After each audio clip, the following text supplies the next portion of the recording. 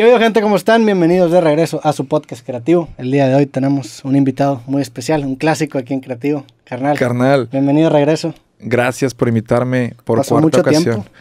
Sí, casi un año del último que hicimos, Sí, ¿no, brother? Ojalá que ya no pase tanto tiempo, la no, neta. carnal, yo Sí. agradecido con la invitación y, y nada, preguntarte también cómo estás tú, bro. ¿Todo chido? Este tenía Bien. rato sin grabar, ¿no? Aquí. Este es el. ¿Viste Dragon Ball Z? Claro, bueno, claro, güey, claro. ya, ves cómo los villanos No tenían, distintas fases. Sí, ¿cómo no? Esta es una nueva fase del estudio y tú eres la, pri- la primera persona que ve este estudio como está. Esa era una característica de los personajes de Akira Sí. Toriyama, ¿no? Que, sobre todo los villanos, ¿no? Que tenían distintas Tenían fases. evoluciones. Sí, me acuerdo que pues empieza con Freezer, no sé si Sí. antes, pero te- tuvo varias fases. Las más icónicas para mí fueron las de Cell, son las que más me acuerdo. Ahorita la referencia la Majin. Cell. Majin Buu también, sí. Acuérdate, los mismos Saiyajin se convertían en chango cuando veían la, Sí, la luna, ¿no? No me acuerdo qué veían. sí, pero bueno, era, era un tipo de Saiyajin, ¿no? Y ciertos Saiyajines, no todos. Sí, no todos, no todos. Creo que- Los que tenían la cola todavía, sobre sí. todo. Sí, ¿qué, ¿qué pedo con eso? Tenía un chingo de referencias eh, muy densas. Eh, Sí. Yo he escuchado, no sé si sea rumor de pasillo, que, por ejemplo, lo del viaje del tiempo en, de Trunks es extraído de, de James Cameron, de Terminator. ¿Ok? Eh, que, por ejemplo, los... De- o sea, lo, lo extrayeron, tra- Dragon Ball Z. Sí, se Akira inspiró. Toriyama se Mm. inspira en James Cameron. Creo que primero Ok. sale lo del viaje en el tiempo que presenta, pues, la, la película de Terminator, ¿no? Hasta parece un Terminator-ish. Sí, de No, hecho... digo, aparte son los androides, ¿verdad? Que son los tipos. Sí. Nunca había pensado, me acabas de volar la cabeza Sí, está denso o sea, ese hice pedo, la ¿no? conexión tanto de Trunks que parece. ¿Cómo se llama el morro este? Connor, Jane. ¿Cómo se llama este güey? Sí, eh, John Connor. John Connor, John parece Connor. Trunks. De hecho, el pelo de la 2, sí, que es el Sí. mejor John Connor, que sale en Historia Americana X, el actor. Y los villanos son Terminator. Y también no los, mames, no sabía, güey. Te mamaste. los nombres de los Saiyajin son de vegetales. Ok. Kakaroto, Carrot, Napa, creo que pues, no sé qué vegetal sea eso. Eh, Vegeta, creo que es de vegetal, o sea, veg- vegetales. En japonés. Eh, o sea, no, si te fijas, los nombres tienen como, eh, Sí, como sí. Una, una ancla o, eh, lingüística, Sí, digamos. fonéticamente Ándale, están parecidos. relacionados a vegetales. No, pero sé a, si- a los nombres de vegetales en japonés o en inglés. no, en inglés. Ah, ok. Sí, no, Ya. eh, no sé, también desconozco en japonés. No, pero sí es Villito, ¿no? Villito, por ejemplo. Vegeta es, es Villita, es ¿no? Villito o algo así, no sé, güey. Pero Yo lo veía en Goku español. también, también se, se basa en el nombre de una fruta. Eh. Goku no sé si sea un, un nombre de vegetal o fruta, pero por ahí debe haber una explicación. Estoy seguro que llegas a un chingo de banda que sabrá explicarlo mejor, pero había escuchado, insisto, no lo estoy declarando como verdad. Pero ahora murió Gohan en, en la voz latina, murió el que doblaba a Gohan. No mames. Y ahora hay un, todo un mame, eh, me decía mi carnal en, en TikTok, de, de banda que lo está homenajeando. Y no sé, que por ahí puede salir la, la nueva voz. Incluso hay un mame de que Luisito Comunica era la nueva voz de Gohan. No mames. Que, ¡Hola, Borgo! Pero este güey de la voz de Gohan, ¿cuántos años tenía? O sea, murió No sé, trágicamente porque era joven. No, no sí. se veía como una persona. Pero sí era una voz diferente a la de Vegeta. O sea, sí, sí la Sí. ubicas, la voz de Gohan, Ah, ¿no, claro, güey? claro. O sea, sí la tienes presente. Era Y- muy fuerte, aparte. Sí, ¿no? sí, güey. Era... Y Gohan se vuelve muy importante y creo que en, en Dragon Ball Super, que ahora viene película, él va a ser el, el protagonista. Entonces se vuelve crucial por ahí. No sé si lo van a homenajear al que hacía, o no sé si hay incluso contacto con, o sea, con la creación directa japonés, el anime y, y el doblaje latino, si hay una relación, si se respeta o esa, Sí. esa onda, güey. A lo mejor a los japoneses les vale un kilo de verga. Hace, hace, hace algunos capítulos, justamente con Héctor, que ahorita estábamos hablando, me, se me ocurrió aventarme un recap de la historia de Dragon Ball Z. Yo habiendo sido un fan muy casual de Dragon Ball Z, entonces la caí con un chingo de detalles y al parecer conté mal la historia porque empecé, no sé por qué tuve el descaro de contar la historia de Dragon Ball Super sin yo haber visto Dragon Ball Super. Esto bueno, güey. Yo neta no la he visto. Lo- He visto highlights en, en YouTube Sí. y, y lees Wikipedia y el, este tipo de wikis que son de los distintos animes. Entonces siento que tengo una idea de la historia porque lo leí, pero no, no vi la, la serie. Pues vuelve a, a su esencia en la cuestión del torneo. Creo que hacen un torneo de Sí. universos que ahí es cuando a mí me alcanza ese mame. Yo no lo veo desde el principio, que cuenta una historia omitiendo GT. Sí. Eh, o sea, no les gustó, así como a Silvestre Stallone no le gustó Rocky 5, güey, y volvió a es que sus... es muy malo GT. A Sí, mí no me gusta. GT hasta que vuelven con el dragón de ocho estrellas y dejan las aventuritas, o sea, la fórmula de Dragon Ball es Sí. que se pone chido de nuevo. Pero GT lo eliminaría, güey. Aunque eso del dragón de ocho estrellas está chido porque aparece Dragón Fase 4, Mm. Eh, Goku, bueno, o ahí en fase 4 en fusión con, con Vegeta, o sea, Gogeta en, en, fase, no sé, a lo mejor lo estoy diciendo malo, es Bellito, no me acuerdo cómo se... Es que hay dos, hay dos, dependiendo del tipo de fusión, cambian el nombre a Gogeta y Bellito. Sí, creo que uno era a través de la, del movimiento de fusión y el otro era con los aretes. Sí. Eh, pero bueno, eh, el punto es que el Dragon Ball Super yo lo retomo o lo, o lo alcanzo cuando está el mame y que incluso la gente ya se está grabando, reaccionando en vivo a los capítulos que estrenaban los sábados en la noche. Y se me hizo un mame durante creo que tres meses estar viendo el estreno los sábados en la noche. Los veía con mi carnal. Y el torneo de los universos con este villano que tiene la cabeza blanca que te quedó mal con él. Jiren, no era Jiren. ese güey. hasta yo no lo he visto y me sé los nombres, güey. Y, se e, pone Ese tipo de pendejadas me dio la confianza de querer contar la historia. Porque, porque me sé los nombres de los malos. O sea, incluso ya en el manga que van más adelantados que que en el anime ya hay otro villano del cual ya sé su existencia, pero no te quiero spoilear si es que lo estás viendo. Carnal, vale madre, güey. Bueno, hay un vato que se llama Granola. ¿Así llama Granola? Granola y es el vato más poderoso y está chida, está interesante la historia porque... está chido el eh, nombre. A diferencia de, de con Freezer, que Vegeta y los Saiyajin tenían una sede de venganza porque Freezer había eliminado su planeta, los Saiyajines eliminaron el planeta de la raza de este güey Granola. Ya, hacían lo mismo, eran colonialistas también y y si te fijas también en muchas referencias, por ejemplo, Fleezer se puede considerar Hitler, güey. Sí. O sea, estás hablando de Hitler, vato. Es una referencia también que no tengo duda que Akira Toriyama está. O sea, es un fascista, güey. Y, ok. O sea, tuvo. Pero no es un fascista porque lo, antagonizó. O sea, ¿cómo? ¿A qué te refieres con quién lo antagonizó? Ah, sí, es un villano, pero. O sea, si lo hubiera puesto como el héroe, si Goku hubiera sido fascista, entendería que Akira Toriyama sería un fascista. No, no, yo refiero a, Freezer, es un fascista, no a Akira, güey. O sea, te pone a Freezer como un verdadero eh, dictador y como un güey pues, racista, un güey que quiere eh, hacer un genocidio de una raza, güey. son los judíos. Sí, totalmente. O sea, Goku sería el judío, sería judío. Yo creo que así, y es un símil con Attack on Titan, güey. Sí, Que, que muchos la consideran la historia de los judíos, pero si, ¿qué pasó si ganarían, güey? ¿Qué pasa si los, los, judíos hubieran tenido una... No había Attack te quedó Attack es muy bueno y tiene también referencias. Por ejemplo, los dividen en, en campos como de entrenamiento, que son símiles de campos de concentración. Y, y, bueno, no, no como tal la historia de los judíos, pero muchos lo consideran eh, un, pues, un símil, insisto. tampoco nunca había pensado que la, la similitud entre Freezer y, Hitler. Pues carnal, quiere exterminar una raza porque él piensa que es superior, güey.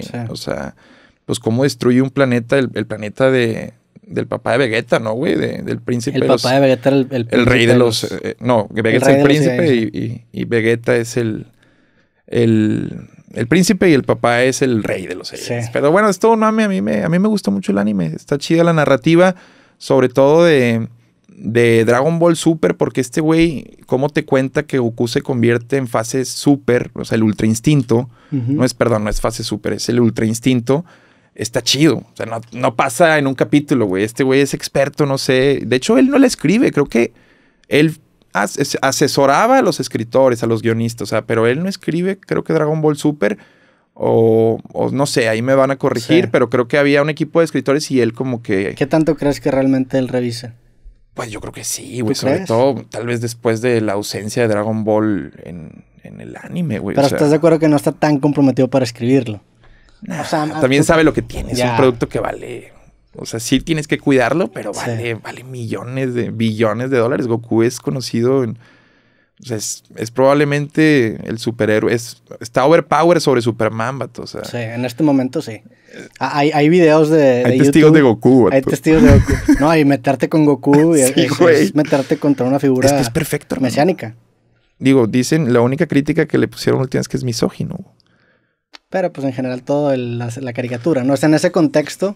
Sí, ¿no? Pues también es eh. muy violento. Es una persona, se podría decir que tiene problemas de enojo, güey. Está con Sí. Pero, güey, es probablemente la creación más carismática, más que Homero Simpson, güey. Sí. Es, bueno, sí escuchaba ahí de pronto, sobre todo morras, haters que desconocen, no son haters de Goku, pero es difícil que te caiga mal Goku, vato. pero siendo, siendo un güey que consume Sí, siendo una persona de nuestra edad, Goku es, un, es un ídolo.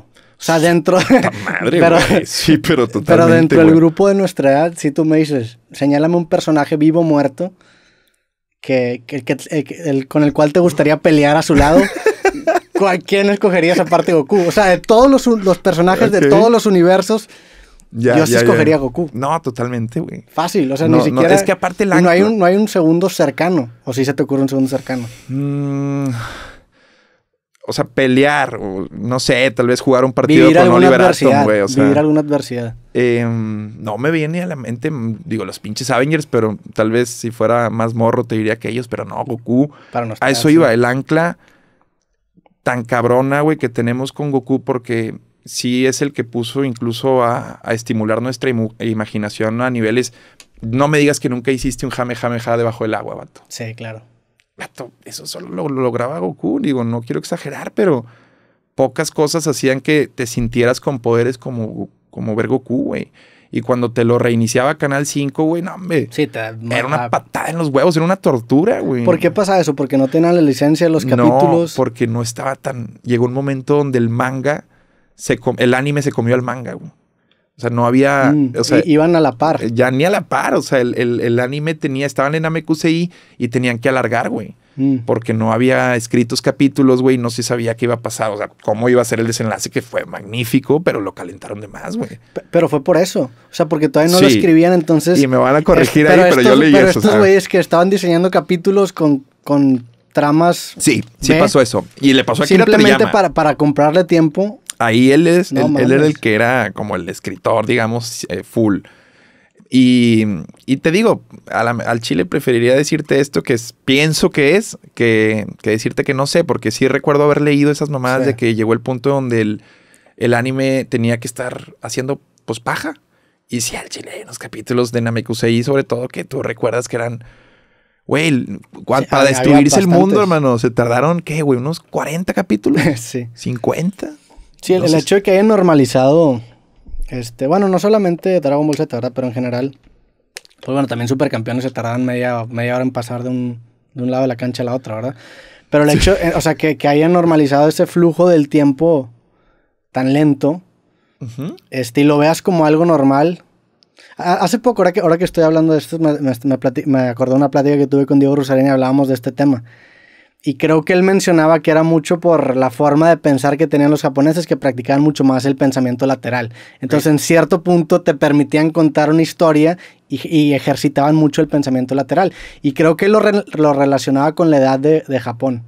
Ok. Este, porque dices, no sé por qué el Estados Unidos es un país relativamente joven, Joven, tiene muy sí, pocos sí, años, sí. entonces tienen esta necesidad de como su historia pasó en muy poco tiempo, en acelerar las cosas. Entonces conforme más tiempo se vaya alargando la historia de tu país, tú mismo como que estiras y todo pasa un poco más lento y pasa en el entretenimiento. Está muy denso Se eso. una teoría bastante loca. Pero pues tienes también razón con que en, en Oriente, güey, es donde están las culturas más milenarias, güey. O sea, China es el único país que ha existido siempre. O sea, si te fijas, China ha, Sí. ha pasado todo, güey. Sí, o sea, sí. China no lo han... eh, nadie lo ha... ¿qué- ¿Cuál es la palabra? Disuelto. o- sea, nadie lo ha Dividido. separado, dividido. Y ellos ya pasaron por el tema religioso. La otra vez platicando con el buen bandido que le encanta también la mitología china.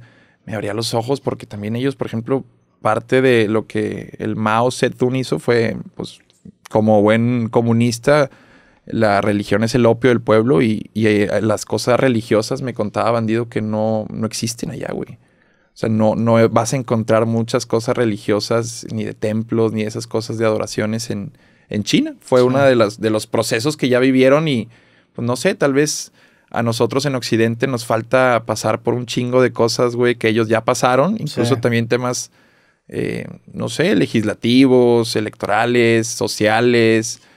Eh, pero no sé si ellos tengan la fórmula, güey, pero pues está raro, ahí siguen. Sí. Eh, y, Digo, y lo- Estados lo- Unidos, si, me- si yo tuviera que hacer una apuesta de aquí a 500 años, yo creo que Estados, no sé, es una estupidez, no tengo ni información ni nada, ¿Tú pero crees que Estados yo creo Unidos vale se va a la mierda, güey. Yo creo que en general todos los países tienden a estarse yendo a la mierda, ¿no? O sea, cada vez las... Estos güeyes tienen milenios. Pero cada vez las líneas se desdibujan más. China, ¿quién habrá sido el güey que más cerca estuvo de chingárselos? ¿Japón? Pues- en, esa, en, esa, en esa racha que agarraron en la Segunda Guerra Mundial. Sí, siempre han estado en guerra. Hubo una guerra yo, China, sí. China y Japón muy fuerte por, por esa época, ¿no? Es correcto, sí, siempre. Y ellos también invadían, creo, güey. O sea, siempre han estado en pedos. Creo que son bélicos también, no sé si por naturaleza, pero están curtidos en, en guerras, güey. Y China no es la excepción. También, pues ni siquiera te tienes que ir afuera, güey. Ellos mismos internamente, pues han vivido un chingo de opresión, güey. Entonces, eh, creo que no sé si es la forma en la que podría funcionar tanta gente en un espacio tan... O si es amplio, pero está lleno de cabrones. Oye, y el anime es exclusivamente de Japón, ¿no? creo que sí, creo que China tiene su variante, tiene... Habrá, claro que existe, Pero no es ni siquiera tan cerca y no. se clasifica como anime. Pues por lo mismo de su cultura y su gobierno, yo creo que están más eh, reprimidos en creación de ese tipo. Los japoneses, digo, no tienen pensamiento tan lateral es su alter ego, güey. Es su mundo, es su Ready Player One. Es, es como su, su escape, güey. Pero escape verdadero, cabrón. Las cosas que llegan a escribir esos güeyes Evangelión. Es más, me abruma, güey. Ni lo he visto, vato. sí, yo tampoco lo he visto. De que no, güey. Al chile, sabes que no. Aparte, no sé ni cómo empezar. Hay como cuatro películas en Netflix. No, sé con cuál empezar. Pues con, la, con el anime, güey. Pero. Por ejemplo, Dead Note es una cosa. ¿Has visto Dead Note? Dead Note vi 40 capítulos. Me quedé como en la ah, mitad. Estás mamando ya. Y la Digo, sí se pone, entiendo, se medio pesadona y densa, de que dices, ya quieres mejor que se resuelva, pero pues la resolución es majestuosa, majestuosa, güey, al chile. Sí, vi, la película que sacaron después y siento que no la había visto porque me, me di cuenta que la parte que yo había visto en el, en el anime fue como en la primera hora, entonces me imagino que resumieron las, los siguientes 40 capítulos en una hora. ¿Tuviste esa película o no? No, no, la de William Defoe, la de live action. La de, la de Death Note, que salió hace como dos años. Sí, no, no, no, me preferí no verla porque no quería ni siquiera contaminarme de la joya que había sido ver Death Note. O sea, ¿te enteraste que iba a salir? Sí, yo sabía. pero tú siendo fan de Death Note. Yo, pues más que fan la vi y dije, a la madre, o sea, pero cuando veo las críticas, así tomo mucho en cuenta, por ejemplo, pues la neta sí soy ese güey que se mete a Rotten Tomatoes o que ve el, la calificación que tiene IMDB. De hecho, así es, últimamente, así es como veo películas. ni siquiera veo el título. Quiero ver calificación y por qué la tiene tan alta y quiero comprobarlo. Y la gran mayoría de las veces, pues sí, es de que, ah, se mamó. Pero, pero tú siendo fan de Death Note, me hubiera imaginado que, o a mí me pasaría, por ejemplo, si hacen una, una película de cualquier libro que, que yo haya leído y, y veo que a lo mejor no sea tan, tan buena como quiera, voy a verla por, o sea, como que muchas veces un tipo de masoquismo, te quieres ir a enojar. Sí, pero o sea, te quieres ir a enojar. No abrazo tanto, realmente ya pasé, no sé si ya pasé, pero sí soy consciente de que ya no soy fan de, nada. De, nada, güey, aunque se escuche muy así. Y eso está feo porque también creo que te medio te mutila un poquito las cosas chidas y felices de la vida, pero me hice frío en ese aspecto y... te normaliza los la, felicidad y de cierta manera la angustia. En lugar de ser picos tan altos, el, el, el Digo, soy frío, güey. Ni, O sea, Federer sí me genera algo así de que, ah, te mamaste. O sea, haría, haría cosas de que si lo viera... Pero fuera de eso, no, no, no tengo ni un objeto que anhele, ni una firma, ni es más, o sea, me hice frío en ese aspecto. No, no, me, no siento que me, ah, me voy a perder esto o este evento. Yo era mucho de mi sueño ir a un mundial. Y se me apagó por completo esa velita de tienes que ir a un mundial. De que, ah, chingada, no es cierto, güey. No tienes que ir a un mundial. ¿Te crees y ya no hay pedo, güey. ¿Crees que te pasó eso porque te empezaste tú a ser más conocido? O sea, a mí, a mí me pasó algo, similar de... Y por eso es lo que la gente puede asociarlo con, con mamonería, pero no, o sea, quiero transmitir solo lo que siento y sí, tiene una relación con... Pues es que te empiezas a dar cuenta de lo que se siente estar como que del otro lado y ya como que... Eh. O sea... O sea, le quité... Suena, suena muy mamón, pero... Pero pues es cierto, a mí me pasaba mucho también. Digo, me imagino que es algo que eventualmente te pasaría conforme creces, que dejas de emocionarte tanto por las cosas. Exacto. Pero creo que de repente tener el tacto de estar del otro lado sí pues te, te, permite humanizar también a esas personas. A mí en creativo me pasó mucho eso. O sea, yo tampoco te diría que hay una persona con la que me encantaría y daría todo para grabar, la verdad es que no. Y eso ha cambiado mucho con el, con el tiempo. Antes sí me emocionaba más en el sentido de, de que mis metas eran basadas de que no mames, quiero grabar con esta persona. Y ahorita la neta es que obviamente prefiero si me ofrecen a alguien bien, cabrón, le voy a decir que sí, pero no es lo mismo. Pero, o sea, lo que voy es el enfoque hacia el lado de figura pública, porque por otro lado, prefiero estar con una persona normal, O sea, no me anhela, güey, el hecho de conocer a más personas que están no viviendo lo mismo, güey, sino también, vato, estamos cortados con la misma tijera en el medio, Roberto. Tú, y tú más que nadie lo sabes, güey. No me digas que los artistas, sobre todo los músicos, tienen un molde claro que si profundizas y eh, vences esas capas, por ejemplo, tu relación con Pepe, pues puedes profundizar y no te da las respuestas, pero Pepe normalmente en un podcast eh, va a ser lo que el promedio de músicos contesta en, en los podcasts, güey, porque eh, están, tal vez los estímulos que reciben son muy similares, güey, y por eso ellos terminan entregando eso que es muy similar también. Entonces te vas haciendo moldes. Creo que cuando te dedicas a este pedo de tú y yo entrevistamos, de cierta forma, digo, propiciamos pláticas, pero es en serio, tiene casi seis años y he estado ahí con personas que llegan con managers, güey, que piden cosas. Cada vez me entero de más historias de artistas, güey, que solicitan en... Pero, ¿por qué te piden qué? O sea... No sé, o sea, me va, me va dando una roña, güey, a, la cuestión artística. Te soy sincero, y a esta onda de tener que ser tan original o, incluso los tatuajes. Cada que veo, digo, y estoy hiriendo susceptibilidades. No quiero señalar a nadie, pero también a veces son un grito de, güey, aquí estoy y, no creo que las cosas que pides y tus clichés y tus originalidades sean quien te definen, güey. Hay mucha gente que va por ahí así me estoy ahí tal vez proyectando, pero eh, me he encontrado con unas historias, güey, cada que avanzo en esta carrera que digo, ay, güey, lo, último que quiero es pasar mi tiempo en un camerino, güey, con gente con ego, güey. Prefiero estar con mis compas en la carnilla, güey, o cenando un martes contigo en el Ryoshi, hermano. Ahorita vamos a ir por un ronqueo. ¿Sientes que eso te pasó a ti en algún punto? O sea, ¿perdiste piso en algún punto?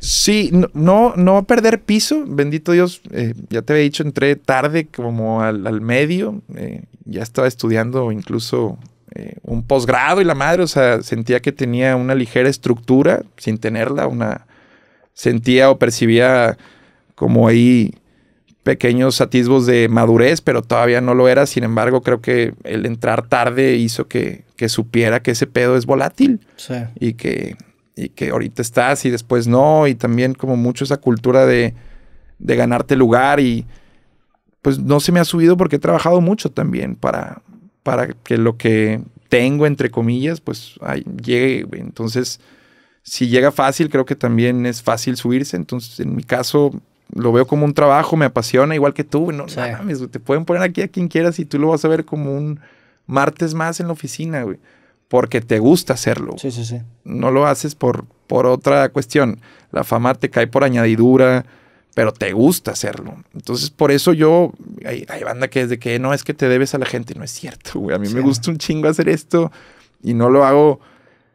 Sé que lo tengo que mejorar a través de la retroalimentación, pero no lo hago por la retroalimentación. Me gusta, me gusta un chingo hacer, me gusta un chingo platicar y no sé, si sale algo chido, qué padre. Pero específicamente te enfocas en la, en la retroalimentación de la gente que, te sigue o, en general. Toda. O en la tuya o en la gente cercana. Toda, toda. Es que tú sí eres bien abierto con pues, ese. Pues estamos.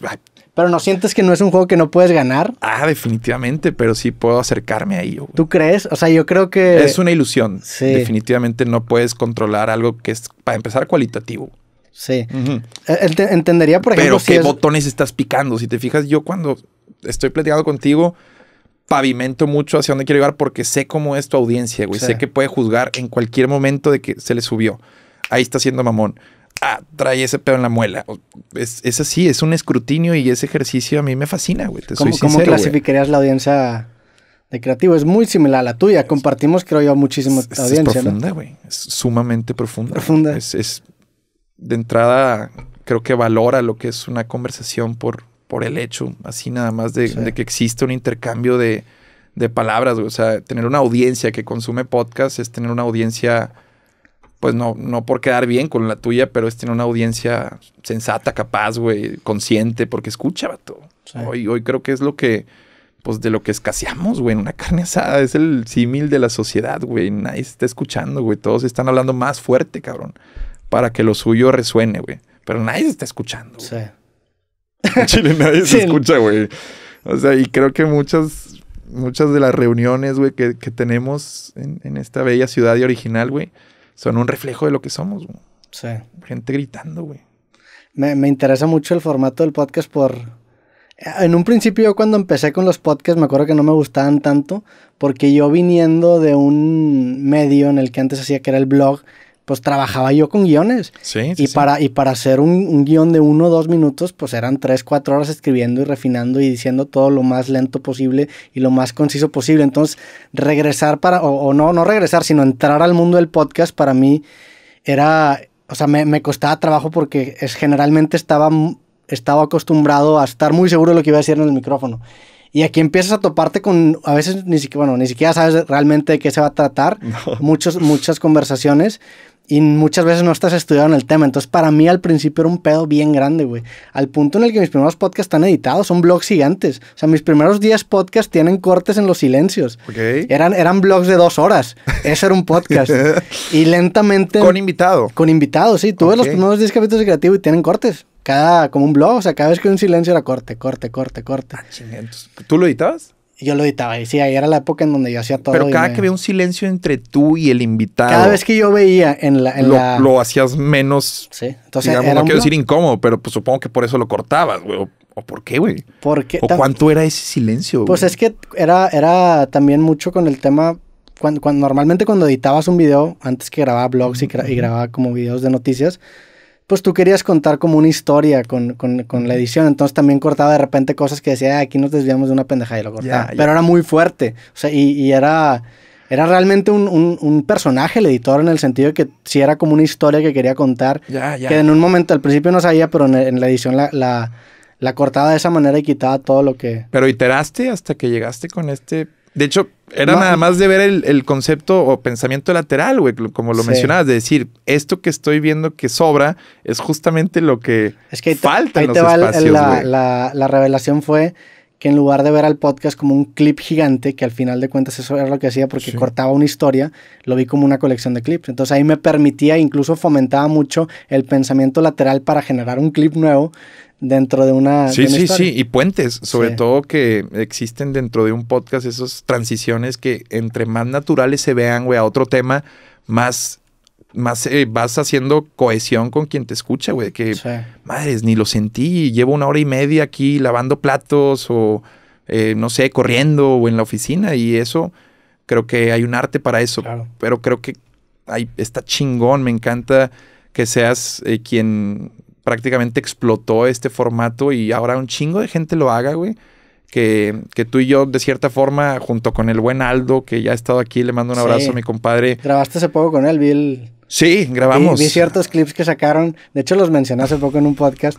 Del agua. Vi que estaban hablando del agua y que el Aldo dijo, no, yo voy a aprender mi alberca y no sé qué. Sí, la neta, yo, yo, yo también muy de acuerdo con ese tema, pero, pero nada, la neta, hablar de de política en creativo, no, no está chido, carnal, creo, güey. Y, y, ese no sé si sea un tema político, de hecho, güey. Pero definitivamente sí sé que no es un tema de ciudadanía, de cuidar el agua y esos pedos. Hay que tener conciencia, sí, güey, pero no mames.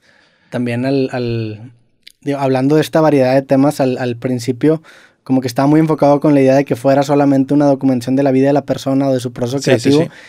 Y después que empieza a, cambiar el formato del podcast y se vuelve más sobre en lugar de ser sobre la historia de la persona, sobre temas en común, temas como que es una documentación indirecta de la sociedad. O sea, tú ves, por ejemplo, el podcast Cosas que tengo con Jacobo y hablamos de la pandemia durante toda la pandemia, pero sin realmente cubrirla. Entonces es como una documentación indirecta. Y eso me permitió abrir un panorama y cambiar mucho el formato. Y el nombre creativo me, me, permitió ser flexible con, con adaptar el podcast a ahora. Ahora ni siquiera sé qué es. Está en un momento raro en el que ni siquiera sé de qué se trata. De hecho, pues como quiera, lo chido es que lo sigues haciendo y dejas que fluya y encontrarás tu voz que está claro que, la has encontrado, pero no creo que se, se, esté notando así como que muta o algo. Sigue siendo un espacio donde viene banda a contar cosas chidas y si aparte de eso puedes unir puntos en donde un consejo le sirva a alguien así práctico, pues qué mejor, güey. Pero si no, es de acompañamiento mamalón y creo que hacen falta espacios así, güey. Lo que sí es que creo que hay un chingo de gente haciéndolo por las razones equivocadas, güey. a lo que iba de. Alguien llegó, digo, me reservo el nombre, llegó conmigo y dijo, oye, eh, tengo un espacio, güey. Eh, y quiero que me des tu engagement, me dijo. O sea, el vato quería usar la palabra y yo sé, todos fuimos él en algún momento queriendo encajar, güey. Yo de que, que madres, ¿cómo te doy mi engagement? O sea, él solo quería usar la palabra y solo me, quería transmitir que, que, tenía un podcast y lo cual está mamalón. Pero una de las cosas que me dijo es que le parecía aburrido. Y le dije, güey, pues antes de escucharlo, si te parece aburrido, es que probablemente lo está, güey. Sí. Entonces encárgate de, de que no sea aburrido para ti, cabrón. Y después lo haces. Pero eso me, me reitera y me recalca la idea en la cabeza de que un chingo de gente lo hace más por el efecto que tiene si lo haces bien que por amor a hacer un Sí. podcast, güey.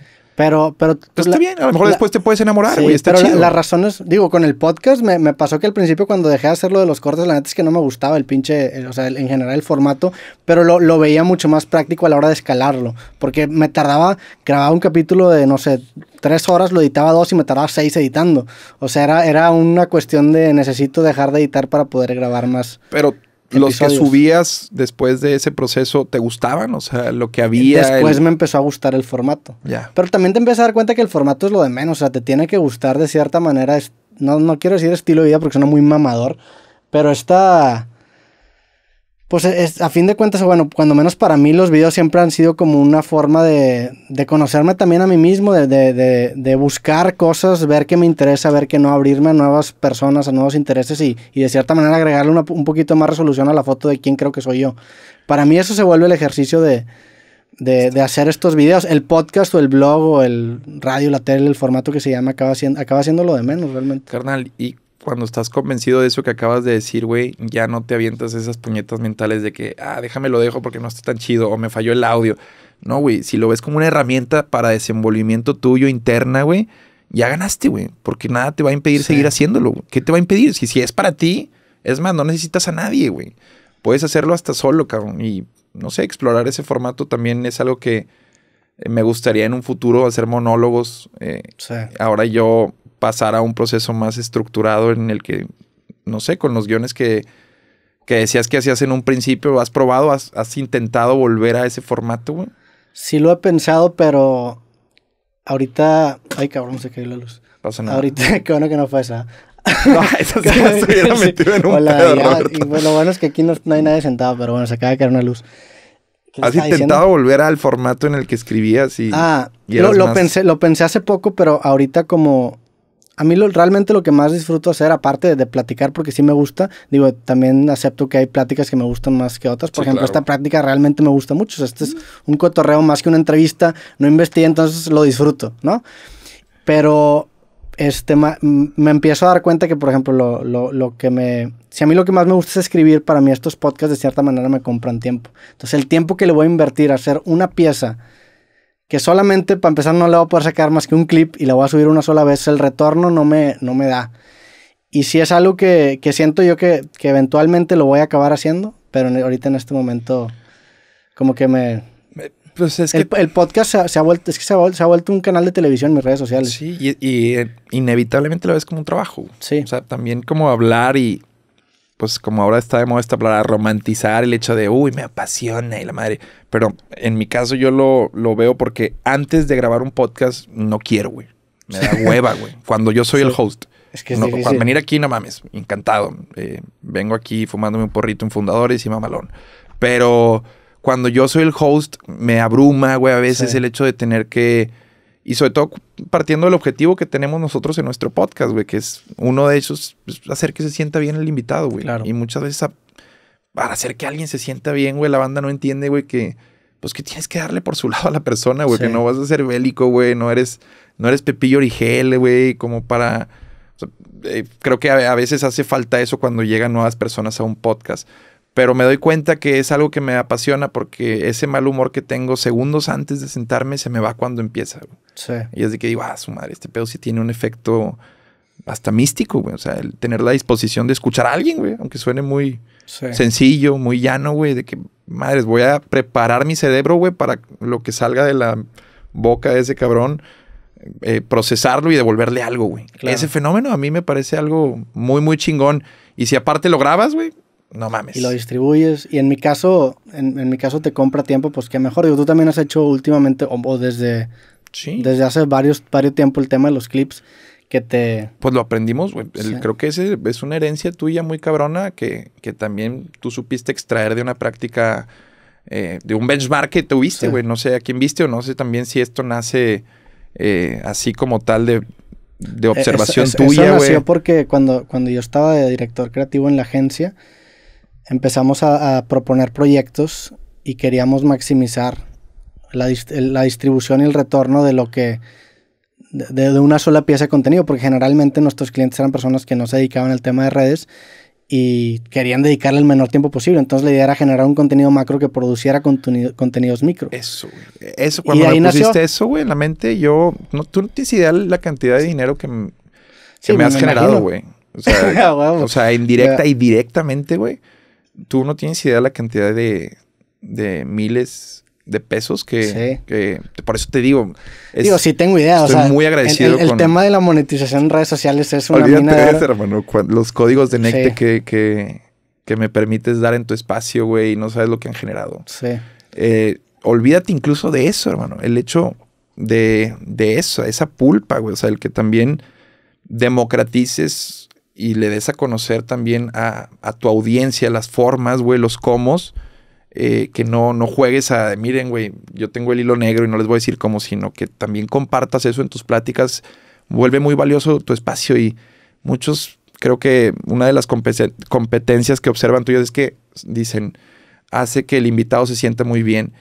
Y yo creo que eso, más que ser una competencia, pues, eso responde a que eres un, un buen tipo, güey. O sea, no existe como esa competencia de déjame ver cómo tienes educación y tienes la forma correcta de tratar a las personas y, se da como Incluso desde un punto de vista, si lo quieres ver maquiavélico, la gente es que te conviene que la gente que está cerca a ti le vaya cabrón. O sea, a fin de cuentas, todos crecen. Y más, me, he dado cuenta, por ejemplo, con el tema del podcast, pues tú este último año has tenido un año bien cabrón, felicidades. Ya te lo he dicho tanto. Trabajo, carnal, trabajo. y, te lo he dicho mucho, pero Obviamente el hecho de que a ti te vaya bien hace que este podcast crezca, más gente me conoce a mí, van a ver tu capítulo y, se genera esta, pues esta red en donde si uno, uno se levanta, se levantan todos. Y quitarte como que esa parte de, pues de celos o, de, ese delirio de persecución de que todo el mundo te quiere quitar a ti el puesto, te, permite dar precisamente compartir herramientas que le vaya bien a todos y... y como eres también, er, es como libre mercado, güey, de, digital, vato. Eres, eres, o sea, la forma en la que te manejas es, es, marca la pauta para creadores de contenido y aunque suene mamador, o sea, dirán, ah, ponle un oxo.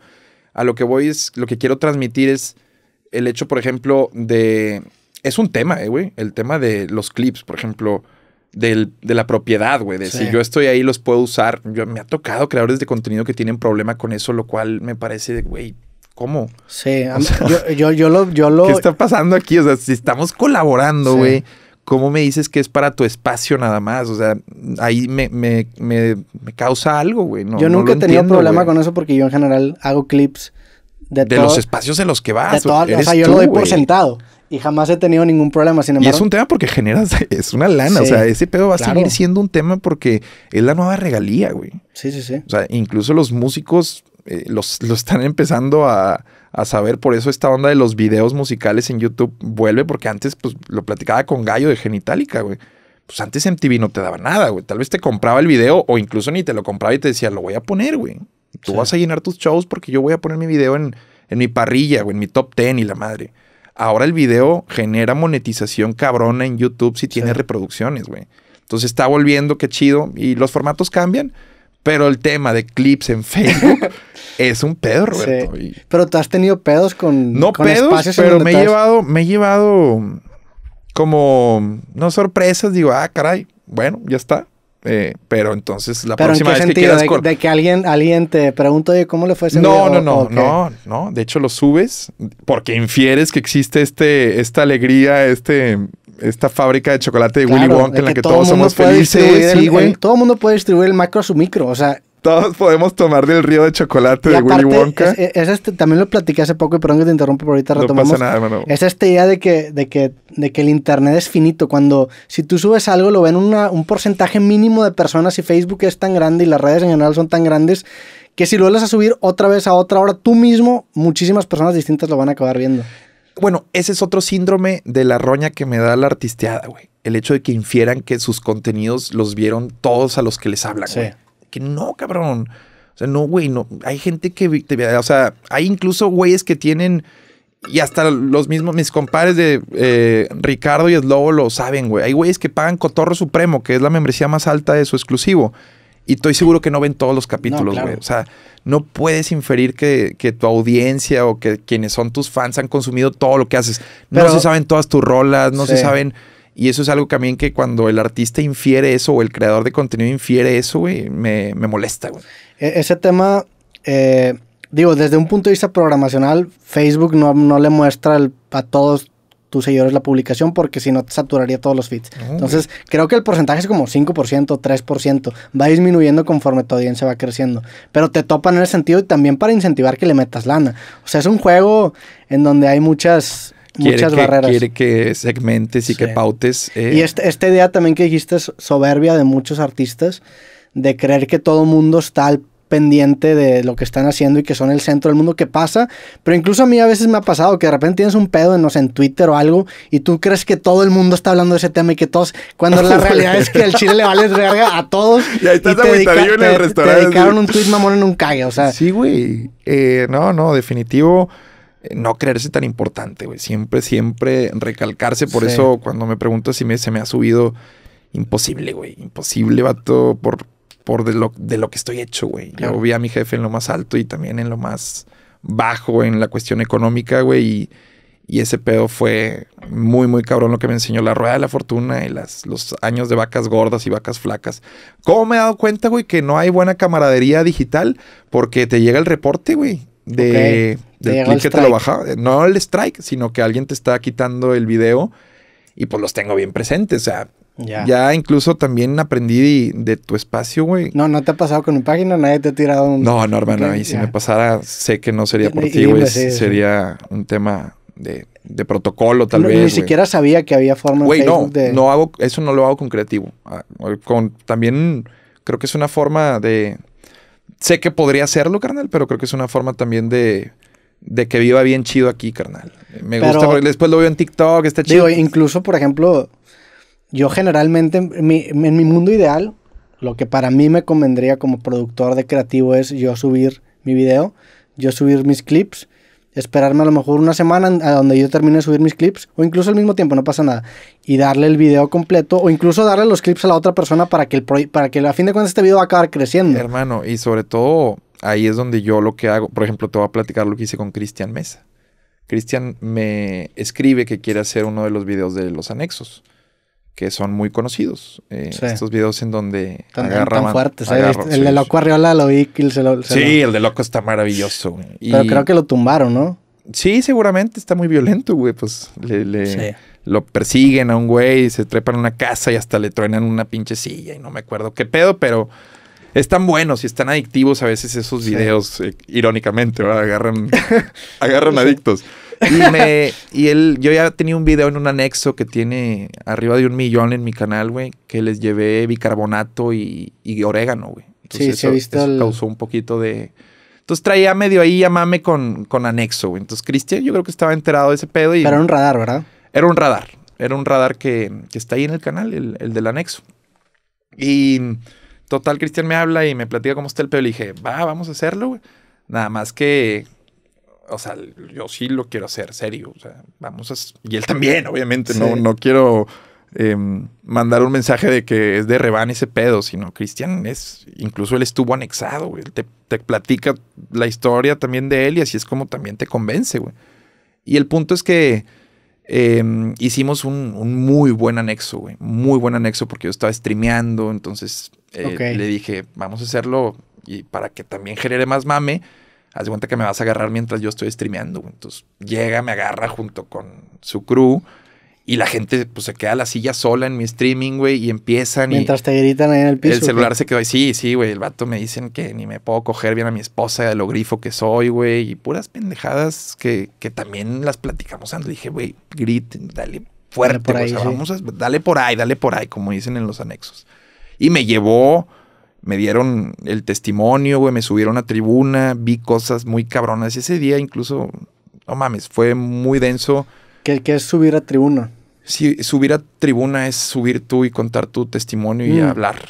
O sea, te anexaron, te llevan al anexo. te llevan al anexo. Y en el anexo tú te paras a... Y sí, tienes que hacerlo, tienes que respetar ese espacio, güey, tienes que... Ahí están todos Pero eso, eso siempre sale en el programa de Cristian Mesa o... No, en los videos de los anexos. Él tiene un concepto. Sí, sí, que sí, es- sí he visto, pero creo, Ah, sí, creo es yo que- parte de- Entonces creo que nunca he lleva. visto uno completo, porque Sí. nunca he visto la Nah, parte tú de has visto tribuna. la parte donde los Yo vi la parte, güey. sí, ahí, le- ahí dije, "Ah, la madre, no, y le cambio. No, no. Eh, parte como un gag de sus videos es que te lleva a, a un anexo con el cual él tiene una relación chida y es un anexo de gobierno. Ojo también que me cuentan que ahí hay, hay gente muy horrenda en el sentido de las cosas que hicieron. güey. Ese anexo sí tiene la intención de reformarlos porque tiene abogados que buscan que no se los lleven a la cárcel, güey, a los penales, porque saben que iban a valer madre, güey. Estoy hablando de violadores de bebés, güey No mames. asesinos. Eh, está denso. O sea, las cosas que hay ahí están muy, o sea, muy est- densas. están metidos al anexo para que no los metan para a que la no cárcel. los lleven al penal porque Pero- saben que ellos sí pueden hacer algo por ellos. güey. Pero muchas veces entonces ni siquiera tienen un problema de algunas... ah, muchos, muchos en los anexos incluso van a, los están buscando por fuera y van a, a- ahí a quedarse y pues Sí. ahí es donde también el ojo que tienen los padrinos para, eh, güey, este vato nomás viene a hacerse pendejo. Y también ahí es donde tienes que tener ese feeling y ese ojo. Y es el pedo, güey. Eh, Se alienan y a veces también el líder, güey. No en ese caso, pero he visto otros anexos. De hecho, voy a grabar un, un anexo en, en Monclova, güey. Ok. Me contrataron y, y voy a ir a grabar uno. Pero ¿cómo? ¿Tú vas a grabar un programa de anexo? voy a grabar un, no un programa de anexo. Voy a, ver cómo es un radar. Pero el punto con Ah, va, va a ser un radar del sobre un anexo real. Sí, sí, sí. Y te güey, pero te contactó la familia de... No, me contrató el dueño, güey. Y pues también es. Pero es una, eh, este, el dueño del, ane- del el dueño anexo. es que, güey, el negocio de los anexos es que Pero- pues, es como un call center, carnal. Te dan lana incluso Por pegar la por, raza. por exacto, güey, por llevar. Porque después se vuelven temas, o sea, toda la banda cree que los anexados también son, están en la, en, en la miseria y no, güey, las mamás pagan por ese Sí, pedo claro. para que se queden ahí porque son un desmadre afuera, güey. Sí, pues así era como yo tenía entendido un anexo, Sí, que la sí, familia sí, paga para que te hagan Es una un chingada. pedo, es un porque pedo. es- es- o te está llevando la verga o estás teniendo comportamientos. Qué guay, porque después de esta plática de anexos me va a llevar un. A, ti a mí nos va a llegar un chingo de, de güeyes que van a querer que vayamos al suyo. Porque sí, se vuelve un tema de, de interés. Pero bueno, ¿qué le propuse a Cristian? Pero a ver, a ver, antes, de no, los no, clips. antes, an- antes de este pedo. Es que te ¿Te, contra- te contrató el dueño del anexo o te invitó el dueño del anexo, No, lo que me sea? contrató, yo, Te- yo le vendí un radar. Te contrató el dueño del anexo para documentar un anexo. Sí. Pero va a llegar una señora, imaginemos, para que anexen a su hijo y este güey le va a decir, sí, pero necesitamos grabar un radar o cómo no, va no, a ser. No, no, no tenemos nada preparado. Es simplemente ver un radar. O sea, no queremos. Eso, eso es justo. Sería también plagiar casi el concepto de Cristian, güey. Digo, no. El sol sale para todos y, y Sí, no, cada quien tiene su audiencia. Pero Pero. a lo que me refiero es que la persona anexada obviamente no va a saber que va a haber un radar. Ah, y no. te puedes meter tú en pedos por no, eso. es no, que obviamente eh, radar nunca es invasivo y a quien le pongo un micrófono lo hago pues preguntándole si tiene ganas de ser entrevistado y la Mm. madre, güey. Cualquier siempre que nos dicen blurea, bendito Dios, no, no he llegado a ese punto donde tenga que dar un disclaimer, güey, para grabar, güey. Sí. Si no me voy a, ese día voy a dejar de hacer O sea, vas, vas a documentar un día Sí, con el equipo con de anexo. Entonces va a haber va- dueño. pero va a haber varios anexos que vas a estar documentando. No, tiene uno nada más. Ah, ok, va a ser uno. por- Tiene uno y, y el vato estuvo muy insistente. La neta, yo no me latía mucho la idea. Y, Está denso, y güey. bueno, todos tenemos un precio. no, pues es mi jale, carnal. Sí. Y aparte, No, de- te- lo te- que me va a dejar el video en, contenido, si no me lo, si sabes, otra de las enseñanzas que me dio el, el- el buen Roberto, eh, pues si sabes también distribuirlo con la respectiva censura, con el respectivo título, puedes sacarle buena lana a ese pedo. Sí. Y nunca te has metido en pedos con tus videos por temas que tocas y desmonetizaciones recientes en, en Ve- Facebook. juga- ya sabemos jugar muy cabrón, porque hace poco, por ejemplo, fue pero con cualquier tema. millonario y Sí. tuvimos un podcast con el buen Millo, Saludos que al millonario. mames, la mamá del buen César. Hice muy buenas migas con el millonario y Bandido me dice, "Hey, güey, voy a subir a mi página que ya monetiza la de él los clips porque está fuerte los temas, güey, y seguramente te pueden desmonetizar la tuya. Dicho y hecho, güey, un, un- un clip del- de lo que dijo Millonario alcanzó el millón, pero la página de Bandido fue desmonetizada. Sí. Entonces, corremos riesgos. Yo creé páginas. Tengo radar con Adrián Marcelo y Adrián Marcelismo, aparte de Adrián Marcelo primero, o sea que son las tres que tengo. Sí. Y mucho de lo Y que... de de- dependiendo del riesgo de la página. Exacto. Ok. Es el- y sobre todo blurear, güey. Y, y Luis, le mando un abrazo a Capitán Calvicie. Eh, mi, o sea, se ha vuelto mi, mi productor, también como lo es el buen bandido, eh, me eh, tiene mucho know-how de, de qué sí y qué no. Ha tomado cursos, ha también en relación con Facebook, con YouTube. Es importante, güey, saber sus qué, qué, es lo que te están pidiendo que no hagas para no hacerlo, güey. Tan sencillo como eso. Muchas veces no, ni siquiera depende de ti, es de los comentarios. O sea, hay, hay una ambigüedad en la manera en la que se implementan las normas que hacen muy impredecible esto. Yo, yo de repente, obviamente grabo un capítulo eh, y o sea, me doy cuenta que a lo mejor no va a poder sacar muchos clips y no pasa nada, pero no hago este pedo de las páginas. Pero ¿cuánto te, o sea, ¿cuántos seguidores tienes que tener o cuántos minutos vistos para poder monetizar una página de Facebook? Sí te pide ciertos, sí, sí te pide ciertos requerimientos. Creo que de entrada son mil horas. Creo, no sé, estoy mintiendo, tal vez, pero prefiero, tú sabes, mentir que decir que no sé. Y creo que son mil horas lo que te pide y cierto número de, de seguidores. No, más de mil seguidores y no sé cuántas horas, 100 tal vez, güey, me estoy mamando sin mil, güey, pero un número de horas eh, de videos que hayan consumido, pues. Ya. O sea, que te hayan O sea, con un video que subas, tú lo comparas en tu página grande y ya llegas a ese punto y monetizas. Bien rápido se hacen monetizables las páginas. Sí, te, sí toma tiempo, unos un mes y medio, tal vez dos, pero ya tenemos, insisto, ese, ese know-how y sobre todo el grupo, los grupos que tienen las páginas. O sea, no nada más es de tener la página, sino fomentar un. Tiene que haber un sentido de comunidad, güey. Y los memes ayudan mucho para eso, cabrón. ¿Tú, ¿Tú tienes un grupo que tú manejas de tu página? Yo no me meto a ninguno, carnal. Ahí sí Pero tu gente. Sí, exacto. La estructura de trabajo, porque también, pues es otra cosa. Yo no tenemos sueldos, todos son mis socios. Entonces, en ese sentido, todo lo que jalamos, pues ganamos lo que jalamos. Entonces, eso está chido y funciona mucho, sobre todo con con grupos de trabajo, güey. Ya los morros, sobre todo, no están dispuestos a ver que tú te mames un chingo y que les pagues no, si, si 10 bolas. Si no asocias a la gente a proyectos que tú tienes una expectativa de crecimiento. Ojalá la gente te va a acabar dejando en dos o tres años. Tienes que, la, la, manera de interesarlos es mediante una sociedad, de decir, oye, si yo me mamo, nos mamamos todos, pero también si me da la chingada, pues este pues se acaba. ¿Qué es lo que eh, creo que en la pizza de Junco voy a tener que asociar meseros, güey? Porque al chile no mames, no, es un tema de rotación ya personal de cocina que creo que es ahorita eh, el némesis de los restaurantes, güey. Está bien cabrón el tema de servicio, lo estoy detectando post pandemia. El némesis de los restaurantes es, el, servicio, güey. ¿A qué te refieres? Que no quiere nadie meseriar, güey. Ya. Y sobre todo antes tú tenías dos, tres meseros grandes que te sacaban la chamba en zonas, los distribuías y en general tenías un buen servicio como restaurante, como bar y te apoyabas con cinco, seis morros con energía, güey, que tal vez no eran tan buenos siendo meseros, pero se desarrollaban. Hoy creo que los morros en ninguno está en la mente, güey, desarrollarse como mesero, güey. Vi, hace poquito que tú dijiste, no sé dónde lo vi, en un clip lo escuché, que hablaba sobre Eugenio Derbez, de la raza que... que ¿Te pues, esa polémica cuando sube el video diciendo que no le iba a pagar a alguien y tú dices, no mames, hablaban del know-how, no me acuerdo. Sí, sí, sí, con gallo de genital. Sí, bueno, justamente hablaban del know-how y de cómo cuesta. Y tienen razón, y, y este, este, esa habilidad en este momento no se aprecia. Sin embargo, en el tema de los meseros sí sí entiendo por qué, ¿verdad? No es lo mismo ir a meserar a una taquería que trabajar con Eugenio Derbez gratis y casi gratis, ¿verdad? Ahí es labor de los restaurantes ofrecer, arropar con otras cosas. Es que la, paga de los meseros está muy castigada porque ni siquiera el sueldo mínimo muchas veces no hay o es muy poco y viven realmente las propinas. Y se vuelve un círculo vicioso porque también hay, y me incluyo, y no, la neta no me incluyo, güey.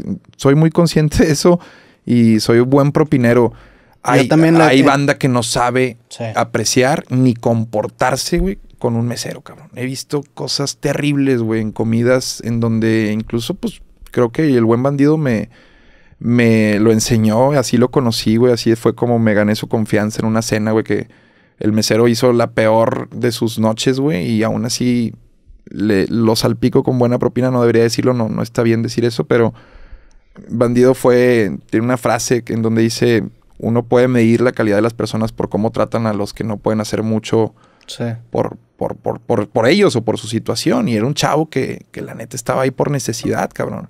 Entonces, si lo castigas, güey, o si lo empiezas a hostigar en el trato, güey, pues está haciendo una mierda, güey. Y así hay mucha gente, güey, que son de los que levantan la mano y no ven al mesero, nomás hacen esto, güey. Sí.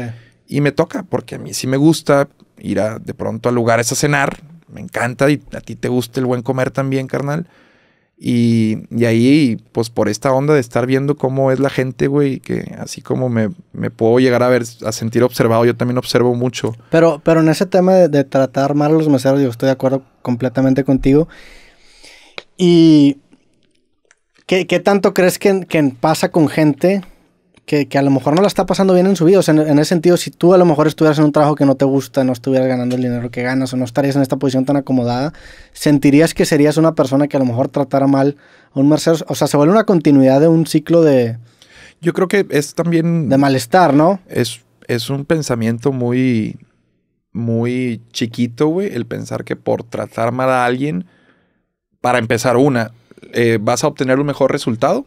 O sea, de entrada siendo así, eh, viéndolo de la forma ergonómica. Pero, pero es que ni siquiera es por, por obtener un mejor resultado. No, no lo hacen por eso, a eso voy. O sea, una, para empezar en la ecuación, si no vas a obtener un mejor resultado, de entrada la decisión de tomar una conducta así ya está siendo de que, güey, ¿para qué? Si no vas a obtener, si fuera para obtener un mejor resultado, ok, diría, ok, pero creo que pocos meseros van a responder bien a que les grites o los hagas de pedo o los trates mal. Segundo, muchas veces creo que se hace como para mandar un mensaje con quién estás, güey, de de superioridad, güey, o de vean, o hay banda que cree que es una competencia, güey. No tratar mal, sino el ser colmilludo con los meseros, güey. Tengo compas, y se lo digo a mi compa, mi socio Víctor, tiene este pinche onda, güey, de que va a un restaurante y como es eh, licenciado en gastronomía, siempre cuando pide algo, le pide una modificación, güey. O sea, es una mamada, güey. Se lo he dicho de que, güey, ¿por qué haces eso? Pero modificación de quítale el morrón. No, de que, eh, güey, en lugar de, barnizarle con mostaza este ah, corte, la receta. le puedes poner una crema chantilly. Güey, déjate de mamadas, güey. Esa no es la receta ni está ahí en el menú. O sea, no me enoja, pero es de que, güey, tengo confianza de decirte, no te pases de lanza, güey. Tú nada más quieres meter una en complicación al mesero, güey.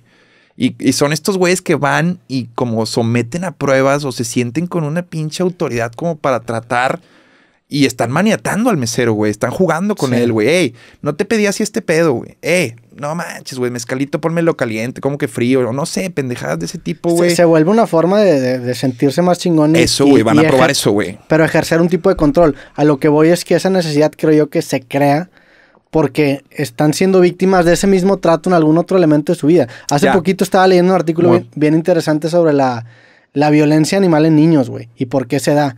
Y generalmente la violencia animal en niños es un síntoma de que o están sufriendo bullying en la escuela o que hay un acoso sexual de parte de los papás de algún familiar y de cierta manera quieren ejercer ese patrón de, controlador víctima, pero ahora ellos siendo el controlador con, con un ser indefenso, que muchas veces acaba siendo un animal. Entonces, generalmente cuando un niño maltrata a un animal, estamos hablando de niños de 7, 8 años, es un síntoma de un problema mucho más grande totalmente de acuerdo con si lo ves desde esa perspectiva, pero si partimos de eso, entonces, pues todas las atrocidades o las cosas que no están bien serían justificables, carnal. O sea, uno entiendo que existen las neurosis, entiendo que existen, eh, pues no sé, güey, conductas esquizoides o que hay, hay factores de riesgo, güey, a la hora de de poder explotar. El burnout, por ejemplo, es un concepto real en las oficinas y que se está incluso combatiendo con jornadas menos, más flexibles, güey, con reduciendo los días de trabajo.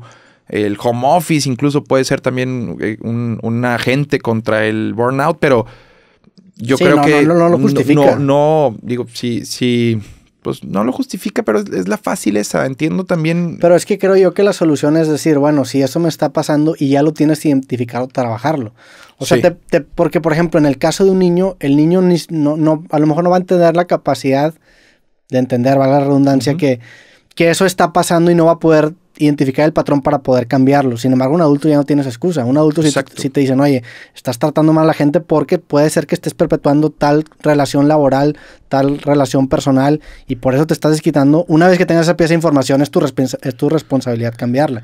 Y ya no tienes esa misma excusa de simplemente adjudicarlo o decir, bueno, estoy haciendo esto porque a mí me están tratando mal acá. Eso no te justifica. No, y después están los pasivo-agresivos, los que incluso si tú les haces una observación de estás tratando mal de cachinga. O sea, incluso hasta te, te puedes convertir tú en, la víctima después, güey, no, en, no el mesero, güey. O sea, hay gente que tiene formas muy sutiles de hacerlo porque cuando escarbas en las razones son muchas aristas, Roberto. O sea, no es una de que lo estén tratando mal. Es, para empezar, que nadie le dijo, güey, eh, eh, a temprana edad o en su momento debido que estaba haciendo así, güey, y lo, pues, lo normalizó en su vida, güey. Hay gente que no tiene el rigor, güey. Y la neta, las decisiones que toma son muy a la ligera. Yo, por ejemplo, cada, ya lo he dicho en este espacio, güey, me pasa con los que toman, güey, alcohol, Sí. Cada vez me he vuelto menos tolerante, güey. Salvo mis amigos eh, que hermosos que sé que su, tomadita pues, es parte de, su historia y ese pedo. Nuevas personas pedas, no, hombre, güey, sácate, güey. Sí. Tengo mi círculo ya con mi jefito, tengo también, güey, que se echa sus tecates, dice él, no me las tomo eh, por el sabor, sino por el efecto, porque a veces se las toma al tiempo incluso. Pero, pero pues sí, yo ya. Yo también empecé con alcohol por lo mismo. O sea, creo yo que muy poca gente empieza con alcohol porque le gusta el sabor de una cerveza cuando tienes 15 como una años pertenencia, años, ¿no? Un sentido de pertenencia, empieza aceptación. Tanto con la parte de aprobación social que te da el hecho de acceder al alcohol en una edad temprana y también por el, el efecto que te da. Y no sé, bueno, a mí me pasaba mucho siendo introvertido que realmente para mí la, el alcohol en mi adolescencia y en mi, edad temprana era un lubricante 100%. Yo fui un, bueno, y sobre todo también te has eh, denominado como alguien introvertido, güey. Eh, no sé si el alcohol en su momento funcionaba para que te abrieras más y que hicieras más llevaderos esos momentos que no, no precisamente fobia social, güey, pero te, podían abrumar, güey, de que, ay, güey, un chingo de gente y me siento incómodo que puedo, puedo sentir a veces eh, identificación con ese pedo últimamente. A lo que voy es que también es, pasear, es patear el pesebre. Decir, güey, Monterrey es una ciudad. México es un país muy chelero, güey. Muy cervecero, en donde si tú le dices a alguien de que, güey, ya llevas un chingo, o sea, está mal, vato. Tiene que ver con la masculinidad, güey. Incluso en Monterrey tiene que ver con el fútbol, con las cantinas, con el indio azteca. O sea, el tema de la cerveza, güey, como tratar de decirle a la banda, eh, güey, te pones mal cuando te tomas seis, güey. Nada más seis necesitas, güey, para empezar a decir pendejadas está mal, güey. Como ser el señalador es, de que no, güey, estás traicionando, estás traicionando nuestra cultura, güey. O sea, no es un tema tan a la ligera, porque aparte, todo lo que pasa en esta ciudad tiene que ver con una cerveza patrocinando, güey. Todo. Güey, vatos, son los causantes de realmente incluso de que no tengamos agua, si me pongo mamón, carnal.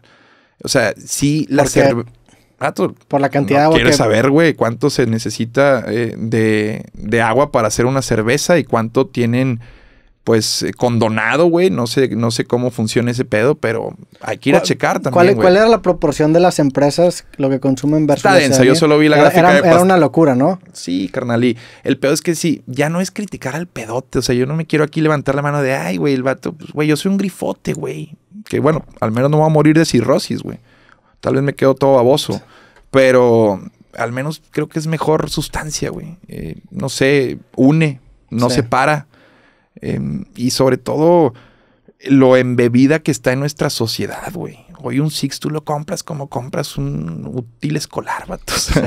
Yo sí soy bastante cervecero. y yo también. o sea, ojo, güey, me van a ver con una cerveza el resto de mi vida. Entiendo la función que tiene, solo, vato, eh, el alcoholismo está ojete, nada más ese es uno. No me quiero ir para ningún lado. Es ojete el alcoholismo y, la banda no se da cuenta cómo se ve tomada, güey. Porque por eso se juntan entre ellos, güey. Y por eso la banda cree que es cocaína, güey, lo que les embola. No es cierto, güey. La cocaína no les gusta. La cocaína es lo que te hace seguir tomando. Te gusta el pedo. Y nadie señala el alcohol, vato. Generalmente la gente que se desintoxica de cocaína tiene que dejar también el alcohol. Claro, está cruzadísimo el vicio. ¿Qué es lo que quiere el coco que se mete eh, coca en un antro? Seguir mamándose. Y hasta las 12 va a seguir mamándose con whisky, con lo que sea. Pero nos han vendido que el whisky es de fresas, que es masculinidad, que está Chris Hemsworth anunciándolo, Thor, eh, todo ese pedo no va embebido, o sea, no, es ni paranoia ni nada. me vale verga lo que le pase a los pedotes, güey. Mi jefe va a seguir tomando. A mí me vale madre. Solo creo que a veces señalamos pendejadas y causas. Cuando te vas a la raíz, muchos de las golpeadas, creo que yo creo que un 95% probablemente está tomado el que la golpeó, güey. Sí. O sea, nadie quiere atacar la raíz, güey, que es una cultura de estar mame y mame y mame. Que la carnita, mamamos. Que el funeral, mamamos. Cantina, hombría, nostalgia. Hígado encebollado en la mesa. Mi papá y los recuerdos. Uy, cervecita al lado. Vato, nos tienen años contando la misma mamada. Y yo sé que, güey, nuestros deals son con cerveza, güey. Es más, No sé cuánta lana me han dado la cerveza últimamente. Estoy pateando bien cabrón el pesebre y me vale madre dejar de percibir lana, güey. Pero sí, nada más, hagamos un altito a veces y no estemos señalando a los grifitos tanto, güey. Basta ya también de estigmatizar al pinche grifo, que es un cabrón bien pacífico, güey. Me cago, eh, lo pone bien pendejo al grifo de Stranger Things. ¿No estás viendo Stranger Things? Sí, sí, sí. Ah, ¿Ya viste la 4? Al güey de la pizzería. Sí, pero ese güey es un grifo. Es el arquetipo del grifo. Es un arquetipo no, tan pendejo. O no sé, hay unos que sí somos a veces así muy idiotas. Eh, trenes de pensamiento muy curiosos. Pero. Pero siempre mejor que un pedote, güey y moralmente superiores. Yo entiendo lo que dices y entiendo ese... Nada más porque es ilegal. Pero entiendo ese resentimiento que puede sentir un grifo hacia una persona que toma alcohol, porque a fin de cuentas, creo yo que tú usas la marihuana con el, con el mismo tipo de propósito que la gente usa la cerveza. Sin embargo, ellos no reconocen en sí mismos que también están haciendo lo mismo, pero con la cerveza. Y a diferencia de la marihuana, te genera una, una peda mucho más agresiva que propensa para cagarla es que, carnal, La toma de decisiones, Roberto. Pero lo que... Versus la del grifo, versus la del tomado, hermano. Sí. Es terrible, güey. A lo que voy es que hay, una caricatura que salió una vez en un periódico que me acuerdo que se me quedó mucho, que era una señora gorda diciéndole, creo yo, que a un, a un marihuano y que le decía drogadicto. Y la morra estaba tomando Coca-Cola, tenía no sé qué cuántas drogas y está sentada en un sillón lo que me imagino que lo que te molesta es esa hipocresía que se genera en alguien diciéndote drogadicto cuando ellos están también sumergidos en no sé cuántas sustancias a la que tiene una dependencia sutil que no se dan cuenta y creen que, que solamente tú tienes esa dependencia hacia las pues, sustancias.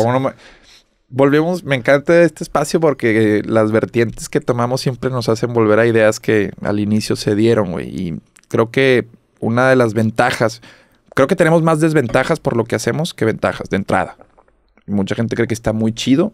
Sí está chido, pero yo ah, cada vez vengo con las uñas más cortitas. La madre, o sea, sí eh, la sobrellevo, güey. No me gusta la, neta tanto. Me, no me gusta, güey, que mis... Te muerdes cabrón las uñas. Sí, no sé si respondo a un tema de ansiedad, güey, de autoviolencia.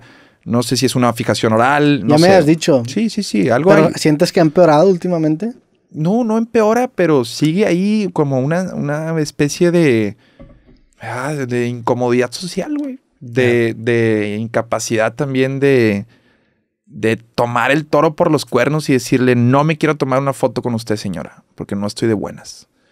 O sea, de, enfrentar lo que, lo que hago y, verdaderamente aceptarlo y de cierta forma introyectarlo así y convertirme en, en alguien que abraza 100% esto, güey. No lo digo como queja, no es queja, simplemente me... Eh, eh, a lo que iba es nosotros, la ventaja una, y para explicar eso es, así como damos a conocer muchas de las cosas que hacemos a través de un micrófono y la gente puede, con, a través del escrutinio, de, hacerse ideas de nosotros, Roberto. Este güey es así, este güey reacciona así, tu comunidad ya sabe cómo eres. Bueno, tú también con la retroalimentación que recibes puedes empezar a formarte moldes de personalidades que te siguen, güey. Sí. Y creo que los, a veces los, los identifico bien y es, los he puesto en cajones y la madre, güey, de, está el clásico, güey, que llega a decirme drogadicto. Y es el que normalmente me engancha, güey. Ahora que mencionas ese que, puta madre, siempre es el mismo perfil de banda que mm, no me molesta ser drogadicto, me molesta que ellos utilicen eso para atacarme. sí, tipificas tus interacciones. A mí siempre es el vato que va a llegar a decirme del meme. Ah, bueno. Y es, tómate la foto. Ya las tienes de molde, güey. Y sí, ya, no me digas que hay un punto en donde no se vuelve. El vato que va a llegar contigo a decir, oye, ¿sabes que Ya sé que no te gusta. Es otro tipo de interacción. Sí, de cierta manera ya tienes arquetipos de la gente con la que te vas a topar. El que da feria de más. Ese es comuncísimo. A, mi compadre Mole, le, ese es el que más le llama la atención. El que no te conoce, pero su amigo es muy fan. O sea, hay, hay, varios, hay varios arquetipos de gente que te conoce. Sí. De, de gente con la que interactúas. Y digo, no solamente pasa con nosotros, pasa en general con la vida, ¿no? También con tus amigos caen en ciertos arquetipos. Está el amigo que siempre te cuenta, tengo un amigo que siempre me cuenta lo mismo y hay varios amigos que siempre me cuentan lo mismo en distintos grupos. Y ¿Nunca te ha pasado el que se están tomando un grupo de, personas bien chido, bien buena onda, una foto contigo y nada más pasa alguien y, ¿quién es ese? Sí. O sea, tú síguele, güey. O sea, ese tipo de cosas yo no sé por qué me. O sea, eso es lo que me, no me gusta de, de, dedicarme a esto. O sea, ¿por qué no me puede no gustar? Es una mamada como esa. Eso es una agresión, güey. Pero sí, cabrón. Es una. Eso es ser pasivo. No hay nada que me moleste más que lo pasivo-agresivo. Y ojo, no me estoy quejando. Yo ahorita salgo y mamalón. los beneficios son mucho más que estas, que estas. Yo no lo veo tanto así. Y, no, yo, yo, toda la vida sí, la compraría, la neta. O sea, sí. sí Está chido. Sí te dije, o sea, sí, no me, no me encanta tanto porque sí siento que es una fricción a la hora de salir. O sea, sí la pienso más en, en, por ejemplo, en una plaza, ahorita una plaza pública, vamos tú y una plaza pública. Ya hemos ido, güey. La última vez que fuimos a cenar, a donde vamos a ir hoy también, carnal, ¿qué pasó cuando salíamos, güey? O sea, toda la fuerza laboral del lugar, güey. Digo, también. Y lo aprecias porque está eh, bien chingón y, es con gratitud, pero también es. Pues e, es un. Es, no puedes salir en, o sea, pero no, o sea, te limitas de cierta manera. O sea, el saber que estás en un escenario, aunque no lo estés, porque todo el tiempo te pueden grabar, así, o sea, todo el tiempo eres grabable, eso es lo que voy, estás en un espacio público. Pero ¿sabes por qué? Porque también la gente no valida que lo que hacemos es una chamba. y no es queja, pero es, es eso de, si le quiero cagar el palo, me cae mal porque este güey, ellos creo que en su mente dicen, ah, este vato se le fue por la fácil o hace algo fácil o ese pedo está bien, o sea, sentarse a cotorrear así, pues no mames. Influencer, influencer es condescendiente, o sea, se escucha condescendiente desde Claro, es de, que te estoy cagando el palo, es un influencercillo, güey, has escuchado eso, güey. Entonces creo que nos toca surfear esa mamada de que, güey, sí es una chamba, o sea, sí se hace con estructura y por eso mismo hay un chingo de gente también tratándolo de hacer y qué chido que crezca este pedo. Pero hay un cierto hate a quienes se dedican a esto inevitable, güey. Pero también no Y será el derecho a la banda de como no, como no es, como no canta, como este güey no tiene el rigor de un arte, no vale para mí en mi mente y lo pongo en un cajón en donde es un güey que yo me le puedo pasar de la... Yo sí puedo llegar a cagarle el palo. En, pues, güey, no es Alejandro Sanz. A pesar de que incluso, por ejemplo, tú tienes más seguidores que un chingo de güeyes que podrían... no sé, hoy, por ejemplo, a lo mejor eres más conocido que un León Larregui, por poner un nombre sobre la mesa, güey.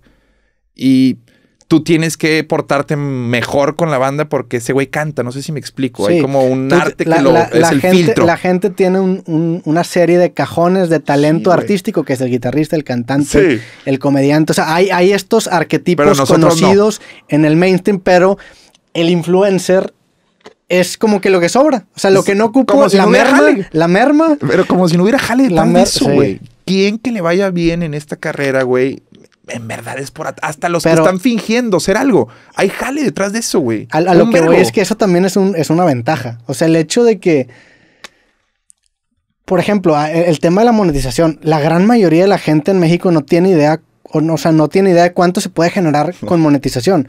O sea, el, tú tienes una página de millones de seguidores, yo también tengo una página de millones de seguidores. El año pasado en Facebook tuvimos como 3 mil millones de visitas. Te pasaste. O sea, ese, ese, ese número es más, es más que me imagino que muchísimas televisoras, que muchos programas, que, que el, hecho de que no se perciba de esa manera está chido también, a mí me gusta. Sí, juegas debajo del radar, o, low key, dices tú. Ajá, y digo, lentamente se empiezan a dar cuenta las personas de dónde, porque también te puede acabar jugando para mal. Una marca se acerca contigo y si no tiene ese tacto de realmente dimensionar el alcance que puede tener una publicación tuya, una foto tuya, una historia tuya, bien hecha, te pueden ningunear de alguna manera en el sentido de que nada, pues no, le vas a llegar a nadie. Y hasta las mismas marcas te ponen en esos cajones.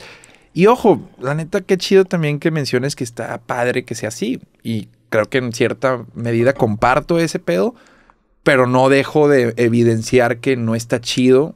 Eh, o sea, que es la parte no chida, no es queja, sino es nada más, hey, esto no está tan chido cuando cuando lo hacen y ya, güey. también la, la relación que se da con, con, a lo mejor un músico que siguen es muy distinta a la de una persona que hace contenido, si lo queremos decir así, porque la relación no es, no es aspiracional, es frontal. Y eso inspira más confianza, inspira a querer madrearte porque sí te ven como tu compa, o sea, sí se ven como su compa. Y, sí, y realmente se siente una relación en el sentido de que pues es la manera en la que a lo mejor yo llegaría con un amigo a madrearme, que vaya, voy a ir, o sea, es ese tipo de relación. Sí. Sin embargo, es unilateral y eso está bizarro, porque tú no sabes quién es esa persona, pero esa persona sabe perfectamente quién eres tú. Y tiene una idea, en mi caso, bastante acertada de quién soy yo, porque en este espacio en donde hablo tanto, pues pinto una foto de realmente qué es lo que pienso. No, no, no me cabe un personaje en este espacio. No, no, no, y es, es justamente la de tu audiencia, probablemente la... la la idea más allegada a quién eres, güey, de, de, de- dentro de la gente que te ve, porque luego también es, pues, pues, te apareces en TikTok, güey, apareces Sí. en fragmentos de un chingo de videos, colaboraciones, X o Y. Pero, pues sí, también los mismos cantantes se han dado cuenta de, y los músicos se han dado cuenta lo importante que son los espacios, al punto en que muchos ya no están haciendo gira en radio, güey. Claro. Ahora la gira es a qué podcast voy, güey. Y para allá va. Ante la oferta tan desmesurada de contenidos, allá va, porque también ya lo estás llevando. Vi, por ejemplo, que un podcast que se llama Se, eh, Se Regalan Dudas Saludos. y- en el pabellón, güey. Llenaron el pabellón. Sí. Mi mamá fue y me dijo. Fui a Tijuana también, hicieron un tour nacional y ya lo habían hecho. Y, y tienen, y mi mamá es parte de la generación que necesita ese rigor de Emanuel y Mijares, de tengo que ver el show, necesitas decirme cómo es el show. Y Sí. decían, me vale madre yo, mijo. Las, las chavitas estaban fascinadas, no están, no tienen ese rigor de, oye, ¿a qué horas van a bailar? Cantan, o sea, ¿a qué horas de cierta forma desquitan el boleto? Y no, Sí. güey, pagaste por ver una conversación y un podcast en vivo, estás siendo parte de algo, güey. Es que Y eso digo, les queda, les es muy difícil entender, güey. no, ahorita que estaba pensando en algo que nunca se me ha ocurrido y tiene que ver con esa forma en la que se acerca la gente cuando eres un creador a, a comparación de un músico que te acerca, yo me, por ejemplo, si veo a un músico que yo conocía de morro, pues te acercas bien Sí, sí, sí, respetuosamente porque la relación es aspiracional. Cuando la relación es frontal como los, con los creadores de contenido, inspira obviamente más confianza, se generan estos acercamientos más de compas, que a veces están raros porque no conoce a la persona, pero es un reflejo claro del engagement. Por ejemplo, si tú haces, pues lo, lo has probado aquí en Creativo y en tu espacio con Conecte, ¿no? Con tu marca, que tú haces un, un anuncio, sí. promocionas un producto y como existe esta relación de compas, la conversión es muchísimo más alto a esa, a esa relación aspiracional. Si un compa te dice, oye, carnal, al chile, ayúdame, acabo de sacar un libro, que fue lo que yo hice con mi primer, libro, con mi primer libro, pues es tu compa, claro que le ayudas. Y como das esa ilusión con este Sí. estilo, también esa conversión es completamente distinta. Sí, sentido de, de comunidad. Y la realidad es que cuando no tengamos eso lo vamos a extrañar. O Claro. sea, por eso eh, recalco mucho que no es queja, porque también las ventajas, es, a mí eso me ha llevado a tener en mi mano porritos en situaciones en las que, ¿qué pedo, güey? Sí. Porque me están regalando un porro, güey. Estoy grabando. Todos lados te ofrecen En porro. todos lados, güey. Eso está chingón también. Pero pues no puedes escoger solo las ventajas de dedicarse a esto. O sea, solo menciono como un desahogo. Este espacio también siempre se vuelve así como Sí, claro. catarsis para mí y, y creo que también el no planear de qué vengo a hablar, güey, eh, y sobre todo en este cuar en este cuarta invitación que me haces, creo que eh, si bien las tres pasadas han estado increíbles y siempre es un güey muy respetuoso, esta es en la que, en la cuarta, es en la que siento que hay una amistad de por medio, claro. güey, y, y digo ya de que, güey, sé, sé que no, realmente no necesito llevar ni, ni un ápice de algo preparado, güey, nada. Sí. Porque la. Se una- un sí, de güey. Es simplemente aquí nos actualizamos y eso está, eso está muy chingón. Y este espacio eh, te regala ese tipo Sí. de experiencias muy cabronas, compadre. Ahor- Ahorita que decías que eh, a lo mejor va a llegar un punto en el que. Aquí hay más café allá. no, acá traigo todo el en el que lo, lo vamos a extrañar. No te da de cierta manera ahorita que tuviste un año bien cabrón, el último que hiciste un chingo, este, en, en el- en todos los sentidos. Este, no, no te da como una especie de vértigo de decir de que no mames, ¿qué tal si esto es el pico? Te lo pregunto porque vi que grabaste un radar con Jera hace poquito que fuiste a Chicago. con Jera MX. Y justo con Jera, en el último creativo que grabamos, platicábamos de este vértigo que te da el éxito. El vato saca botella tras botella que la rompe, cabrón, con Nodal. Rompe todos los récords para una canción latinoamericana, en latino, perdón. Y el güey me empezó a contar que está en Mazatlán. De hecho, justamente yo estaba en Mazatlán también en, ese momento. Y el vato me dice que se metió hongos y se fue en un trip de hongos para dimensionar eso. Y hablábamos sobre esta idea de que, puta, pues a lo mejor ese es el hit más cabrón de su carrera. De hecho, seguramente, y no obviamente no lo quiero salar, pero fue un hit tan grande, o sea, fue un vergazo tan vergazo, que ganarle está bien cabrón, seas quien seas. Entonces, ese vértigo de decir de que, ver, o sea, a lo mejor esto es lo más alto que voy a llegar, llena... A mí me pasa, o sea, yo, yo, yo sigo, a lo mejor el 2021 fue mi año más cabrón de mi vida y a lo mejor de aquí es para abajo. Pedo. Y si sí no pasa nada, o sea, el- Ah, no, no, no, pero te lo, te lo, eh, te- así es más, si dependiera de mi vida decirte que el 2020, o sea, que no has ni ha llegado ni a la mitad de lo que vas a hacer, güey, eh, lo apostaba. A lo que voy es, y creo que en el fondo vas a compartir conmigo, hay una parte que va a compartir. No asocio el, el éxito a nada esotérico, güey. Claro. Eh, no hay, eh, y ahora mencionas hongos, por ejemplo, veo que muchos músicos hacen eso y les sirve a ellos, ojo, no es crítica el hecho de consumir, y está bien, verga, unos son gasos, pero no asocio nada de mi tema laboral, güey, y de lo que existe, lo que es frío, güey, lo duro, y que creo que nos ha llevado a donde estamos, güey. Más que en percepción, tener la capacidad no de reinventarse, sino de entender cuándo tienes que salir de tu zona de confort, güey. Yo estoy pasando algo, por ejemplo, un proceso en el canal en donde trabajo, que fueron los que me dieron a conocer, los que me prestaron su plataforma y me han dado una libertad en multimedios, pero estoy atravesando un proceso en el que necesito salir de mi zona de confort para crecer. Amén de que siento también que es en serio será en, en mi vida algo bien cabrón, güey. No digo que lo voy a dejar, pero necesito plantearme un nuevo reto.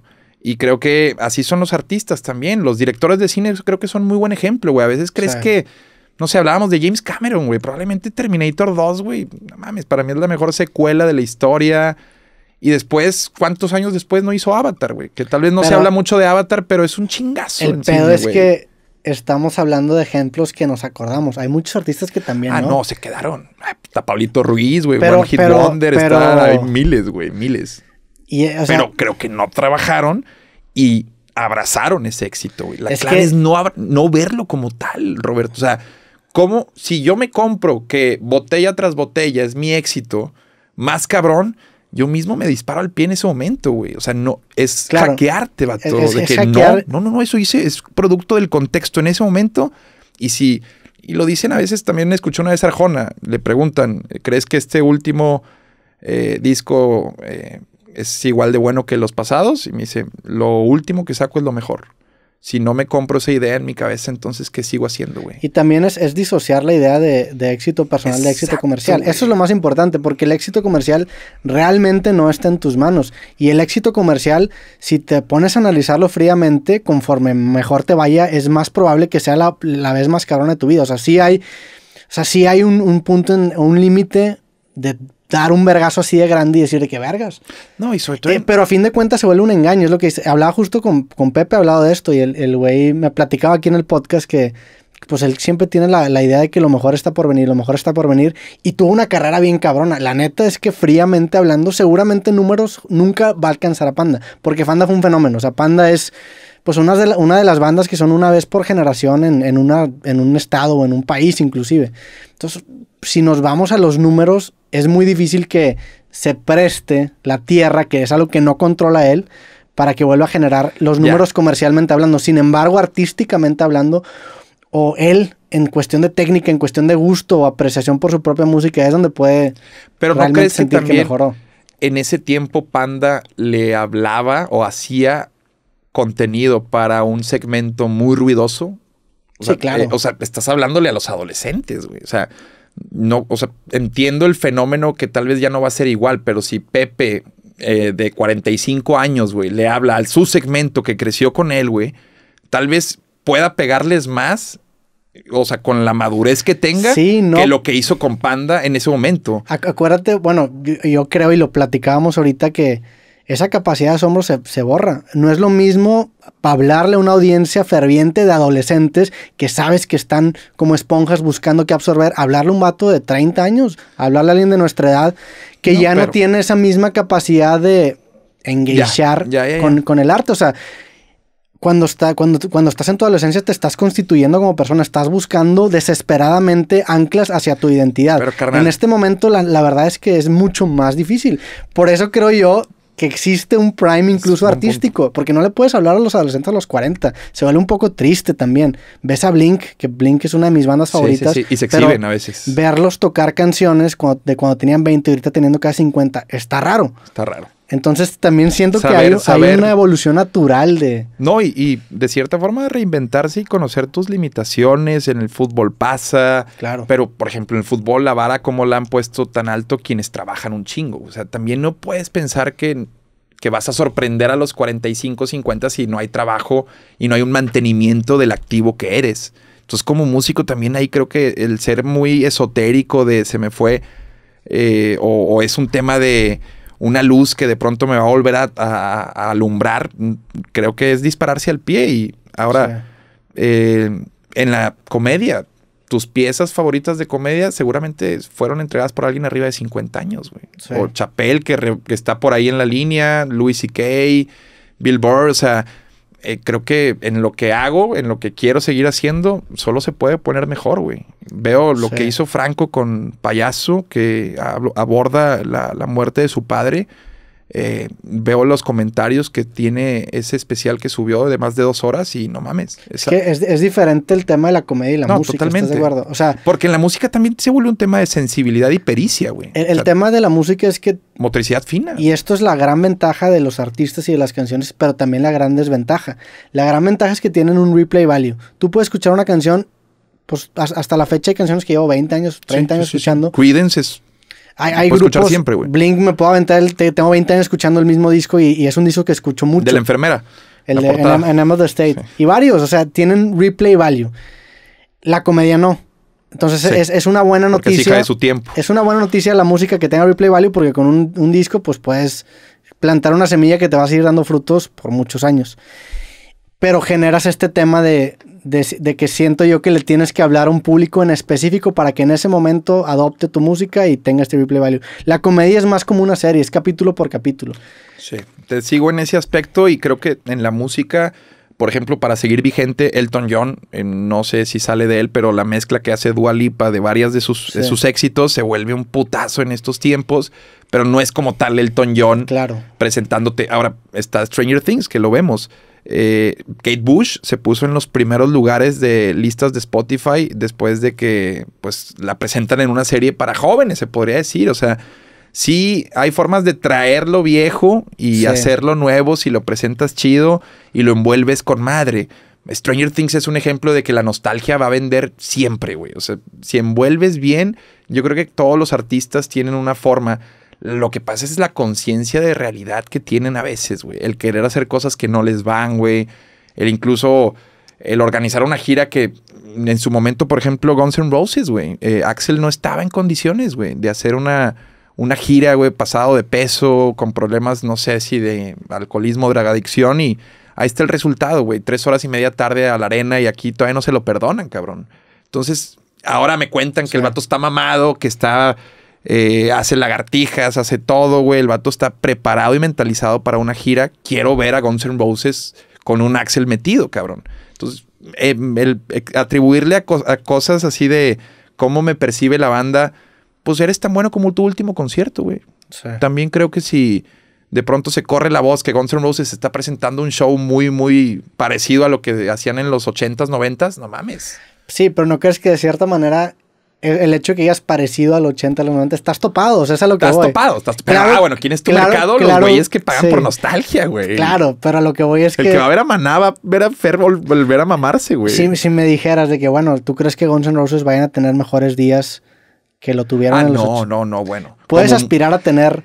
Hermano, pero la cantidad de factores que influyen... Eh, estás como Pink Floyd, esperar que y cuando vas a un concierto de Roger Waters, vato, ah, su madre, güey. Sí. son músicos que tienen la letra y, o sea, hablo de, saber tocar la rola como prácticamente se tiene que tocar y a lo mejor no están intoxicados como un rockstar, güey. O sea, sí se puede presentar una versión muy chingona de algo, güey.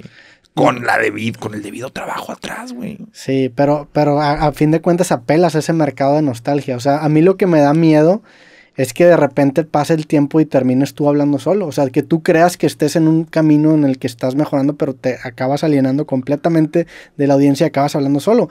Mucho, muchos artistas pasan que, que, tú vas a escuchar un Bob Dylan, por ejemplo, y pues no te importa qué disco sacó. Bueno, a mí cuando menos no me importan los discos recientes, sino que vas a escuchar las canciones que lo hicieron conocido. Ese miedo de quedarte hablando solo, a mí es lo que me preocupa. Y creo que es inevitable. A fin de cuentas, cada vez menos gente se va a identificar contigo. Es terrible el descubrimiento de un artista de que ya no es, pues ni siquiera indispensable, güey, sino ya no es consumido. Me contaban de un político amigo y que pasó sus últimos días eh, le, jugaban, haz de cuenta, como una especie de Shutter Island, güey, donde le hacían como un teatro donde le seguían el pedo. Él seguía haciendo cosas de vamos a cabildear acá y pensaba que tenía poder, güey. O sea, e, era un ex gobernador o algo así, había sido alguien importante. Pero ya, era, ya era, viejo. Entonces su círculo muy, muy así, güey, le jugaba la, la mímica, güey, de que el güey, de que iban a hacer las cosas que él decía en las reuniones, pero él se fue de esta vida pensando que tenía poder, güey. No pudo, yo creo que fue un mecanismo de defensa en donde imagínate que no sé, tu hijo, güey, tu asistente, tu esposa te diga, sí, voy a hacer esto y pues no mames, me voy a ir a hacer el café o algo, güey. Pero era para mantenerle esa ilusión de poder, güey. Pero tenía 80 años, 70 años. Yo creo que ya, sí, estás hablando de una persona de demencia. Con, no sé si demencia, pero pues hay veces que no vas a ceder ante eso y hemos visto casos, bueno, hablan de que Putin está en ese en ese estatus, no sé, son rumores y teorías de locas que dicen que Putin ya está en ese en ese momento y que su guerra contra Ucrania le va a costar justamente pues ya el poder. Sí. Pero sí creo que pues todos tenemos fecha de caducidad, carnal. Yo también lo que está curioso es que muchas de estas figuras políticas tienen edades muy grandes que hacen que esto sea un factor. Biden es lo mismo, o sea, hay... Güey, ¿cómo este, este tema de que realmente estamos gobernados por personas muy viejas es, es, una mamada, güey. Es, una mamada, o sea. Y las jóvenes están influenciadas por esas viejas, güey. O sea, Trudeau responde, pues seguramente Trudeau responde a, un viejo más poderoso que él, güey. Pero eso es algo relativamente reciente, ¿no? O sea, en los 70s, en los 80s entiendo que a lo mejor no eran chavitos los que gobernaban, pero ahora ya estamos hablando de incluso octogenarios que de repente llegan al poder. Biden tiene 79, 78, no sé cuántos años tiene Biden. Creo que más. Trump tenía 76. Sí. Este. Sí, sí, es un tema de. López tiene como 70. ¿Qué tan capaz está, güey? ¿Qué tan capacitado está para tomar decisiones, güey? ¿Qué tan bien está de la cabeza? Y es algo que no es como que lo, lo decimos para atacarlo, sino a todo mundo nos va a pasar pero sí está comprobado que el, que el pico intelectual de una persona está muy alejado de esa edad. Los grandes maestros en ajedrez a los 40, por más picudos que sigan siendo, se tienen que retirar porque no van a poder competir con una persona joven. Es increíble. Y llega un punto en donde sí, me, me, me, queda claro que la experiencia acaba tomando un factor, pero también llega un punto en el que estás en tanta decadencia mental que ya ni con tanta experiencia acabas dando un buen trabajo. Hermano, deja tú el riesgo de que te hablen al oído. Todos recordamos eh, El Señor de los Anillos, las dos torres y el, el tacón madre, la escena en donde se intoxica, güey, el rey de, los hombres. No sé, ¿sí viste el señor? No, no, tengo un trauma con el Señor de los Anillos. No seas mamón, espérame. No vi el Señor de los Anillos. ¿Qué te pasa, hermano? Sí, güey. Yo, me, voy, güey. ¿Sabes, sabes? por qué no vi el Señor de los Anillos? Hace poco me acordé. Porque cuando estaba chico, tenía como 8 o 9 años, me regalaron de Navidad, yo no había visto El Señor de los Anillos, me regalaron de Navidad el juego de El Señor de los Anillos 2, justamente. Las dos torres. Me, ajá, me acuerdo que tenía dos discos. Y yo dije, ah, bueno, voy a ver El Señor de los Anillos para poder jugar este juego en computadora. Y mi computadora no sé por qué nunca pude instalar el pinche juego, güey. Entonces no jalaba el juego y me frustré tanto porque estuve un año intentando instalar el puto juego para poder jugar. Que, que, tenía que ver la 1 y la 2 porque el juego era de la 2. Que nunca pude instalar, entonces dije, la chingada, nunca lo voy a ver porque mi trigger para ver las películas era cuando, cuando tenga el juego instalado. y pasó el tiempo y nunca las vi. Y luego un día me, me, aventé la última o el final de, las, de, la, de la película 3. Me acuerdo sí, estaba el retorno del rey. El está, Estaba ahí en, en, una cabaña y vi esa, esa película, pero nunca la nunca me las he aventado completo. Sí, las, sí lo quiero hacer. Sí, está muy cabrón, güey. De, hecho, es, es el, está en el futuro inmediato el hacerlo. O sea, el siguiente creo podcast que, que sí los va a O sea, un buen domingo, así como hace poquito fuiste a la M y te aventaste seis horas. Sí. Bueno, acá te aventarías creo que ocho y media para hacer el maratón. Pero a su madre, güey. O sea, también qué envidia de la buena el hecho de que no hayas visto El Señor de los Anillos, porque la primera vez que los veas, si estás en un ambiente chido y con gente que te deje verla o, incluso solo, vas a disfrutar, güey. Sí. Es, es la neta una obra maestra, güey. Sí, he tenido rachas de aventarme películas. Me aventé las de Rocky hace Uf, tres semanas. ¿Favorita? La de Drago. La cuatro. La, la, Comunismo contra capitalismo. Sí. Y la manera en la que todo está estetizado es, para mí, es mi película favorita, hermano. de la historia. Y, la, pieza de propaganda que se vuelve esa película con su final y el, la Unión Soviética cantando casi casi Estados Unidos, Estados camarada, Unidos. Camarada, no, güey. Este, la, la, presentación de Rocky ahí, cómo es hostil los camaradas eh, rusos. Y un dato que me encanta dar siempre, y lo he dicho un chingo de espacios, pero aquí lo repito por si alguien lo, no lo conoce eh, y me pareció una, un muy buen recurso del director, es que la, la, pelea final está grabada de atrás para adelante. Ok. O sea, es más fácil ir quitando maquillaje que ir poniéndolo en una pelea. Entonces, del round final al, al, al eh, inicial es como empiezan en, mamada, ¿no? no sabía. Y también... Pero con todas las peleas. Sí, creo que sí es un recurso, eh, lo, lo, sé que lo utilizan en la 4 eh, o en la 3, no recuerdo, pero, pero sí es algo que, fue una constante también para, pues para ser más eficiente. O sea, también no tenían un tema de presupuesto muy cabrón, sobre todo al inicio. Hay, hay un documental que, narra la historia que, se llevó a cabo para poder grabar Rocky. Sí. Porque acuérdate que él escribe, güey. Entonces él va y vende su guion y se lo compran y le dicen nada más que tú no vas a ser Rocky. Y dice, no, entonces no, entonces no lo vende. Hasta que le permiten ser él, güey. Incluso vendió a su perro, güey, que sale en la 2, ¿te acuerdas? No, sabes que voy a cambiar mi opinión. La, la mejor película es la 1. La 1 es. Que es la ganadora del Oscar a mejor guion o mejor película. Sí. Ahí, güey, los datos eh, erróneos. No sé si mejor guion o mejor película, pero sí ganó un Oscar. A mí la, la 1 se me hace un, un estilo de película que Uf. si se hubiera quedado en solamente una película, se hubiera vuelto una película de culto muy cabrona Pero- por la manera en contar la historia, que a fin de cuentas acaban replicando esa misma forma de contar la historia como cuatro o cinco películas. Pero envejeció muy bien. Envejeció muy bien, ¿no? Y, y la, la neta es que las, las, la, la, la 2, la 3, la 4 y la 5, este, sí, hay 5, ¿no? Hay cinco Ah. que esa es de la que se arrepiente. Que sale su hijo que se suicidó. Sí. Que se arrepiente porque no respeta la fórmula de entrenamiento, pelea en ring. La Sí. pelea, acuérdate que es en la calle con Tommy de Machine Gun, que qué buenos chingazos le pone como quiera, güey. Y tiene una escena que me parte el alma, que es cuando Rocky está tirado en la calle, güey, y con el sonido del metro eh, empieza a tener como visiones de Mickey diciéndole, levántate, cabrón, Sí. la campana no ha sonado. Ah, su madre, piel chinita, música, y este güey se para y le da la verguiza de su vida Sí. a un güey malagradecido, hijo de perra, Tommy de Machine. Mira, se me puso la piel chinita. Sí, se pasó de No, mames, cabrón, que... Y eso, él declaró a la postre que no le gustó esa película porque, porque no respetó la esencia, que en la 6 la retoma cuando pelea en esta como pelea de exhibición, valga la redundancia, con, con un boxeador, creo que sí era un boxeador. Sí, era un boxeador el campeón Sí, sí, actual. sí. Y está muy chida la, la trama. A, a mí la 6 me gustó mucho porque se me hizo una carta de amor a la 1, ¿no? Tiene una, una, est- una estructura muy similar. A lo que voy es que la 1 también me pasó con, con Matrix. La, la 1 de Matrix, si se hubiera acabado ahí, o sea, la película era, era autosuficiente, no necesitaba tener la- las secuelas y hubiera sido una película que no te hubiera dejado con tanto... Es más, no hubieras extrañado nada, o sea, tiene una completud la, la, la, la primera película. Pues traen ganas de mamarse, carnal. Sí, también. claro, aca- acabó siendo... traen ganas de mamarse. Pero la incluso- última de Matrix, ¿la viste? Sí, terrible, la verdad. se- Híjole, güey, no quiero ser yo eh, subirme al borreguismo, pero terrible, güey. Pero bueno, la 2 y la 3 estaban muy buenas. Como la a de mí Rocky. sí me gustaron. La de Rocky, las 6 me gustaron. La La, neta es- 3 es una joya, güey. El, el- el soundtrack de Eye of the Tiger, güey, Sí. Mr. T. El hecho de que se confíe, el mensaje que manda, güey, al confiarse, al dejar de entrenar y, y después decir, güey, perdí mi ojo de tigre, güey. Sí. Apolo llevándole al gueto, güey. Esas pinches carreritas en la playa, hermano. No, erecciones, güey. Sí. No, no. Sí, la relación con Apolo en la película. la mejor saga de la historia, güey. Sí. Yo sí la pongo como la mejor saga de la historia. Eh, Rocky es miembro del Salón de la Fama. Es, es una cosa increíble, güey. Y es un güey que llegó haciendo películas porno, güey. Sin nada, sin nada. Hacía películas porno. Empezó haciendo, no sabía Sí, que empezó él, él llegó, porno. es un italoamericano, o creo que italiano de nacimiento, si me apuras, que llegó aquí sin nada. También la historia de Van Damme está interesante, güey. Ese vato también está bien denso y nada más que la coca sí lo...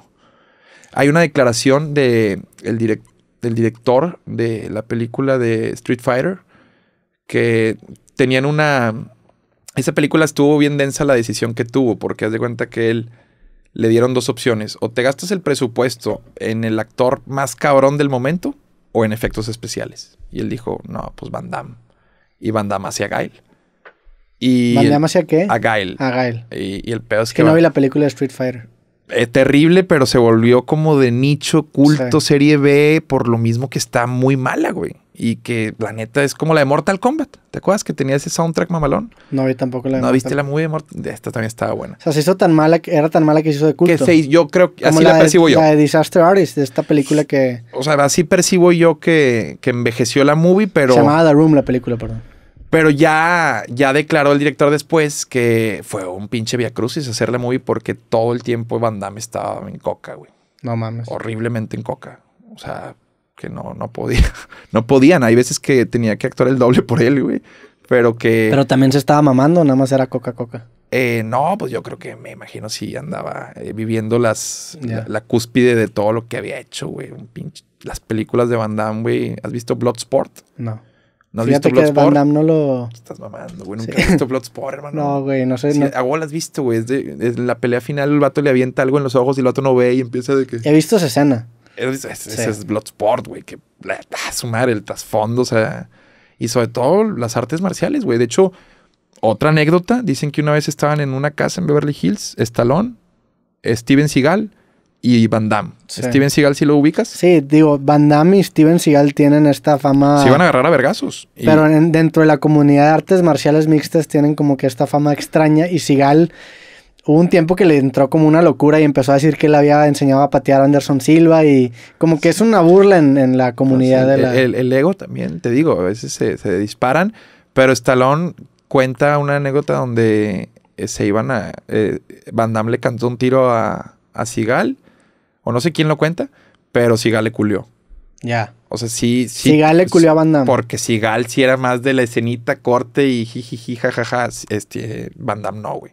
Van Damme era un, un- vato que domina las artes marciales. De hecho, en Los Irreemplazables, estas movies que hizo Stallone también después, que están palomeras, el vato se sigue abriendo, güey. es la que sale Bruce Willis y sale Sí, Mel Gibson también. Mel Gibson y... Dolph Lundgren. eh, Sale el otro güey pelón. sale, de- sí, Jason Statham, que, Sí. que sí has visto. Jason, ¿sí te gusta? Sí, sí, pero ¿sale, ¿sale este Vin Diesel o no sale Vin Diesel? No, Vin no. Vin. Diesel no sale en Los Indestructibles, sale el, el- Está bien racista decir el chinito, ¿cómo se llama este güey? El- Jackie Chan. No. y tú también Ese- ese- hay, que- hay- hay un chiste que dice, hay un chiste que dice que a Jackie Chan nunca puedes verlo en la calle y decir eres Jackie Chan, porque donde no sea es lo más racista que le puedes decir a un chino. Ahora, estábamos hablando de artes marciales y dijiste el chino. O sea, No esa quería, es la figura güey. de artes marciales. Si Sí, hubiera dicho el chino y no hubiéramos estado hablando de artes marciales, Ya, ya- no, no me hubiera tirado el comentario. Supongo que me estoy deconstruyendo. Pero, pero, es- es- o sea, está ahí cabrón porque es el pedo de arriesgarte a decir Jackie Chan. Jackie Chan es un riesgo para el güey que lo menciona, siempre. Porque si no es Jackie Chan, es, ah, Sí, te pasaste verga. Sí, sí, no, es, es denso. O sea, Eh, ese güey a Jackie Chan va en la calle, yo creo que mucha gente cree que es Jackie Chan y no le dice porque si no es, es bien racista lo sí, que acabas de sí, decir. sí, sí, pero Jackie Chan es un nombre genérico, ¿no? Como para el mercado gringo, ¿no? Me imagino Es que, que no se chinos- llamaba... Los Bueno, chinos tienen esto, son tan buenos en el servicio, güey, que se cambian el nombre para que te sientas más cómodo, güey. Pero, Sí, pero no, si nada más los chinos, también los, los Creo- africanos. Debe ser también un tema de eh, si te dedicas a las ventas internacionales, a lo mejor sí está homologado en todos los lugares, pero los chinos me ha tocado que son de que eh, no Jackie Chan, pero eh, Bruce Lee, por ejemplo, Sí. me ha tocado nego- o sea, no a mí directo, pero yo le he comprado cosas a chinos que se llaman Bruce Lee, que no se llaman Bruce Lee, güey. Sí. Que se ponen así para occide- occidentalizar su nombre, creo hay, yo. hay una, hay una historia del campeón de ahorita de los de la UFC de los welter, se llama Kamaru Usman y el güey creo que es de Nigeria y el eh, sí, el vato es de Nigeria y me imagino que o, o su familia es de ascendencia nigeriana, no sé si él haya nacido, pero se llamaba Kamaru Usman y empezó haciendo lucha, creo que grecorromana en la universidad. Y como los profesores o los coaches no podían pronunciar su nombre, se cambió el nombre a Marty. Entonces le decían Marty. Y después, cuando se hizo profesional, dijo: La chingada, yo no me quiero llamar Marty, me llamo Kamaru Usman. Entonces empezó a pelear con raza que ya lo conocía de su época de luchador. Entonces, para madrearlo le decían Marty. Y tú lo buscas y sale como Marty. Entonces se generó, se generó este mame, pedo de que le, le decías Marty y el vato se cagaba. Pues es como Mohamed Ali Claro, que se llama Cassius, Cassius Clay. O sea, generas esta. Incluso tú como mexicano, o sea, yo como cuando voy a Estados Unidos, te cambian el nombre a Robert en lugar de Sí, sí, Roberto. yo sí lo hago. Y se tropa Adrian en lugar de Adrián, Yo sí ¿no? tiro el Adrian, perdón si se escucha así. Digo, no, pero no. es nomás para que, pues, güey, si ya te metes más allá de McAllen, si te empiezan unos pinches güeros que la neta, si les dice Adrián, no tiene ni perra idea, güey. Sí. O sea, es. Pues sí lo, lo anglicanizas, güey, no sé cómo se diga, güey, pero, pero sí es, es una mamada. Últimamente también, ahora que mencionas Estados Unidos, eh, ¿cómo compruebo que vivir allá estaría de la verga el Chile, güey? Está el Chile. Tú vivirías allá, güey. Eh, un tiempo sí. Ciudades, Claro, tú lo ciudades has como dicho un Seattle, tiempo, ciudades como. Nueva York, sí me gustan mucho. Sí, no mames. Bueno, Nueva York no tanto, Seattle sí, Nueva York se me hace muy caótico. Sí, no, de México. es mamón. Los Ángeles y ese pedo también Sí. traen, traen un, un ritmo de vida medio raro los, los Pero no te gabachos. gustaría vivir en una ciudad así del Bible Belt, por ejemplo, de... Hace poco fui a Chicago, cabrón. Me sorprendió Chicago, güey. O sea, ya me habían dicho que era una gran ciudad, pero se mamó, güey. Sí, Chicago sí me, pareció increíble, güey. Y muy cabrón también que el, el metro o el train, como le llaman ahí, te deja en el aeropuerto. O sea, ahí Sí. directo. Yo sé que muchos metros lo hacen, no debería sorprenderme, güey, pero... Sí. Pero te dejan en la terminal y eso fue de que mames. O sea, me, me voló la mente ir con mis maletas en el metro. Digo, poco paseado yo, pero eh, el frío también de que dije, no seas mamón, vato. Este pedo no va a estar tan chido. Eh, Los Ángeles sí, de plano no. Ese, ese pedo del, del transporte público en ciudades gringas está muy cabrón porque en México, este, el, el- o sea, en México la, la clase más alta no, no usa el transporte No. público y solamente lo usan la, la- pues la, la clase que no es la más alta, ¿verdad? Pero siempre con, con el objetivo de a lo mejor dejar el transporte público y tener tu propio coche. En ciudades como Seattle, por ejemplo, todo mundo usa, Todos. incluso en Suiza, hace poco me tocó ir a Suiza y el transporte público es una maravilla igual. O sea, me quedé en casa de un amigo y te bajas del aeropuerto, entras a un, a un metro, te subes a un camión y llegas en chinga y todo funciona. Y no es una hueva tomar el... eh, al punto de que te es mucho más conveniente tomar el transporte público que, tener tu propio coche. Aquí en México eso no pasa. Aquí en México si tú usas el transporte público generalmente preferías tener tu propio carro. En estas ciudades no. Pero cómo se vuelve un tema, o sea, te das cuenta las prioridades cuando, por ejemplo, te falta algo vital como el agua, que digo, no es que te falte, sino ahora con los pinches recortes pasa segundo o hasta tercer término, güey, que el pinche transporte esté de la verga, Sí. güey. O sea, como cuando te quitan algo y te aprietan por donde en verdad está de la burger que te aprieten, güey, eh, créeme, güey, que haya dos líneas del metro, te va- pasa a quinto, o sea, me vale madre que no cuando te quitan lo vital, y ahí es donde últimamente con lo que nos ha pasado en este estado, me he puesto a pensar que tal vez también nosotros, pues, eh, tengamos que aprender a vivir con austeridad, güey. O sea, a veces uno se olvida que existen países como Haití, por ejemplo, güey. O sea, dices tú, damos por sentadas cosas y suena muy de la verga, güey. Sí, pero sí. pues bueno, basta ver la situación de Haití, güey. O sea, sin meterme con su gente, simplemente el gobierno o lo que pasa. Y es por poner un ejemplo, güey.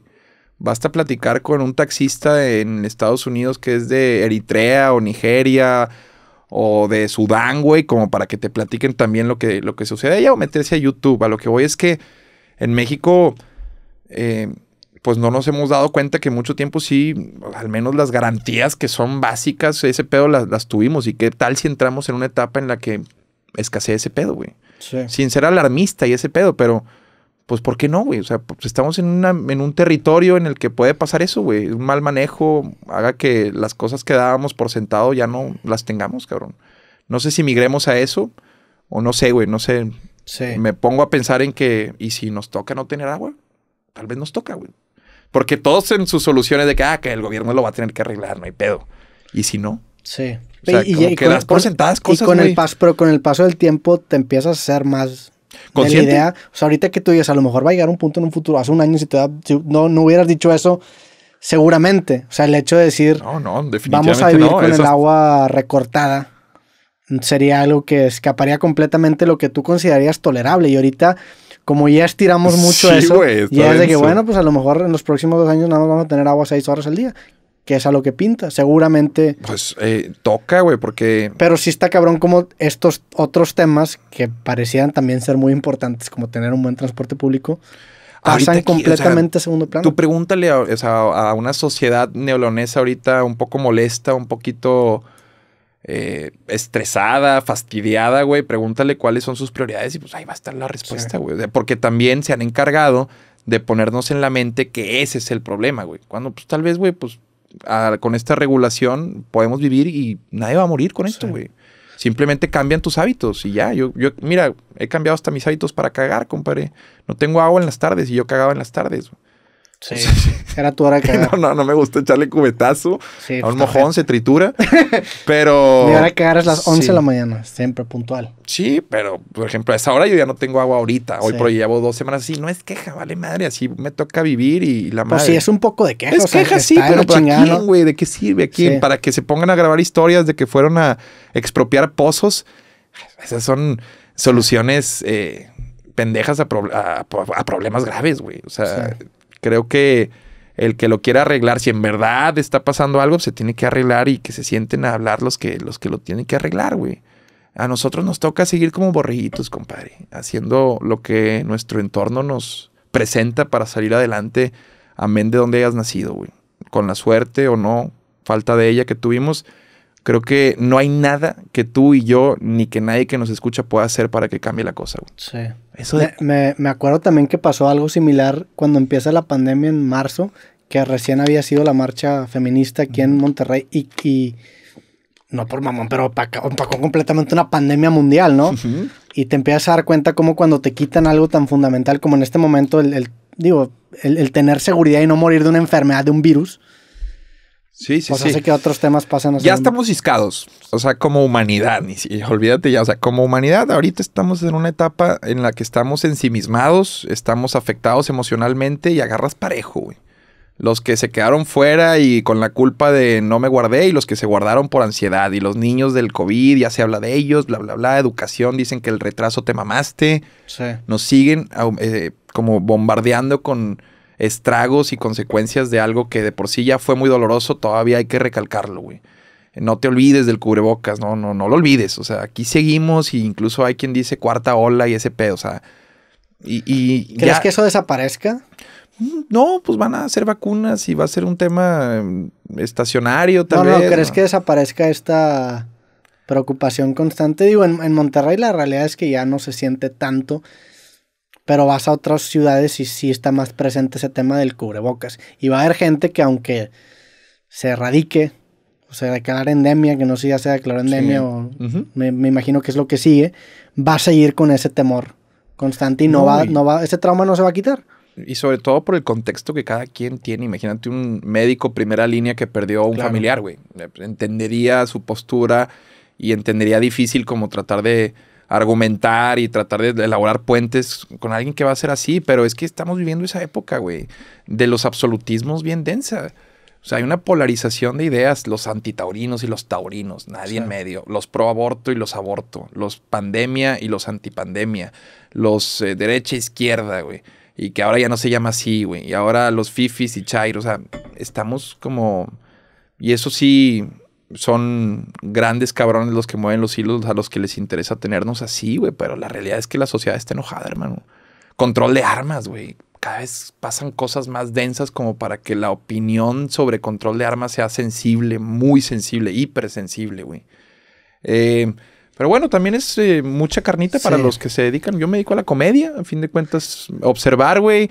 No te voy a mentir diciendo que me frustra y me quite el sueño que no se arregle esto, pero sí me siento que, yo tengo 32 años en mi muestra de conciencia, güey, que tal vez que sean 20 años, tal vez, güey, como para entender más o menos por dónde estoy parado.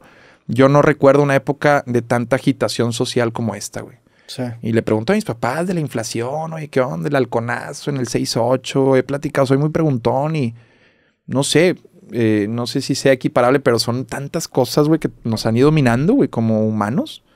Es que te metes hoy a internet y es una tragedia, güey. También, diaria, güey. también la cantidad de cosas que te enteras en este momento a comparación de hace Claro, 30 años, y hay una diferencia abismal. Entonces, también por, por consecuencia vas a tener que enterarte de más. totalmente, y es, es- Y más por el modelo de negocios de, de ahorita, de, de muchos medios informativos, que sí cambia a como era hace 30 años. Hoy en día todo es entretenimiento. La credibilidad pasa a segundo plano en tema de portales de noticias en general. Se mueve mucho con generar entretenimiento y generar clics. Y a fin de cuentas, Es una La tragedia genera funciona, clics. Pero, y el morbo y el conflicto, y, y ahí sería escupir para arriba, güey. Creo que de cierta forma he capitalizado eso en, en mi carrera, güey. Claro. Eh, jugar con esos botones de la gente. Y creo que es proyección cuando veo que alguien lo hace y, y me molesta. Y pues, no es molestia, pero es evidenciar. Yo he visto a veces últimamente, la otra vez puse un tweet de Pachuca, güey. Y de pronto seis portales digitales en Pachuca. Adrián, su encabezado, comediante regio se mete con... Güey, puse, Sí. puse que hay pastes y que Pachuca, el equipo de fútbol, es de las cosas más cabronas que tiene. O sea, ¿dó- ¿dónde está la nota ahí, güey? Pero sabes que puede llevarle gente a tu sitio. sí. Y, y nada, güey, hay una época de banalización bien cabrón de, de las cosas y también le hemos perdido capacidad de asombro, güey. Videos de cámaras de seguridad que muestran asesinatos que se dan y digo, a la verga, ¿cómo pasó esto en cuestión de nada? Sí. O no sé, güey, cámaras de policías gringos, güey, que ahora como todos tienen cámara, puedes ver las reacciones que tienen a, no sé, una balacera en vivo, güey, cámaras en Rusia de carros, de lo que hace la gente, güey, para cobrar un seguro. No sé, güey, solo por mencionar mamás que me toca ver en internet que digo, madres, güey, o sea, ¿cómo esto, si lo está viviendo un chingo de gente más, cómo nos puede ayudar, güey? ¿Te, te frustra ese tema ¿Qué, de, de- de que cualquier tweet pueda generarse una nota? Porque pa- para este capítulo me metí, busqué tu nombre en noticias y salieron varias, salió el de Pachuca, salió un medio diciendo que lo del agua, que creo que me, me imagino que fue con el capítulo de Aldo. De Aldo. Este, te, te, te causa pedo eso? ¿Te gusta? ¿Lo agitas? ¿Lees las notas? ¿No los lees? No las leo, pero eh, pues nada, es, ellos están jugando al mismo juego que yo, güey. O sea, creo que también es eh, jugar bajo cierto criterio, ciertas reglas y que tomo siempre en cuenta que puede pasar eso. Eh, de videos y cosas que he hecho, han hecho nota cuando le di una bachita, que un niño, puras pendejadas me han pasado que de pronto sí me da miedo como cuando las veo disfrazadas o envueltas de nota que, que pues sigo siendo alguien que creció con medios tradicionales, güey. Como que ver tu nombre en el encabezado de una nota, en el formato periodístico, güey, de un morro que está estudiando comunicación y tiene que hacer una nota para cumplir con los 5 millones de views que le piden al mes en su jale. Pues, o sea, entiendo el juego, güey. Claro. Y simplemente. Te vuelves proveedor de esas Exactamente, güey. Estoy pues, pasó el, no sé qué capítulo aquí en que hablamos sobre leer y cómo está romantizado, ¿te acuerdas? ¿Cómo no, hermano? Nos sacaron terrible de contexto y sabíamos que íbamos a eso, güey. Yo lo he hecho, yo... Pero estás de acuerdo que es distinto porque en tu caso tú estás poniendo una cara. O sea, es, es fácil escudarte en una plataforma anónima que aunque sale ahí el nombre del autor, ni siquiera sale un, un, vínculo, no sabes ni quién es muchas veces. Digo, hay unos que sí te tiran a ti directo y bueno, ellos también están en su propio juego, pero es distinto con los medios tradicionales porque se vuelve, incluso muchas veces ni ponen el autor, ponen por staff o por... No, no, es una mamada también, no es, no es tan justo el juego para...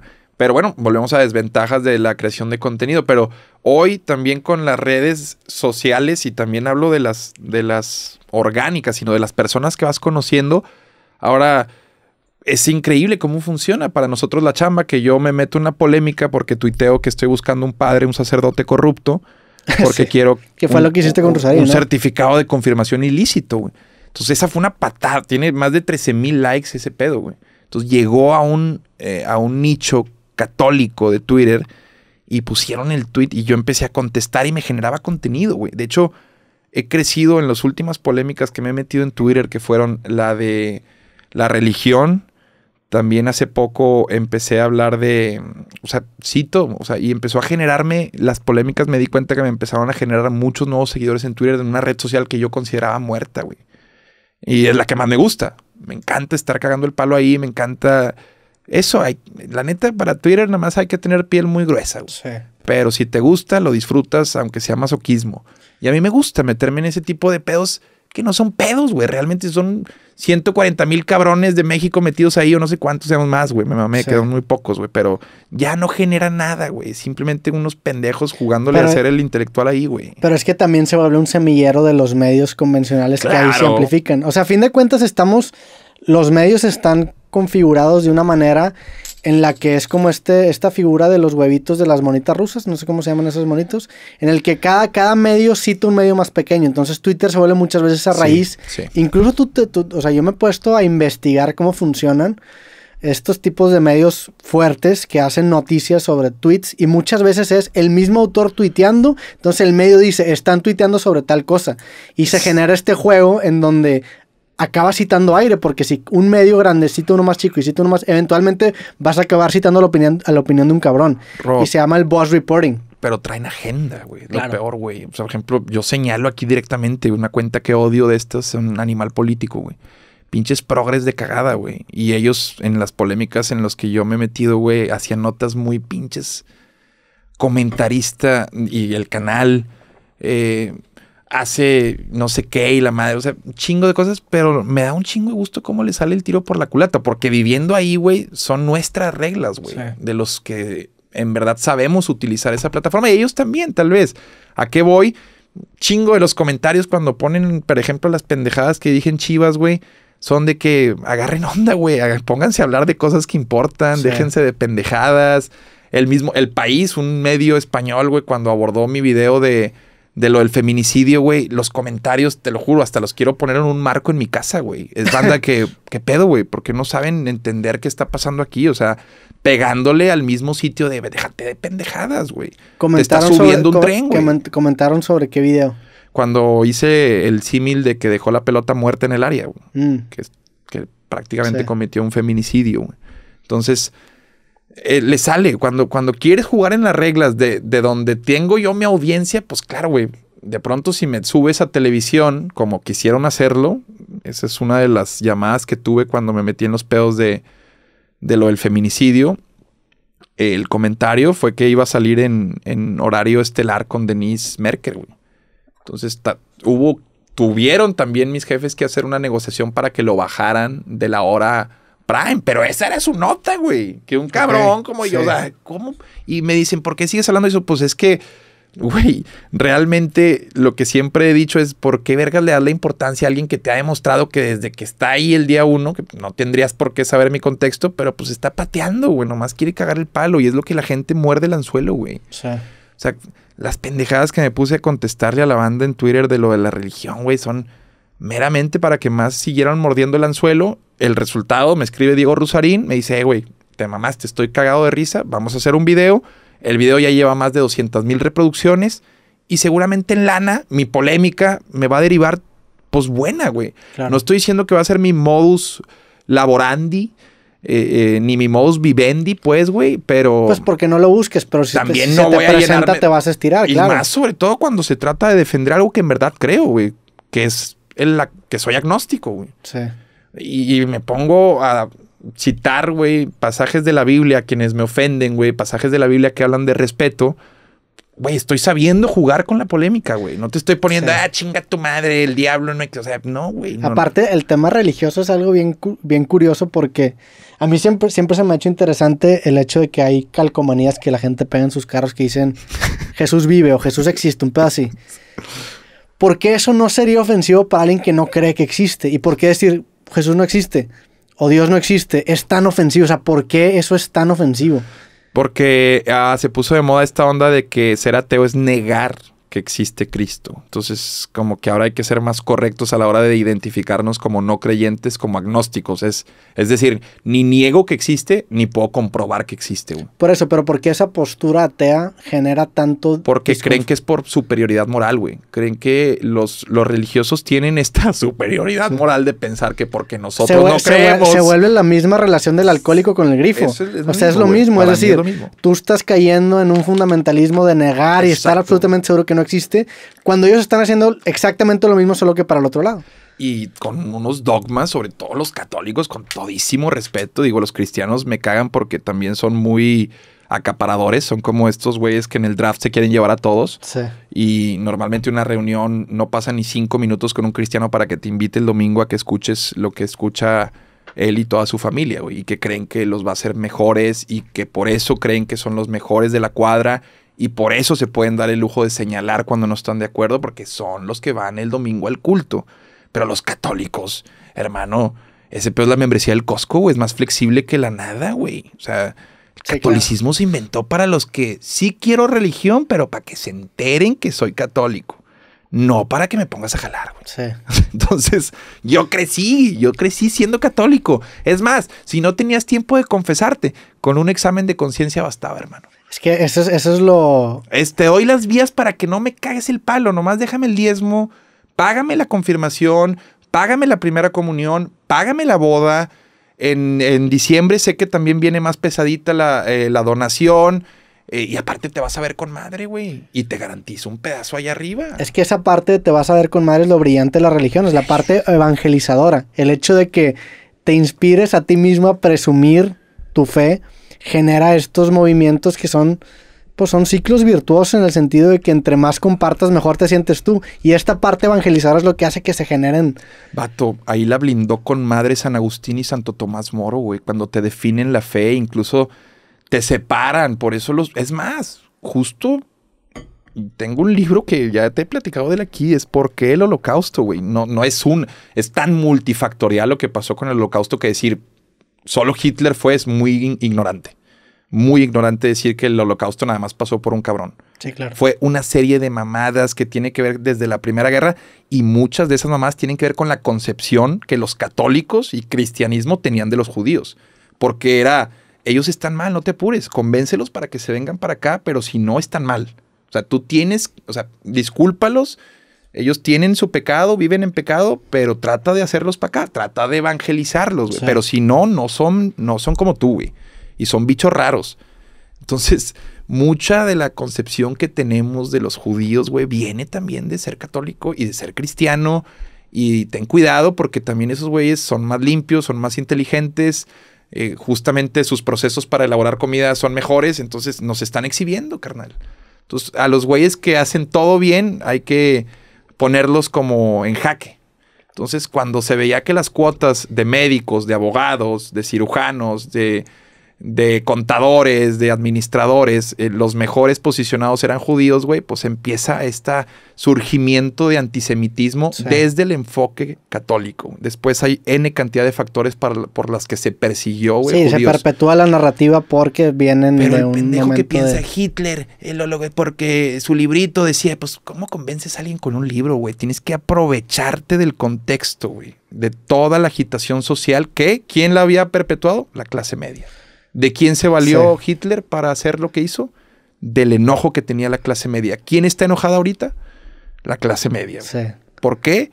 Porque hay un señor que le da mil o tres mil pesos a los que están jodidos, pero se le olvida a la clase media que 70 años fuimos nosotros los que nos mamábamos. Supuestamente, ¿verdad? Estas ideas estúpidas. se vuelve, se vuelve parecido a lo que hablábamos ahorita en el tema de la música que de cierta manera el terreno tiene que estar fértil para que a lo mejor tu estilo se perpetúe o, o, que tu estilo funcione.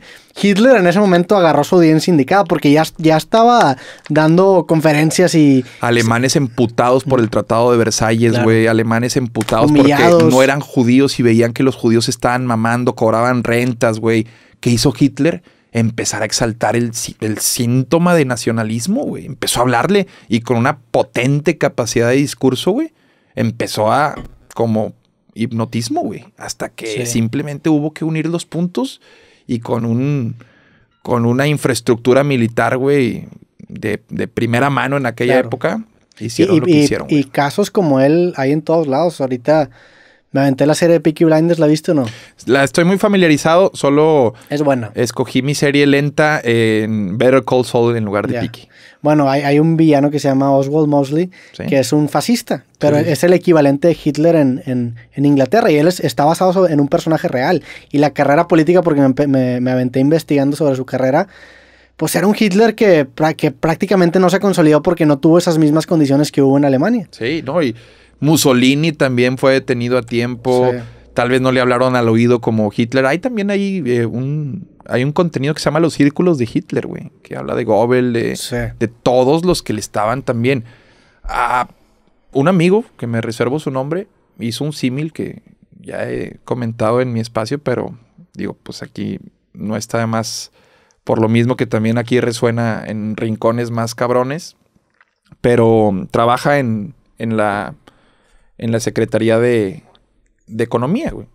Y ellos le llaman el último bastión, güey, porque de todas las ideas que le salen a nuestro actual líder, ellos son los que tienen que decirle, señor, pues no se puede. No se puede, digo, no, no ridiculizando tanto a, nuestro presidente, sino hay cosas que pues, es normal, güey. Me imagino otros presidentes han sugerido hacer cosas que la Secretaría de Economía es, va a pasar esto.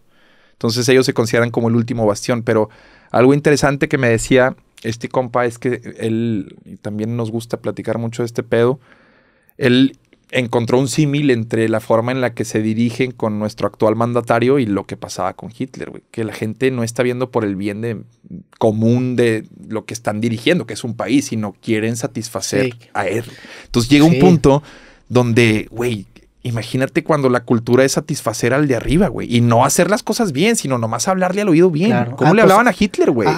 creo que es Goebbels, justamente, que tiene su diario por ahí publicado, ¿lo has leído? Hablaba sobre su primer encuentro con Hitler, lo platicaba con Farid Díaz, que también le gusta mucho ese tema. Y parecía que estaba enamorado, o sea, se vuelve una complacencia no, no, para el pueblo, sino para el, para el líder. Y a través del discurso, creo que muchos de los grandes líderes es como han atrapado y encantan, güey. O sea, veía incluso a Ebrard cómo se refería a él, güey, que es uno de los destapados. Y él decía, yo sí, ya soy una corcholata conocida. O sea, en las mismas formas en, las que se refieren a él, güey, hay un respeto muy, muy cabrón. Y, y, la forma en la que se lo gana cada quien. Hitler tal vez a través del miedo y, y nuestro actual presidente y que puede ser también muy irrespetuoso hacer una comparación con Hitler si sacan de contexto. Ojo, Es, ojo, que Hitler es uno de los grandes líderes. Si se le ve fríamente, güey, su capacidad de, de ser un líder, güey, pues eh, creo que no está en duda, güey. Claro. Supo mover un país y aprovecharse de eso, güey. También está curiosa la importancia que tenía la habilidad de ser un buen orador.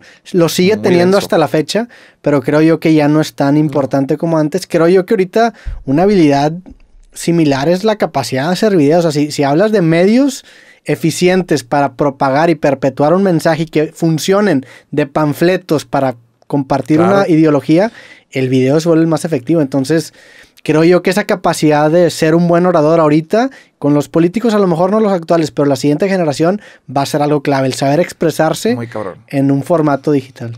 Es correcto, hermano. Por eso, quién sabe, Roberto 2032. Nah, ya no me haría político. Tú sí te harías político, ¿no? hermano. Pero. Tú estás por esperando reto, ahorita, por ¿no? el reto, lo que Sí. hablábamos, güey. O sea, para mi gusto, todo lo que me apasiona. Ayer, ya para ir platicando de mis últimas anécdotas, ayer me sentí bien chido. Justo ayer, digo, estamos grabando, pero grabé mi, mi primera aparición en una película de cine, güey. Y tenía cuatro escenas. Que de hecho el director Ricardo Serna le mando un fuerte abrazo, muy buen pedo, sabiendo que, que sí tengo un chingo de mamadas últimamente, bendito Dios es chamba, me las juntó todas en un día. Las cuatro las, Las grabaste cuatro, ayer, Las cuatro las grabé ayer. eh, con diálogos. Sí, de Ok. 5.45 de la tarde hasta la 1 de la mañana. O sea, unas casi ocho horas, digamos, de, de mi primera y en este caso única intervención en cine, güey. Pero a ver, paréntesis, te digo, si se puede compartir, ¿estás interpretándote a ti mismo No, o a un personaje? No, no, no. Hago a Bernardo. Ok, Un personaje o sea, sí que es un sí personaje. sí, eh, tiene un, una ligera importancia por un, un plot twist que tiene ahí en, en la trama. Eh, la protagoniza Dani Salinas, eh, que es la neta, le mando un abrazo, es una extraordinaria actriz que yo ya había coincidido con ella en teatro. Y, y nada, también a lo que iba es. Ayer tuve una realización como cuando en su momento la cotorriza me invitó y sentí esa risa en el pabellón y aquí mismo te dije, quiero Sí. ser, pues ayer me di cuenta, güey, yo quiero ser actor. Y también, ¿por qué Sí. no? Un día quiero ser político. O sea, no tiene nada que ver con lo que viene eh, a causa de ser eso, güey, sino el reto que representa ser eso. Mucha Sí. banda es de que, ah, quiere ser político porque se quiere mamar. No, güey, pues imagínate el reto de hacer a ese pedo bien, güey. Y si lo voy a hacer, lo voy a hacer bien, pero imagínate el reto que representa en verdad ser un buen político en estos tiempos, güey. O sea, O sea, dirías que un actor está mucho más propenso a interesarse genuinamente, fuera el tema económico, en la política. Totalmente. Sí. O sea, es que actor es empatía, güey. O sea, si no, no existe un buen actor. Si tú no tienes la capacidad de ponerte en los zapatos de otro, no puedes interpretar a otro. Entonces, por eso creo que el actor, y de hecho uno de los mejores presidentes en Estados Unidos fue actor, güey. Ronald Reagan. Digo, habrá quien diga que no es uno de los mejores, pero es uno de los más populares, más conocidos, y sí le trajo cosas chidas. a- y fue, o sea, a todos les sorprendió y a nadie lo recuerda. El mismo Zelensky, güey, salió de un programa de comedia, güey. Y que no estoy diciendo que sea bueno, güey, pero pues ahí está, güey. Siendo el líder de, de Ucrania en un momento muy denso. O sea, creo que el, el cerrar, güey, eh, las posibilidades a solo me dedico a esto es lo que empina a mucha banda, Sí, güey. pero es que es muy, es muy difícil diferenciar o ignorar el factor de es una figura reconocida, vamos a palomear una, con una fachada conocida, intenciones Totalmente, güey. De hecho, justo eh, ahí es donde se evidencian quienes intentan seguir moviendo los hilos con los perfiles que tienen, güey. Y hay vías independientes, güey. Para llegar también, imagínate el pedo que le puedes sacar a la estructura, güey. Por eso ta- hasta tengo miedo que un día... Tú te lanzas para alcalde, ganas. No sé si gano, hermano, pero, Pero yo... yo- compites. pero es que yo, bueno, sí, no sé si ganas yo- antes de yo que. llevo caminando la calle, güey, Sí. de Monterrey seis años, carnal. O sea, mis, mi proselitismo es de radar, güey. O sea, la gente, en, yo voy a la vidriera, güey, una señora sabe que puede llegar a abrazarme y hasta canastearme.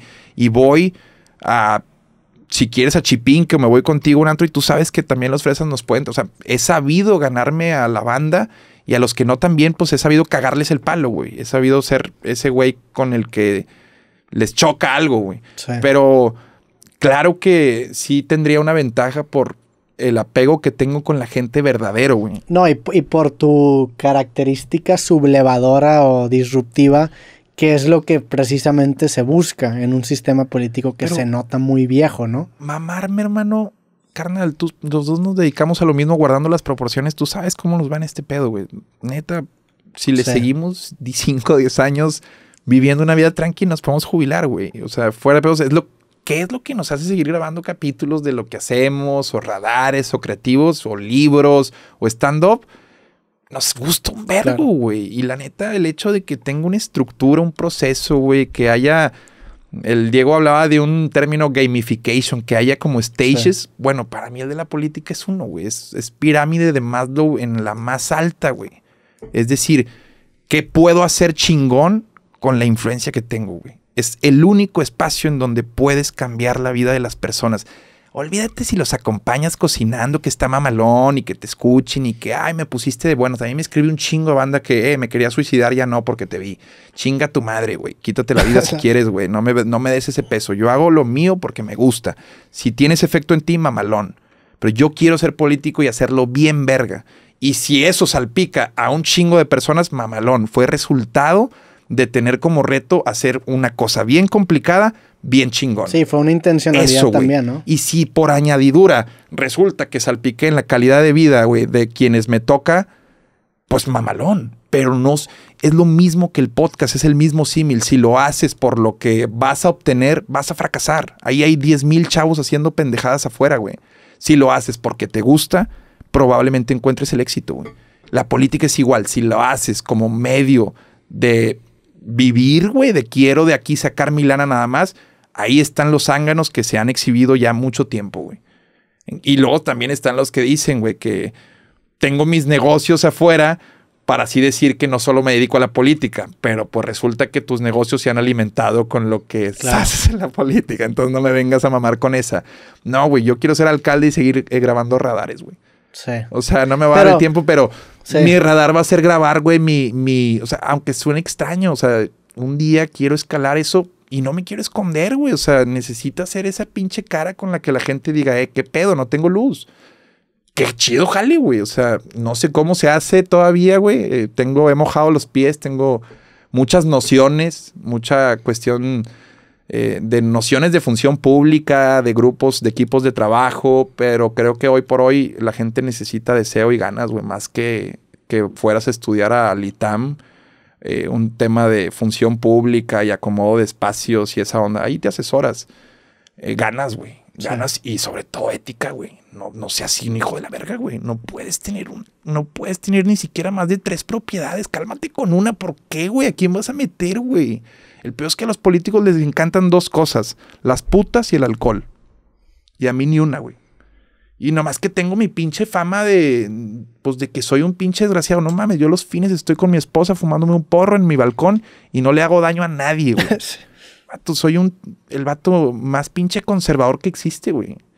Y, creo que ya hace falta, güey, que alguien se, deje de pasar de verga en Monterrey. Sí. Está, está interesante esta... Claro que, güey, de, de, entrada, pues también, pues ¿Por qué te tengo que creer? Pues bueno, ya en mi, en mi momento, cuando decida hacerlo, pues ya me encargaré de que me creas o no, güey. Sí. Ahorita me vale madre, tengo mi jale, güey. El, tema de jubilarse es, va muy ligado con eh, incrementar tu ingreso económico, pero mantener tu estilo de vida de una forma estable, por así decirlo. O sea, el, que, el no atarlo completamente a mejor mi ingreso, también yo necesito más gastos para poder subsistir. Esa ambición estúpida. Si llegas a ese punto de definir cuánto es suficiente para ti, con cuánto vives bien, te deja de, eso es, creo yo que es el punto de inflexión donde te empieza a dejar de mover el dinero. Cuando desconectas ese cable que inicia pegado, porque al principio tiene que iniciar pegado, al principio literalmente el dinero sí te salva y te soluciona los problemas, pero llega un punto en el que no, y tienes que saber separar esos dos cables y seguir tu propia curva. Y sí, prefieres obviamente tener mucho dinero y ese ingreso extra, pero no depende de él tu, tu propio éxito. ¿Tienes tiempo de gastarte tu lana? No, ahorita en este momento no. Ni yo, güey. No tengo tiempo, güey. Tengo... Fui a Las Vegas con mis hermanos. Eh, hacemos un viaje tradicional. Eh, nos quedamos en unos tiempos compartidos. vamos, a hacer una pausa que al baño. Y si te cuento una anécdota de que, que me dijo mi, mi, mi, carnal allá. No le puse diésel al carro, ¿eh? No voy a pensar. Va, regresamos al podcast después de una pequeña pausa técnica. Estábamos hablando de la historia de Las Vegas. Si no es más que una historia, es me, llama la atención, trato de transmitírselo, pero creo que también a veces a mi hermano, sobre todo en este caso menor, porque es un viaje tradicional que hacemos y esta es la cuarta ocasión que lo hacemos. Y había estado interrumpido por la pandemia. Es una semana de estar conviviendo con mis carnales en un cuarto, güey. O sea, si es un ejercicio de tolerancia interesante, ya te había platicado, creo. Y en esta ocasión, yo, yo la neta, yo no tengo tiempo de andar comprando ropa, güey, los fines de semana, ni meterme en un mall y ese pedo. Si tengo tiempo, no me lo doy, mejor dicho. Esa es la, la forma correcta de decirlo. Y cuando yo voy allá, es mi forma de comprar ropa, porque hay unos outlets en Las Vegas muy buenos, güey. Los Sí. North Premium Outlets. Y, y tienen buenas tiendas, buenas Los que ofertas. están al final del, de la strip, ¿son esos o no? Pues no al final del strip como tal, pero sí están muy cerca del Mm. strip, güey. Están más cerca de, del Vegas viejo Ya. que, que del strip, De del Fremont, downtown. ¿cómo se llama? Del Fre- Fremont. Fremont Street. Sí, cabrón. Ahí cerca del, del Stratosphere, algo así, de ese hotel que tiene un, un juego mecánico muy denso. El punto es que yo sí me paso de verga con las compras. Y, y soy ¿Con lo que compras? pues, con como yo no compro eh, y tenía mucho tiempo en mi shopping pues de ropa y lo digo con todo derecho porque la neta lo hago jalando, güey. Es lana Sí. que no, no soy facturero ni nada, no les quito mérito, digo, también tienes que tener tus Tu contactos, ingenio. pero pero es lana que me cuesta mucho ganarme o me cuesta de que la jalo, güey, pues, o sea, la puedo palpar Digo, de dónde viene esa lana, güey. Aparte te puedes puñetear la idea de que, pues a fin de cuentas, las- se refleja en tu trabajo, ¿no? Acabas saliendo con una camiseta que Sí, compraste. no, y me, me pude haber traído una fresa, pero no, no, no, no lo, o sea, más que por eso es de, no me causa, me causa cero culpa porque puedo entender los momentos en donde está ese trabajo, o sea, los Sí. puedo palpar, o sea, no, no vino fácil, güey. O sea, es tan fácil como una cuestión hasta física de, güey, recuerdo cuando me cansé grabando ese video que me dejó, o sea, sí lo tengo Sí. muy anclado al, al jale, o sea, Es lo... que está, el, el lo- la cosa chida del, del arte es que estás muy conectado con tu trabajo. Muy cabrón. Tienes esa oportunidad de grabar y publicar y ver los frutos de tu trabajo diario. O sea, gen- diariamente estás viendo el fruto de no mames, grabé eso esta vez y aquí está el fruto, está generando esto. Sí, eso es un privilegio, güey. Eso está bien cabrón. Muy denso. Porque la gran mayoría de la gente no tiene esa oportunidad de ver realizado el fruto de su labor. Viven en un, o trabajan en un ducto en donde su trabajo es transformar de A a B en un ciclo que llega hasta la Z y esa transformación no tiene un, resi- un residuo, no tiene, No. no tiene una recompensa. Entonces, ¿por qué pasa? Pues acaban reprimiendo ciertas cosas y muchas veces se desahogan tanto en redes sociales como en partidos de fútbol, que ya habíamos hablado de este tema. Que de hecho la vez pasada que fuimos a cenar... o como tratar mal a un mesero. Güey, la- o, o como tratar mal a un mesero. La vez pasada que fuimos a cenar me dijiste que, oye, güey, no te da culo que si juegas fútbol, alguien nada más te quiera chingar. ¿Qué ha pasado? y te dije, no, güey, nunca me ha pasado. Pasó dos días después de que fuimos, o un día después de que fuimos, y un vato me leñó para chingarme todo Y el te partido. decía, ¿no? El Y de me decía. me Y- muevas así, sí. picándote. Y yo dije, que a la verga. Nunca me había pasado. Tú me la cantaste y me pasó. Digo, tal vez no era tan cagapalo, sino era muy competitivo y sabía que metiéndote a la cabeza podía hacer que... eh, No, era un vato que, que me quería leñar. Nada más Era- quería era, un vato, palo. era un vato que me quería leñar. O sea, y, y varias veces. O sea, me, me dejaba la pierna tarde. Sí, era, no. era, era. ¿Viste la de Humble de Adam Sandler? No. Ah, no, ¿La sí, la de Hustle. Sí, Hustle, la, la, la última, sí. la de básquetbol, La de perdón. sí. sí. se llama Hustle, ¿no? Sí, Hustle, sí, sí, no Humble, me mamé. Está chido cómo se le meten en la cabeza de pronto al, al, al, al vato y ahí es donde lo... Entonces hay, hay cabrones que cuando juegan algo sí se la van a decir, pero no, pues simplemente era un güey cagapalos. Ahí Pero los hay muchos. Entiendo. Yo por eso me fui del foot, cabrón. Y- y yo, yo- ya estaba empezando a vivir el de. El. Ah, llegó, ya llegó el de la tele. o- y ya desde el tonito que escuchabas dije, yo, pues yo la neta jugaba de delantero, güey. Sí. Eso se. Era bueno antes, luego crecí, me hice tronco, pero muy inteligente a la hora de jugar de. de jugar de poste. Eh, jugar, jugar así con las ventajas que tengo físicas. Y, y el vergazo atrás esperando, porque cuando juegas de poste, pues tienes que cubrir el balón con el cuerpo. Y eso significa, implica ponerte, pegarte al defensa, güey, y usar tu cuerpo a tu favor y manejar perfiles. Bueno, cuando ya llegaba ese encuentro, el vergazo, güey. Sí. Que, espérate, hijo de tu pin-". y, a, y a veces no, a veces sí jalaba de que no lo voy a marcar ni bien porque no lo quiero ni tocar porque me cae bien. Entonces Sí. juega, juega a favor y en contra. Claro. El punto es que estoy en Las Vegas comprando en una tienda y en una cuenta mi carnal sí me dice, güey, me dice, güey, te estás mamando. Y ahí pienso realmente en, en- la forma en la que me gustaría que mi carnal viera también la vida, güey. De que, güey, tú mismo me conoces, cabrón. O sea, te preocupa más que piensas que me estoy dejando caer en una tienda de marca, güey, que en verdad conocer lo que hay detrás de que me gaste esto aquí, cabrón. O sea, este pedo no vino de... O sea, sí sé que puede mandar un mensaje de, güey, estás muy apegado a la material y la realidad es que justo creo que mando el equivocado si me conociera más y, y fue una discusión, no discusión, sino una plática que dije, pues ya sabes, somos grifillos. Sí. Pero ¿por qué compras tanto? Ah, sí, es un pedo mío. Ya. Y, mi- y tengo mi socio Eric, le mando un abrazo y dice, güey, tú tienes pedos, güey. O sea, tú tienes problemas de esos. De hecho, a Las Vegas me tengo que llevar una maleta vacía. El, reto, el deporte extremo en Las Vegas es volver con la maleta. Y si esa maleta se pierde, yo lo que estaría perdiendo en dinero, güey. Porque sí, sí te hablo de cosas ridículas. lo que hice esta última vez fue ridículo. Pues que ahí te predispones. Un contenedor vacío te inspira a llenarlo, ¿no? Sí, sí, sí, claro. Te, ah, estás, te, estás, predisponiendo. y mis carnales se cagan también porque les digo, güey, guárdenme este pedo, no me cabe en la maleta, güey. No, Pero es mi forma también de quitarle... O sea, y no lo necesito, güey. Realmente todo el año me pasa esto, que cuando ya en este efecto de espejo de, tienda costosa, güey. Que yo no sé qué les hacen a esos espejos, que ahí se te, ve con madre. Y luego, güey, dos lavadas y tal vez ya no uso esa prenda o ese cinto que compré. Es solo mi forma de demostrarme que es como, vato, esto vale madre, güey. O sea, te vale tanta madre que te puedes gastar lo que quieras en ese pedo porque, güey, yo ya no veo, te soy sincero, la lana y a mí no me interesan la cuestión de cuánto llega, güey, sino yo necesito saber qué otro radar viene, güey. ¿Cómo podemos sorprender a la banda con un contenido, güey? ¿Cómo podemos abordar la comedia para si sigo pensando en cuánto llega por los proyectos, no mames, estoy destinado a que se acaben los proyectos, güey, a que no sean sostenibles. Y traté como de hacerle ver a mi carnal de, güey, se puede, cabrón. Sí, o sea, es, en mi caso es también una toma de riesgo muy cabrona, que mucha gente no está dispuesta, no, olvídate de dedicarse a la comedia o a la artista, Roberto. No toman riesgos, güey. Y también en, tu, en tu forma de ser, te conviene tener como que esta entiendo que lo que entiendo lo que dices de que es un ejercicio para decir, mira, sabes que me puedo gastar esto y, no, y, y, me da esa libertad de no tener que estar esperando el próximo cheque y todo eso. Entiendo. Pero también siento que para tu industria te da de cierta manera una ventaja porque te conviene estar en ese estado. O sea, también no soy pendejo que acabas, haciendo, acabas haciendo mejores contenidos, acabas, acabas siendo más irreverente porque realmente te crees tú la idea de que te vale madre, entonces te ponen en una mejor posición. Hackeándote constantemente el sistema en un punto en donde es sano, güey. También escuché a, Tengo un compa, se llama Marlon, güey. Eh, es amigo también de Jacobo, güey, Marlon Garza, güey. Y está interesante lo que hace, los experimentos. A veces esconde lana en Oxos y dice: En este Oxo a 5 kilómetros a la redonda hay 50 mil pesos. Una vez creo que hizo eso. Tiene varios experimentos sociales que si eh, te vas por la fácil, puedes decir, güey, este vato está mamoneando. De hecho, tiene un estilo de vida muy cabrón.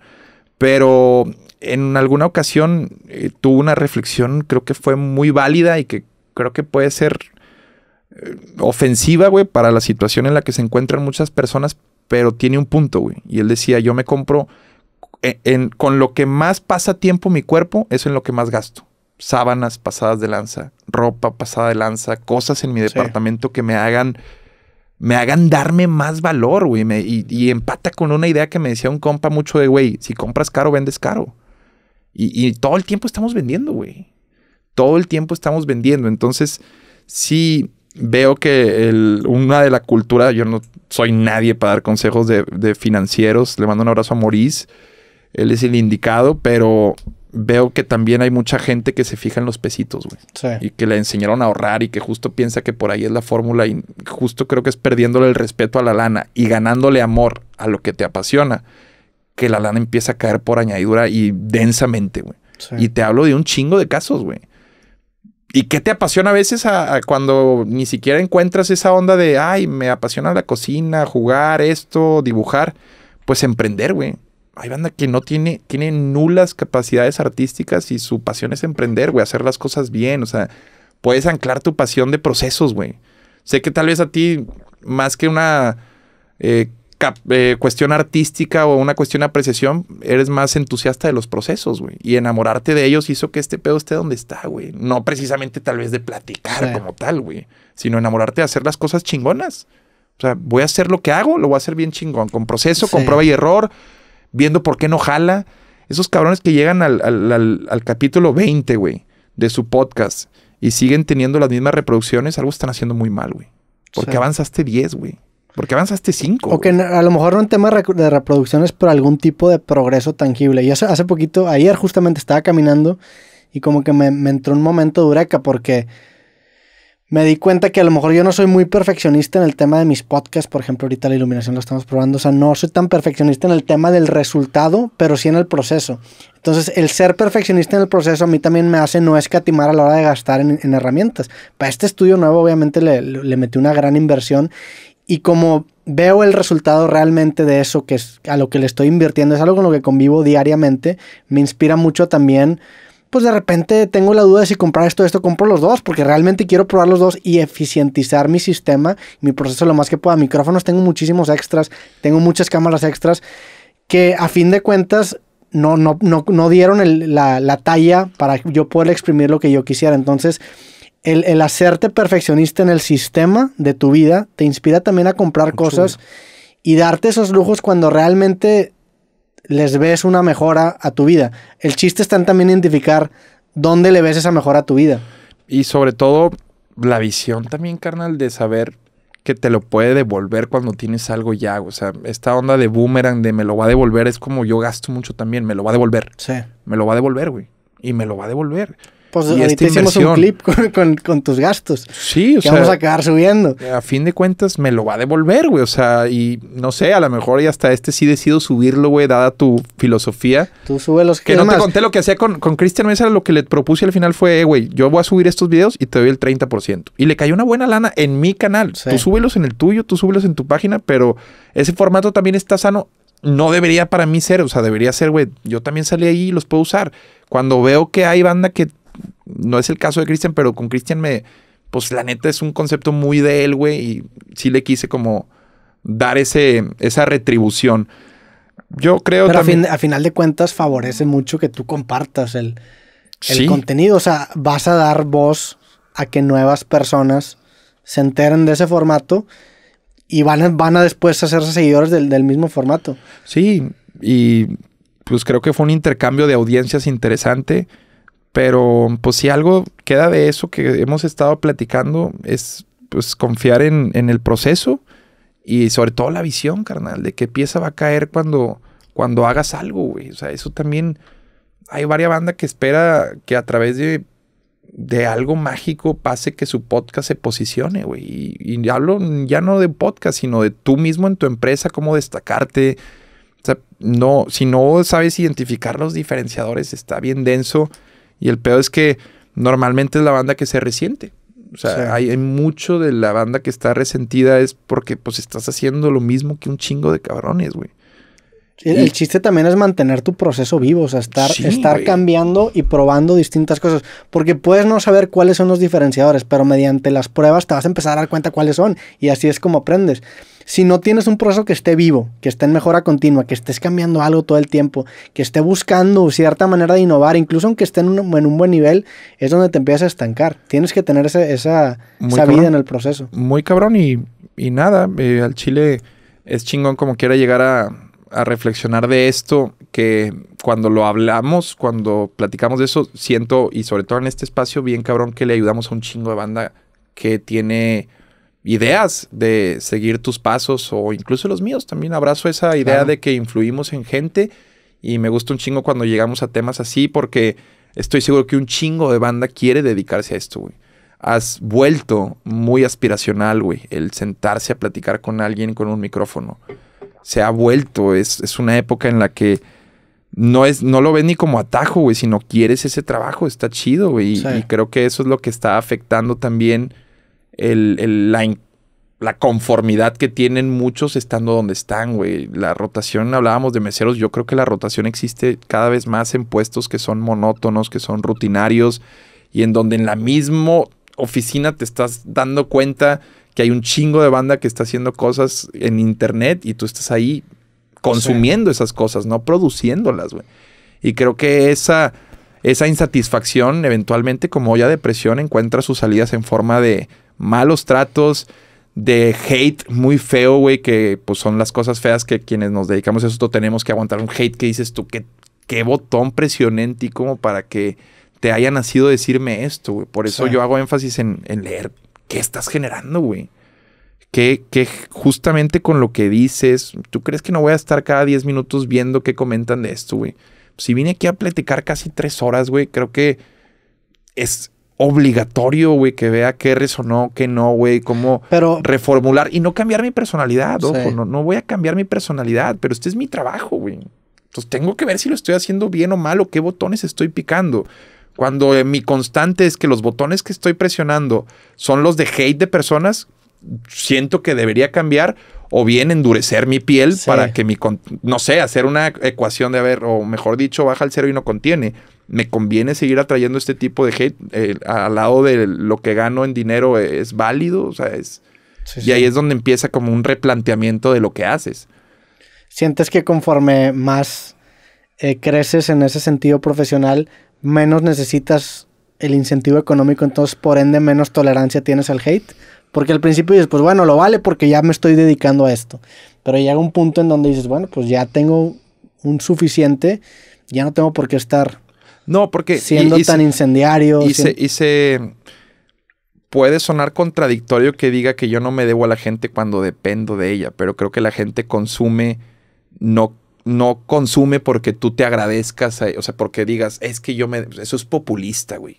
La Sí. neta como, es como decir que creativo existe por, para la gente, güey. No es- o sea, tal vez sí, pero Es que pues, siento Ta- que también, también decir ese sería tipo de muy cosas. idealista como decir, güey, estoy aquí por ustedes y para ustedes. Eh, Es de que, güey, no es cierto. Eso no te hace Sí, levantarte. Pero, pero también el decir ese tipo de cosas a tu gente le acaba gustando. O sea, de cierta manera se vuelve una relación en, en que buscan esa figura Bueno, que empuje ese populismo fácil, ¿no? Yo he querido también atraer gente que eh, a mi trinchera, güey, que no tome en cuenta si yo agradezco después de hacer lo que según yo hice para que les guste. Sí. Me explico. O sea, en fin, el fin de mi contenido, güey, es.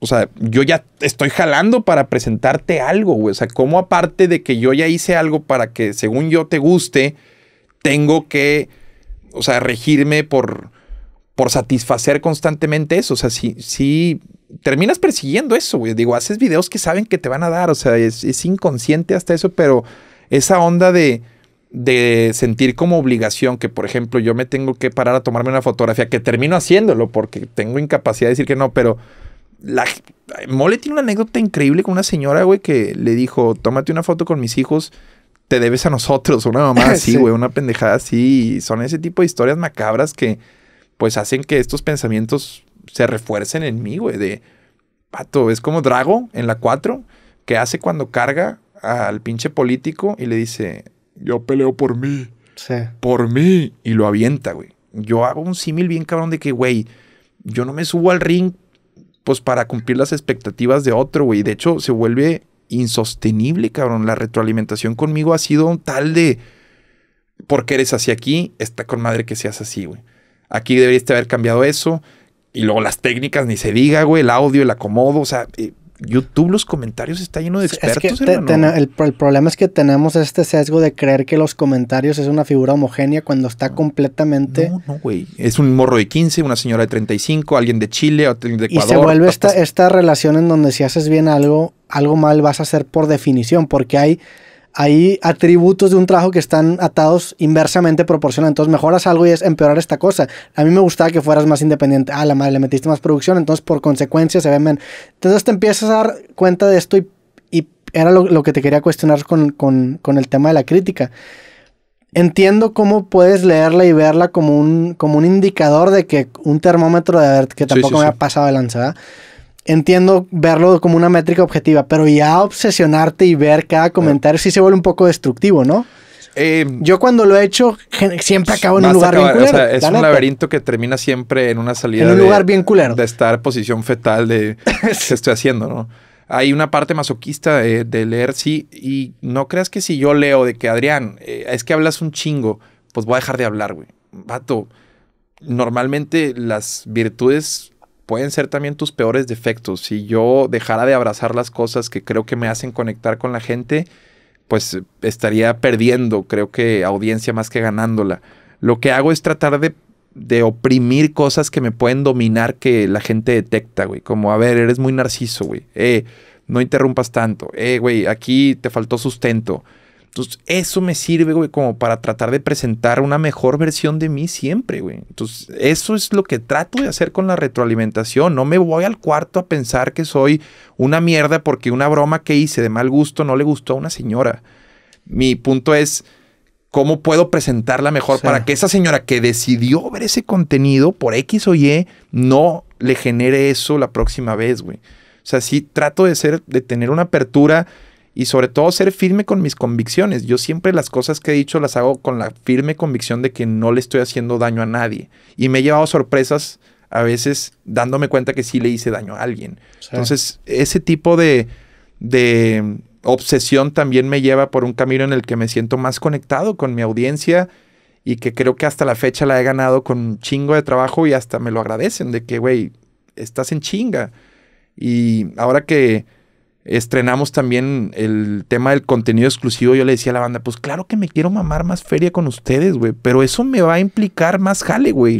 Tengo que presentarles videos exclusivos, tengo que desarrollar mercancía, tengo que cruzar mi stand-up y los boletos con el hecho de que tengo un eh, segmento exclusivo. Entonces a, ellos se les hace un meet and greet y el boleto se les vende primero. Güey, es un chingo de jale, Tanto logístico como de contenido y de implementación, ¿no? Pero es cada vez abrazar con mayor seguridad y confianza el hecho de que soy alguien que mucha gente consume, güey. Somos, tú eres TV Azteca, yo soy, o bueno, tú eres Televisa en su época y yo soy tal vez TV Azteca o viceversa, pero creo que hoy por hoy sí existe una responsabilidad de, hey, güey, pues hay banda que el miércoles está esperando ver el nuevo creativo, güey. Sí. Y eres tú, eh, ellos te escogieron a ti como opción de entretenimiento ahí sí implica una responsabilidad, pero de eso a todo lo que me dicen lo trato de cambiar al siguiente contenido, pues no, está cabrón. Y de hecho no es, no es ni realizable ni sostenible.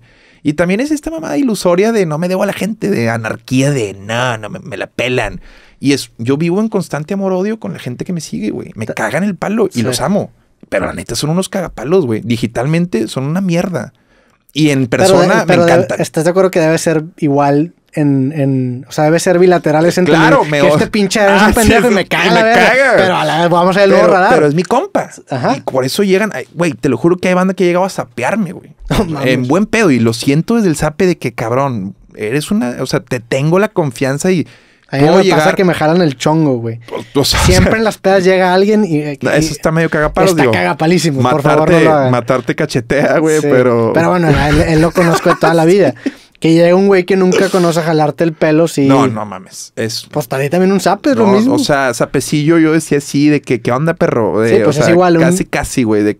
Y eso para mí, más que ver el vaso medio vacío de se me está pasando de que, güey, ¿qué, ¿qué hice bien para desarrollar la confianza en ese güey que llegó y me hizo eso? Sí. O, o, qué hice bien para que esta vieja le valiera verga que esté comiendo en el Gran Pastor mis pinche cabrería y cuando estoy dándole la mordida me pide una foto más que cagarme. O sea, es hackearse constantemente, pero cuando tengo este espacio para poder mentarle a la madre a mis seguidores, aprovecho, güey. Que chinguen a su madre, güey. Porque pues es que una cosa es terminar de ver el video y ya, vete, güey. A mí me sirve nada más la reproducción y el like, pero si dejas tu veneno ahí, güey. O tú infieres que porque hice una broma con mi esposa soy así en mi casa. O ese día que tenía una ojera más cabrona, dices que estoy todo cricoso. O sea, hay unas inferencias en esta necesidad también de que todo tenga conflicto.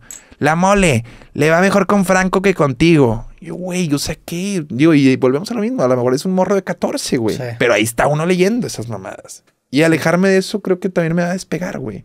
Porque el día que yo pase dos años sin leer las mamadas que me ponen y presente un contenido, me voy a asustar el día que esté muy dispar de lo que estoy generando, güey.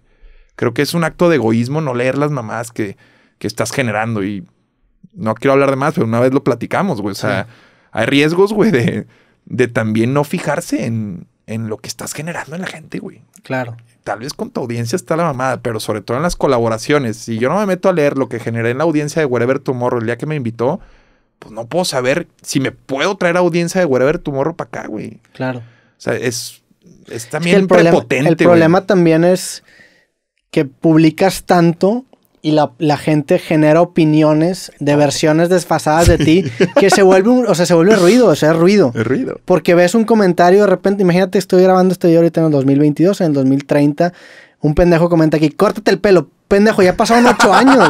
O sea, es a lo que voy, se vuelve ruido. Y tienes esta, este buque de comentarios en contextos distintos, a Robertos y a Adrianes distintos, que se mezclan y platican entre sí, que se vuelve muy raro. Bueno, esta se ha vuelto mi terapia. Creativo, para mí es esto, güey.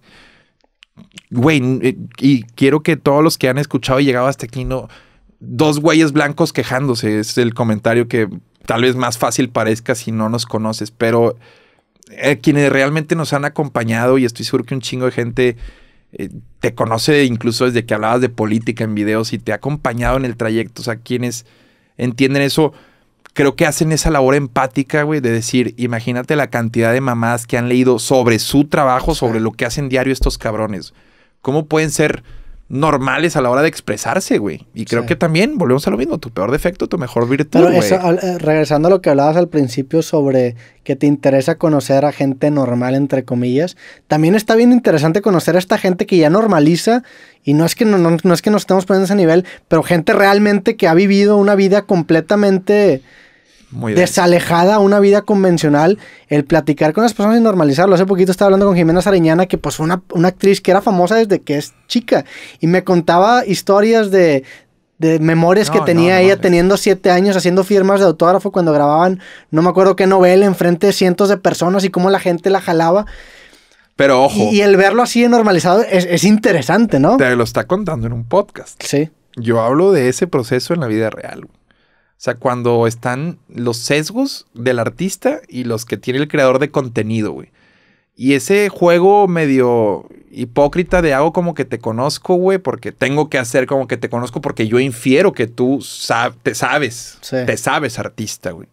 Me explico. Entonces ese jugueteo de estrategia de, güey, sé con quién estoy parado, sin embargo no lo consumo, pero sé que le va a molestar que yo no lo consuma y si le digo tal vez no es el puente entonces, muchas veces prefiero evitar ese pinche proceso fuera. Cuando es un podcast es hermoso, güey. Porque hay motivación tuya de que es tu trabajo y lo que genera, y ella de que sabe dónde está parada. O sea, obviamente se vuelve suculento y por eso te va como te va, hermano. Porque has logrado eh, trasladar esa capacidad de socializar a un concepto, güey. En mi caso, hacerlo fuera, güey. En los cortes de ese en serio, yo soy el vato más infeliz, güey porque pues sé que estar en mi celular puede mandar un muy mal mensaje, güey. Con los invitados. Con los invitados que tengo que volver de corte y hacer como que estoy interesado otra vez. Entonces, no quiero caer en la onda de déjame aíslo y vuelvo a ser eh, el que sí está interesado en tu carrera al aire. Entonces, tanto en cortes, yo sigo entrevistando a la banda para que genere cuando volvamos de corte que los güeyes digan, este güey sí está interesado genuinamente. A mí me pasa eso con los inicios de los capítulos, ¿no? Yo tengo cortes comerciales, pero en los inicios de los capítulos, mientras estás conectando todo... Todo. Es, Genera rapport, le llaman. O sea, es, un, es, un lazo en donde un comentario puede hacer que ese podcast salga mucho mejor de lo que hubiera salido si no le dices, escuché esto tuyo. Sí. O sea, ese pedo, y creo que es exclusivo de, de grandes mentes. Te soy sincero. O sea, la realidad es que fuera de tu apariencia que es muy agradable a la vista, fuera de lo inteligente que eres, güey, es que es, parte de la inteligencia, sabes detectar cosas donde otros no las detectan, güey. Y ahí está un diferenciador muy, muy cabrón. O sea, no se trata nada más de ser un tipazo y eso. ¿Qué ves tú que otros no, güey? Y ahí está. Ahí está el resultado, güey. Porque creativo está donde está, güey. Creo que esos diferenciadores en la medida en lo que los creadores de contenido saben identificar, güey, se vuelven. Y pues pasa cuando no te fijas tanto en ti, güey, sino en el otro. Nada más que en estos tiempos está bien cabrón, güey. ¿Has sentido que te pasa eso? Que dejas de enfocarte tú en tu propia imagen y en lo presentable. A mí me pasa mucho, y te lo pregunto si a ti te pasa, en lo presentable que te ves. Porque, digo, ahorita publico, pues tú también publicas una cantidad de videos muy grande al día, te tomas fotos chileras al día, que deja realmente de preocuparte de cómo te ves, cómo saliste, que si tienes un grano, todo. Es, esa, ese, yo pues, me he vuelto muy fodongo, hermano. Yo, yo soy. Estás hablando con Don Fodongo, ¿verdad? Eh, güey, yo me gusta incluso ir ridículo a los lugares así. No ridículo, pero chanclas, calcetas hasta arriba, güey, shorts. O sea, yo podría vivir en shorts. Pero. Pero te pasaba eso hace cinco años, seis años. Siempre fui fodonguillo eh, la, cuestión es como la gestión de la atención, güey. Para mí, como estoy en este caso, pues mido 1,90 con tacones 2,10. Eh, pero a donde llego en Monterrey, pues sí es como notorio que llegó un, un postecillo y cuando le ves la naricilla y ya los rasgos así de, de así, pues característicos que tengo, pues ya la atención de que empiece el cuchicheo. Te de- parece a Danny Ocean, ¿no? Me parezco a, a Danny Ocean. Sí.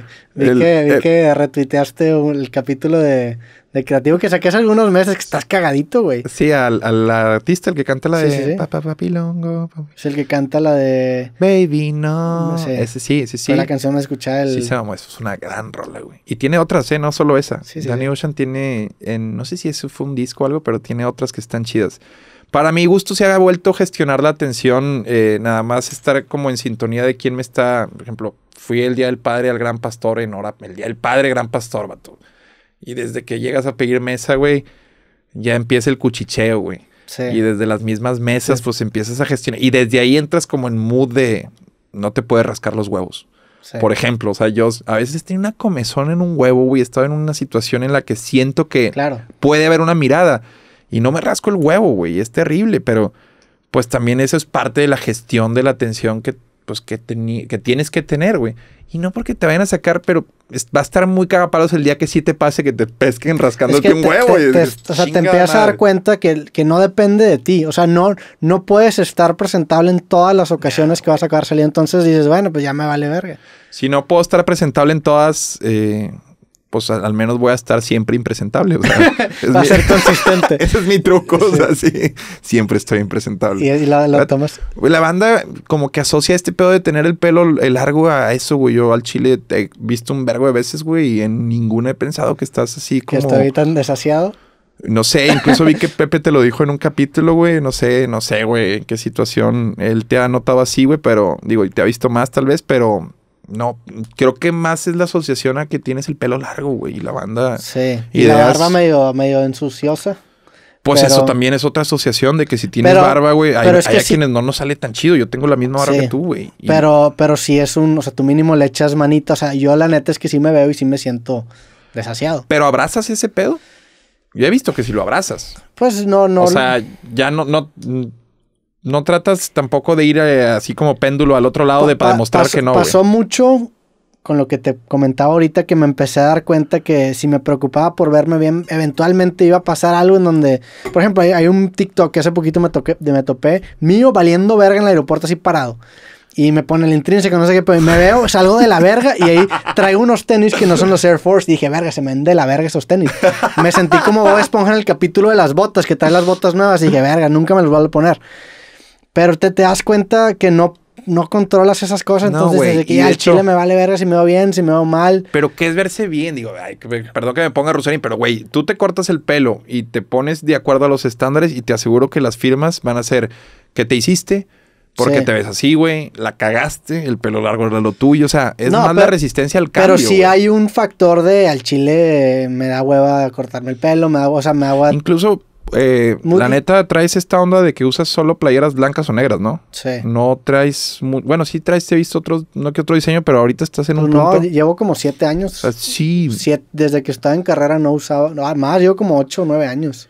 y eso ese tema por también practicidad, ¿no? O sea, Sí, fue un tema 100% práctico. Lo saqué justo de Luis y que en la serie Luis, la de aquí el sí, póster. Y el vato en una entrevista dijo que él nada más usaba camisetas negras y luego lo empecé a ver.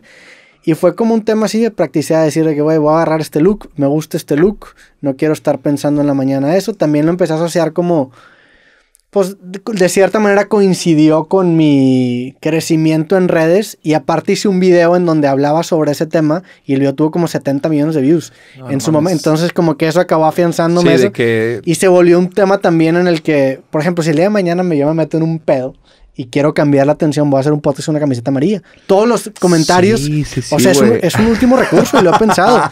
si el día de mañana hago una mamada o no sé, me sale algo y quiero cambiar el tema de conversación, voy a salir con una camiseta amarilla. Sería... Podría tener mi código de colores de que, güey, si Roberto está en problemas o te la está pasando O mal, si estás sale pidiendo morado. ayuda, si a lo mejor un invitado te está secuestrando, Me, me cambio la camiseta así, roja. a roja, güey. Sí. No, sería una mamada, pero también sí, sí se vuelve un tema verdaderamente muy práctico no escoger qué Sí. ropa, eh, güey. Había escuchado que CEOs lo hacen, Mark Zuckerberg y ese pedo. Pero, pues la neta es que si te pones a pensar el proceso de elegir una prenda, Y te lo digo yo, hermano, a veces sí batallo, güey. Me Sí. tardo, me he estado ya cambiado y cuando estoy a punto de salir me devuelvo. A mí me pasaba mucho eso cuando no ¿Por usaba las La blancas y o negras. Era de que, güey, si ya te habías cambiado, te habías preaprobado, ¿qué te hizo al final cambiar de opinión y volverte a cambiar, güey? Entonces, si tienes solo playeras así, mamalón. Sí. Ahora, ¿dónde las compras? Pues varío, fíjate, de repente cambio O proveedores. sea, no tiene que ser de una sola marca, sino... No, y no he encontrado una marca que me encante. Me gustaría tener ya mi marca, pero generalmente conforme van cambiando las generaciones de camisetas, ¿Dónde compras tu ropa? en Amazon. Todo compro en Amazon. Yo no voy a, o sea, no, no me gusta aparte Sí, comprar no, ropa. Sí, sí, tú sí eres un, un bicho raro, yo, creo que Pero hay mucha banda que ya lo está haciendo así, ¿no? hay, hay muy pocas veces, o sea, no, no, tengo mucho sin comprar ropa en una tienda de ropa. Y pides talla M. Soy M por excelencia, mido 1.76, que es como el, el- el- la plantilla Sí, de- del del M, a nivel mundial. El molde o sea, del está M. chido ser M por excelencia porque hace para acá, güey. Sí, sí, sí. Porque siento yo que el mundo está diseñado para mi tamaño. sí, o sea, sí, sí. los Falso. carros están diseñados para personas. Hay más el- M en el mundo. Los chinos son M, güey. O son S, güey. Mm. Son micro, micro pene, ¿no? Pues es que no, en- en- yo creo que para los chinos no sería un M, sería un L. Tú serías un L chino. O sí, sea, sí, sí, yo güey. soy un L mexicano. Yo O sea, un unos, uno- XX. 1.76 en México es más que el, que el promedio de estatura. Sin embargo, en- a nivel mundial, soy un M. En Suecia sería un S, por ejemplo. Sí, sí, sí, por, Entonces, por pero los tremendos. En promedio vikingotes. mundial, soy un M. ¿Y compras cada cuánto ropa? Pues cada, por ejemplo, ahorita me toca una nueva renovación, me doy cuenta cuando empiezan a tener agujeros mis camisetas en la zona o del, sea, sí, pero del cinto. ¿Dos veces por año? Un poquito más, ponle que unos tres veces por año. Pides como por baches, así de Pi- que. Pido baches. en estas cinco limas y los pantalones, ¿dónde los pides? ¿Amazon? Amazon también. ¿Qué marca? Me, me costó trabajo encontrar. ¿Qué marca? Fíjate que no sé qué marca son de pantalones. Son genéricos, o marca Amazon. No, no son Oh. marca Amazon. Son unos skinny jeans que me gustaron mucho, que los pedí en Amazon y dije, no mames, me quedan bien y pedí como seis pares. Y ahí eres 30. Ahí soy 30-30. Soy 30, soy ¡Ey, el square pants. 30-30. El 30-30. Sí. Yo en algún momento fui 30-30, güey. Estaba bien chido ser 30-30. ¿Y ahora qué eres? 30 y... Pues 32 de cintura y 34 de largo. Ya. 34 de largo, pero depende muchas... Es que te digo, yo sí tengo un pedo. Yo no solo compro en un lugar, güey. Entonces depende de la tienda. Sí. ¿Paxson? ¿Nunca has ido a Paxson? De, de morro iba. Ahí compraba mi ropa de morro y, Paxson está chido, güey. Y sí. Pero sí, la neta te vería muy raro, güey. Si un día te veo una camisa así de marca, güey, me tronaría el cerebro. Yo, yo creo Fue que chinga, no estoy, o sea, quiere aparentar, es- esto de las camisetas blancas y negras va a morir. O sea, ¿Neta? yo creo que muy pronto. O sea, creo yo que Eso, eso también es- habla muy también bien de él ti, güey. está ¿eh? rompiendo ese molde que yo mismo me estoy creando. O sea, puedes, puedes hacerte prisionero de tu forma de ser libre. De cierta manera es una libertad que estoy ejerciendo el vestirme como yo quiera, pero también eso puede ser un, un molde en el que te aprisionas y de repente romper los refrescantes. Sea, Esto va a morir, no, no me veo toda la vida. Lo dijo mi hermano menor una vez. Le mando un abrazo a mi enano. eh, te sorprendería la capacidad que tiene el humano para cambiar, güey. Sea, Que es probablemente, si abrazáramos esa capacidad, porque cuántos cabrones, ya, ya para despedirnos, hermano, mi jefa, sobre todo es la que tiene ese pedo de, es que yo soy así. O cuántos compas no tienes, no, carnal, yo soy así, güey. O yo no puedo dormir ahí porque yo soy así. O yo no como eso porque yo soy así. Y si no es un tema alérgico, te sorprendería, güey, el- la apertura. Si tuvieras la apertura al cambio, eso nos hace crecer, güey. Claro. O sea, ese pedo. Y que también no te compres la idea de que eres el güey que siempre trae negra o blanca. Habla de que, de que no mames, estás en un prime de tu, Sí. de tu vida. O sea, ni soy ese güey que se las pone y si mañana quiero cambiar, mamalón, güey. Esa capacidad Sí. de cambiar, güey. y mantener tu identidad anclada a, la- Sí, a las menores cosas posibles. Exacto, güey. Yo soy quien soy, no por lo que uso y no por lo que compro, ni lo que como, ni lo que hago incluso, güey. O sea, la vida pasa no en internet, güey. Yo sigo confiando más en el offline world. Y aquí está chido posturear y todo el pedo, pero creo que el cómo tratamos a, como dijo el buen bandido, el cómo tratamos al que no puede hacer mucho por él mismo es, es lo que nos define, carnal. No, y aparte estamos condenados a, a- a- Puedes empezar siendo tú alguien que, que rompe el status quo, pero a fin de cuentas eso eventualmente se va a volver un status quo nuevo que tienes que estar desafiando. O sea, el, el- darte cuenta que necesitamos vivir en ciertas prisiones, pero, pero estar consciente en qué prisión quieres vivir. Y cuando ya no quieres estar ahí, moverte, güey, salir. Hablábamos de religión, carnal. A mí uno de mis miedos muy cabrón es que un día la necesite tanto que decida adentrarme al punto en el que crea, güey. Sí. O sea, creo que también es un tema en el que está bien chingón creer, güey. Y, para suavizar un poquito cómo me expresé hace rato es eso, güey, de que también gente católica, creyente, es justamente de las personas más valiosas que conozco. O sea, tiene una cara muy chingona y, y pues no se trata de estar viajando de práctica en práctica como para ver, pero pues también puede ser así, güey. O sea, ir probando de todo en la vida, güey, todo lo que te presenta. Creo que eh, Bandido me regaló un libro, 11 anillos, de Phil Jackson, güey. Y él más que hablar de espiritualidad en, en religión, habla de espiritualidad en, en, un chingo de religiones, güey. Extrae lo mejor de cada una, tribus indígenas, de nativos americanos, prácticas de tribus amazónicas, religión como tal, la formación pentecostal que él tuvo. Y todo eso, güey, lo hizo como generarse una idea de cuál es eh, el concepto chingón de liderazgo sí. que él quería tener, güey. Y pues bueno, 11 anillos consiguió en la NBA, cabrón. Pero justo el no casarse con algo y estar como de forma, pues no sé, ecléctico, güey, de que tax, eh, extraes lo mejor de, de cada una, güey. Creo que también en la espiritualidad puede funcionar mucho, güey. La, la, fe tiene un, un, una utilidad, o sea, es, es muy, muy, práctica. Cabrona, güey, muy cabrona. Te permite sobrellevar situaciones que sin fe a lo mejor no lo harías, o sea, necesitas tener y expandir esas... tus límites. A lo sí. mejor por fe puedes hacer cosas que no pensarías que sin ellas se hubieran logrado, güey. Pues digo, te vas por, hablamos de los anexos a los centros de rehabilitación. La, una, una, un paso principal de la AA es precisamente el rendirte a una fuerza superior que tiende a ser un acercamiento muy religioso. Muy cabrón. Y tú decides, eh, eh, o sea, el, creo que la religión es un agente de cambio. Tú decides si para bien o para mal. Güey. Sí. Eh, y tú, tú, decides quién es tu Dios, o sea, a qué quieres creer. Sí. Y puede, no tiene que ser un ente antropomorfo, simplemente qué es lo que quieres creer, qué ilusiones te quieres contar, qué historia quieres seguir. Que, Bien. Es, que a fin de cuentas es una ilusión. Muy cabrón, y todos tenemos un Dios, güey. Hay, no sé, güey. Yo creo que así nos regimos, ¿no? También, o sea, ¿quién, quién lo hace muy chingón en lo que estoy explorando? O sea, también hoy los hilos negros eh, escasean, güey. O sea, como... Eh, en, probablemente en lo que decidas hacer hay, hay cánones y, y, si te fijas si son tus influencias, si tienes buenos maestros en la vida, en cualquiera de las aristas que tiene la vida, el, el, tener la apertura de recibir conocimiento y cambiar el que ya tienes, o sea, cambiar tu estructura de acuerdo al que estás recibiendo, es, ah, no mames, esa capacidad humana es, es, es la mamada, güey, sí. sinceramente, y es lo que te hace seguir con hambre de, de vivir, güey, de explorar nuevas cosas, eh, es la parte chida de viajar, güey, no la de tomarse la foto nada más para decir que fuiste, güey, sino es la parte eh, reconfortante, eh, que te edifica, que, que te construye, güey, que, que, incluso te forja eh, el carácter. Sí. No sé, el estar abierto a nuevas experiencias.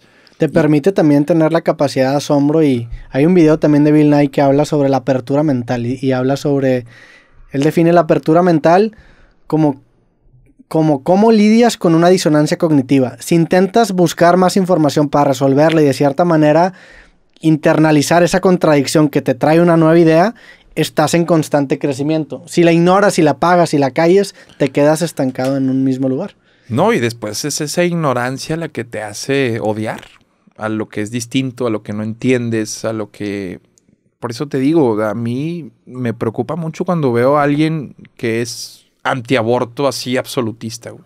Y cuando es pro aborto también, de que, a ver, se han puesto a pensar que tal vez hay un punto medio, güey, sí. que, hay, que hay demasiados grises en algo así. Pero, pues también es eso, es ignorancia, es demostrar que.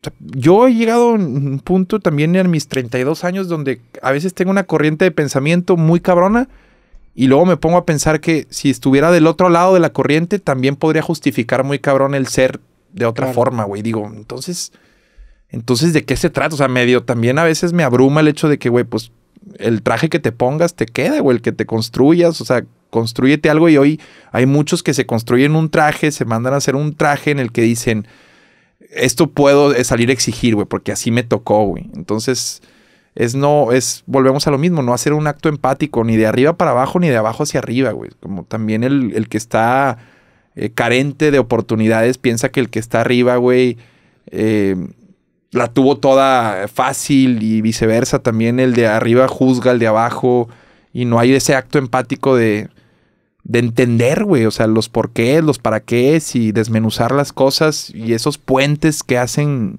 que hacen armonía, güey. Normalmente las mamadas pasan por esa falta de entendimiento entre la gente, güey.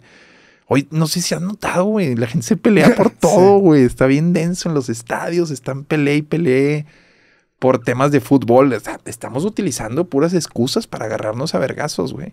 O sea, Tigres y Rayados nada más es la, excusa, güey, para, para poder ponerme yo de un lado en el que voy a encontrarme a alguien de frente, güey. Como una guerra de vikingos, O sea, los colores son los que van a hacer lo único que somos diferente tú y yo, güey.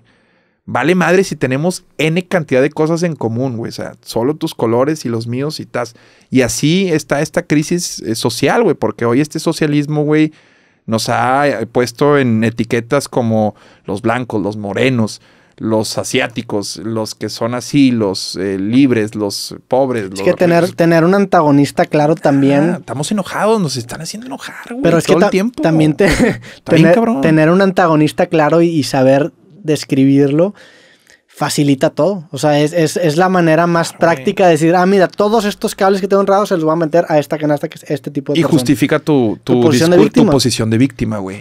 Perpetúa tu posición de víctima. Gobierno es el enemigo. Em, mis padres son mis enemigos, güey. Mis, mis amigos, mis manzanas podridas. Es que estuve con gente así a esta edad, güey. Y, está bien, es bien fácil ir a contar razones por las cuales no se puede ser bueno, güey, pero creo que es más valioso, güey, quedarse con, con esto, güey, con el desmenuzamiento de nuestro entorno y entender las razones, güey, que tiene la gente atrás de sus conductas, güey. Es así tan fácil como eso, güey. ¿Por qué el camionero, tú mismo hoy lo hiciste, güey? O sea, ¿por qué alguien trata mal a un mesero? ¿Qué hay detrás de eso, güey? ¿Qué le está pasando? ¿Qué le ofrece? Y creo que también hace falta que llegue alguien aquí, güey, a dedicarse y procurar embellecer nuestros espacios, por muy pendejo que suene, güey. Es, es, feo, güey, que hoy en día un, un bache de camino a tu trabajo, güey, puede ser lo que cambie, güey, tu humor ese día, güey. Claro. Y hay gente que no le da importancia a eso, que, que mientras tú llegues a tu trabajo tengas un camino correcto, güey. Que en el camino a tu trabajo hayas visto áreas verdes, güey. Hayas visto un parque con niños jugando. El mismo arte sirve también para eso y creo que basta ir a una ciudad gringa como para sí, tienen N cantidad de pedos, pero creo que hay una parte muy bonita de hacer que parezca que está bien todo, güey. Claro, porque aparte son cosas que con las que convives diario. o sea, estás hablando de un... Un camellón, güey, en lugar de... Por más estúpido que digan, güey, ¿por qué no vamos a preocupar en eso? Eso, güey, es lo que hace la diferencia entre y es una cadena de cosas. El güey que cayó en el bache llegó a su oficina, le habló mal a la empleada, la empleada está susceptible porque el esposo le es infiel, güey. Entonces esa cadenita, güey, un bache pudo haber detonado que esa señora llegue y le hable mal a sus hijos, güey. Sus hijos se van de la casa, se cagaron después de un pedote, van al parque y se metieron piedra, güey. Y el bache, nadie se fija en él, güey. Y el bache es el bache, güey, porque el bache es el sinónimo bien cabrón de la corrupción. Ahí es donde está. olvídate el rancho que tiene el político, güey. Olvídate de, la empresa que factura N cantidad de lana. Eh, el bache es el sinónimo, es, es el reflejo, güey, de que ahí hubo una fuga de dinero, güey. Y entonces es no preocuparte por quienes viven en tu comunidad, güey. Y es muy denso, güey, que hay gente que en verdad se va dormida, se va a la cama de mal humor y con resentimiento, güey, porque no tiene las mismas oportunidades, güey. No se trata de igualdad, es de equidad, güey. Mínimo que el terreno sea igual para todos, güey. Que en el metro podamos ir, como lo dijiste en Suiza, güey. Tanto el dueño del negocio como el empleado, güey. Y eso es utópico. En México parece que es utópico pensar en eso, güey. Sí. Pero si mínimo hacemos que los que están enojados estén de buenas a través de embellecer nuestros espacios, güey algo estamos haciendo, carnal. Verdaderamente y no solo tuiteando o hablando en un podcast. También vi hace poco un clip tuyo que hablaba sobre la responsabilidad de educar bien a tus hijos, ¿no? Que no los traigan, hermano. Que no los traigan, güey. Y yo no me voy a cansar y la gente se enoja cuando... Qué bueno que me dices por eso, güey. Es una pendejada que digan, güey, y luego todavía me critican y dices que no has tenido hijos. Pues por eso, pendejo, por eso es que te puedo decir que no los tengas, güey, porque no, lo no los he tenido a lo pendejo, no he romantizado coger sin condón, güey cuando no tengo ni para pagar la luz.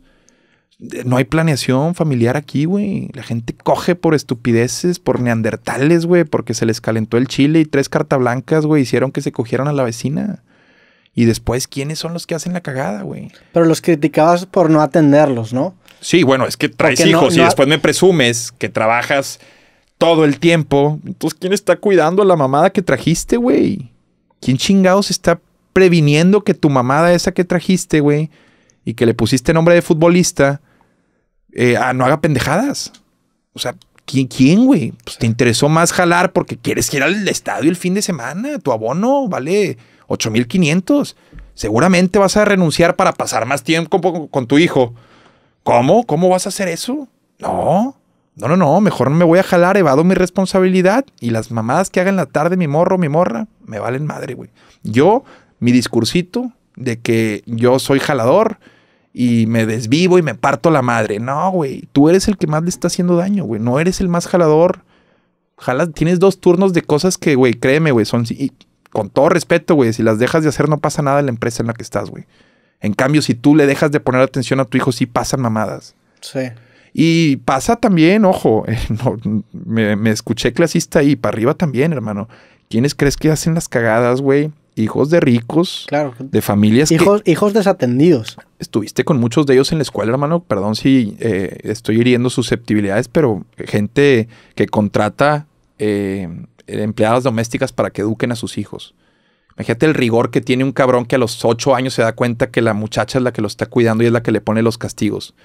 Son unos maníacos estos güeyes, güey, los controlan. Son dos temas y clase media también, güey. Clase, o sea, todos estamos involucrados en este pedo y la clave, la receta es como la abstinencia, güey. Es el único método anticonceptivo 100% efectivo. Ni el condón, ni el condón llega a eso. Y eso, es terrible ver la ignorancia en educación sexual, en enfermedades de transmisión sexual, carnal. Métodos anticonceptivos, ya ni hablemos, güey. La gente coge a lo pendejo. Y, coge porque es, es primitiva, güey, a la hora de hacerlo, cabrón. Coge porque está tomada. Volvemos al tema también, güey, de, del alcohol y su pinche papel en esta sociedad, güey. No estoy diciendo que nos convirtamos en, en un pinche autoritarismo, güey, pero ya, ya vamos a decirle a FEMSA, eh, cabrón, tú eres el que la está cagando. Déjate de tus campañas, güey, de sensibilización. Tú eres el que está trayendo la mierda, güey. Tú dándole un chingo de alcohol a tus empleados también, güey, porque con eso les pagas. Y ahí está el jardín cerveza. Y, es una sola empresa, ojo. Y después están las pedreras, güey. Están las pinches operarias, güey, que pagan de la super chingada la mano de obra, pero si empiezas a atar todas las cosas que están mal con los empresarios y con los políticos, ellos mismos van a bajar la señal para que este pedo se enderece de nuevo. El pedo es que los empresarios ponen a los políticos, compadre. ¿Cómo le vas a exigir, güey, si te puso FEMS ahí, güey? ¿Cómo te voy a exigir yo, güey, si tú me patrocinaste la campaña? O sea, ¿cómo? ¿Cómo te voy a exigir? ¿Y cómo te voy a regular, güey? ¿Cómo te voy a expropiar el pozo que tienes 20, 50, 30 años mamándote? Si yo, tú no me pusiste ahí, güey. Entonces, Monterrey creció como una ciudad industrial. Bueno, son los mismos industriales los que se la están cogiendo, compadre. Porque quisieron seguir ellos con la lana, güey. Esta mamada ya no es de Monterrey egresa a los mejores operarios y aquí solo hay ganas de chambear, güey. Esto pedo ya está empezando a salirse de control. Pero no, es un problema que, va más allá de Monterrey. En general, todos los gobiernos están coludidos completamente con la iniciativa privada, ¿no? Digo, pero pues en Monterrey el peor es que el crecimiento ha sido desmedido, güey. Querétaro no ha crecido como Monterrey. Y Querétaro tú vas y está un poquito más controlado. ¿Sabes también qué pasa en Querétaro? A las 12 cierran el antro. O sea, ¿Estás de acuerdo tú con esas medidas? Güey, me escucho muy panista, hermano, pero ya me tiene hasta la verga que los mismos güeyes que se ponen una peda son los que critican lo que pasa aquí, güey. Y la quieren arreglar en su carne asada todos mamados, güey. Vienen de ser infieles, güey con putas de paga, güey. Ya, o sea, como clase mediero tengo muy al dedillo, güey, cuáles son las soluciones de los mismos güeyes que les venden las facturas a los políticos, güey. Y yo ya me voy a despegar de esa mamada de, de hacer como que no pasa nada. Las digo y si jala algo mamalón y si piso callos con madre, güey. Pero ya dejen de hacer, de señalar al grueso con, con o distraernos con pendejadas, güey. Cuida el agua Hazme el puto favor, güey. Cuida tú tus pinches relaciones y regula, güey. ¿Cómo yo? ¿Qué diferencia va a ser los dos mililitros mil o los siete mililitros? Pero esas narrativas entretienen a la gente. Y cuando el gobernador toma una historia, güey, exhibiendo un Corvette porque están lavándolo con manguera, ¿qué pasa, güey? O sea, perdóname, güey, pero digo, tiene muy buenas cosas eh, el cabrón. Pero no mames, ¿qué mensaje estás mandando, güey? Cuando tú, el gobernador, estás persiguiendo a un güey que lavó su carro en San Pedro. ¿Qué haces si un cabrón que votó por ti en el niño artillero, güey, beso? Estás generándole odio, güey, con el rico. Estás separando. Tenemos un chingo separándonos, Roberto. Y, y es una mamada, güey. Es una mamada que hasta lo digo enojado. Algo que quiero que sea armónico, lo digo enojado, pero sí creo que a mis 32 años tengo muy claro cuáles son los pedos y a los 40 tal vez diga, me está, la estaba cagando, no era eso, pero hoy lo que me duele es esto, güey. Es que a fin de cuentas ofrecer estas soluciones fáciles a problemas difíciles y más en esta etapa es, o sea, cómo ganar con la alternativa, cómo ganar con ofreciendo soluciones complicadas, o sea, el medio en el que se desenvuelve la información te obliga por definición a, a reducir la complejidad de los mensajes. ¿Cómo, cómo competir? Exacto. Eh, es difícil porque también ya es tratar de, de contrarrestar algo que ya pasó. Incluso ahorita en este formato vamos a pecar de lo mismo. Una conversación de casi tres horas la vamos a reducir a clips y ese clip va a tener muchísimo más reproducciones que, el grueso de la conversación. Que el grueso. Por mucho. O sea, el, no sé qué porcentaje tuve, pero el 93% de mis reproducciones son clips. Ah, Solamente el 7% son videos completos, el 93% son clips. Es una locura. Cual te refleja la cultura del encabezado, güey. ¿Quieres? ¿Y cuántos, sabes cuántos no llegan contigo y te dicen que escuchan tu espacio y lo que escuchan son los clips? Sí, claro. escuché tu podcast con Salinas, güey. Escuchaste el podcast donde dijo que eran gobiernícolas, güey. Realmente no escuchaste todo. Sí, no escuché toda la conversación. Y eso pasa. Eso, eso es también un pues tema de. Lo que Twitter empezó a implementar ahora de que no, no, no, te, no, no, te deja, pero te advierte que estás compartiendo un, artículo, un artículo si no lo has abierto. Porque se generó tanto este pedo de la cultura del encabezado que había un porcentaje muy grande de personas que compartían artículos sin haberlo abierto. Y son señoras enojadas. Son, son señoras que, o no sé si son señoras, son personas intentando encontrar panfletos que justifiquen no, alguna. Son mi mamá, es mi mamá, mi mamá mandando. Pero no nada más tu mamá, mucha, mucha gente. Me refiero a las señoras. o sea, son las pero, pero ni siquiera ñoras. No, también hay también que gente nuestra, Si cumple con mi agenda, ese encabezado me sirve. Sí. Me vale madre lo que tenga. Si cumple con la postura que yo me he estado creando en mi Facebook, con mis 1200, 300, con 500, porque todos jugamos a lo mismo, ¿eh? Criticamos al influencer. ¿Qué hacemos? Cosas de influencer. Claro cuando subes una foto a Instagram, ¿qué buscas, güey? Aprobación, no otra mamada, güey. Es que es, entender cómo funciona. Eres un influencer, nada más que no te va bien.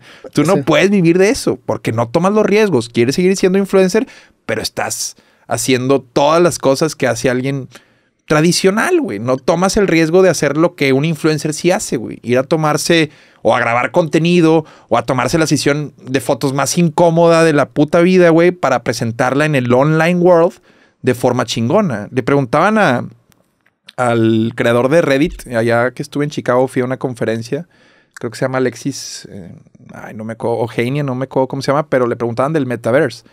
Y me llamaba un chingo la atención la reflexión que tenía de hoy en el online world hay morros que un skin de Fortnite le dan más valor que unos tenis Gucci. Sí. Porque saben que en el online world tienen más comunidad que va a consumir y va a saber que tiene ese skin que en el offline world. Claro. Entonces, ese metaverso nos va a alcanzar, güey. Hay un chingo de gente que ya le da más valor. Ya, ya está aquí. O sea, ¿qué prefieres? ¿Mil pesos o un millón de seguidores?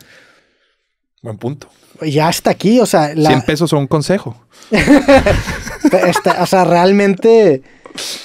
Está muy denso, está muy denso. Está bien cabrón porque los seguidores son una moneda, es una moneda. Cabrón, muy cabrón, güey. O sea, tú eres millonario en, el, en la moneda de redes sociales y eso te abre puertas. Muy cabronas. Muy cabronas, incluso a veces puertas que el dinero no necesariamente te abre. No, no, no. Es un... Es, ese poder lo quieren los políticos. Claro. Por eso... A fin de cuentas... Me hablan al oído. Sí. ese poder claman por los políticos y, creo que nuestro actual gobernador fue muy beneficiado con el poder que tenía genuinamente su esposa, güey. Entonces eso no legitima, pero hace que llegue, que el, ¿qué es lo que quiere un político? Llegar a más personas, güey. O sea, y eso a imagen, pero justo ahí llevan la penitencia, eh, güey. No se están dando cuenta cómo se ven, güey. Por ejemplo, vi una diputada que ahora sacó una pipa con su cara, güey. ¿Cómo crees que eso te va a ayudar, morra? O sea, ¿dónde estás? O sea, eh, se están exhibiendo, güey. Por eso, este tipo de discursos, en este tipo de espacios, todavía ayuda a que se exhiban más. ¿Tú no crees que una pipa con la cara diputada lo ayude? No. ¿No? Sí, Sí, en su entorno. A nivel macro, no. En su entorno, a nivel con la macro, gente, un diputado, sí, pues, güey. Pero es que es el pedo. Pero a nivel macro, a lo largo, vas a darle una herramienta de un arma a, tu, a los detractores. pero partiendo de la idea de que llegaste a ser, a consolidarte en el, en el medio, ¿no? Sí. Porque si no llegas a eso, pues entonces sí te va a acabar sirviendo. Que es el, el gran problema. Muchos creadores y políticos y gente piensan mucho a corto plazo porque al principio nada más la quieres hacer. Al principio quiere, a mí me pasó, al principio quería vivir de esto. Quería poner, poder generar el suficiente dinero para no tener que aplicar a un trabajo. Quería vivir de esto. Entonces tienes este pensamiento de escasez y de, beneficios a corto plazo que te permitan seguir siendo relevante si pasas esa línea en donde ya te puedes dar un respiro y decir, oye, ¿sabes qué? Pues ya no me interesa a lo mejor tener tantas vistas, ya tengo una audiencia que me permite vivir de eso. En ese, bajo ese lente, pues dices, no, pues no te hubiera convenido decir cualquier otra mamá. El video que hice de Odio de la América, güey, en, en este momento, la neta es que no me hubiera antagonizado con 20, 30 millones de personas. ¿Por qué, quisieras traerle eso a tu... ¿Para qué, qué, quiero ser el vato que le tiró mierda a la América? en este momento digo, pues sí, no lo hubiera hecho. Pero en ese momento, ese video me generó una tensión que me llevó a una nueva audiencia, que me motivó a seguir creando, que me generó conferencias, que me... Entonces... Y luego también, esto es interesante, güey, porque también a veces yo, por ejemplo, en mis radares, cuando empecé a detectar que llegaba audiencia, ya no, ya no la clásica del clásico güey de que, ah, te mamas, me gusta cómo madreas a la gente. Y llegaba más la señora E, me encantó. Me encantó lo que hiciste en Tlaxcala, güey. Cómo nos mostraste, cómo entrevistaste, cómo nos describiste los templos a través de platicar con personas. Mala que no te hiciste, nada más te inclinaste. Sí. Pero, ah, o sea, tú dices ahí estoy. Sí, ahí estás perfecto. Es que está y ahora sí ya medio frío, pero ya vamos a acabar. Sí, vamos Nosotros vamos a ir al martes de ronqueo, no sé ustedes, banda, pero. Sí, ya, eh, vamos a. Hay que conversar cuánto llevamos, güey. Creo que le quedan 10 minutos de grabación, llevamos 3 horas 20. No sé si conmigo ya sumando los tres pasados.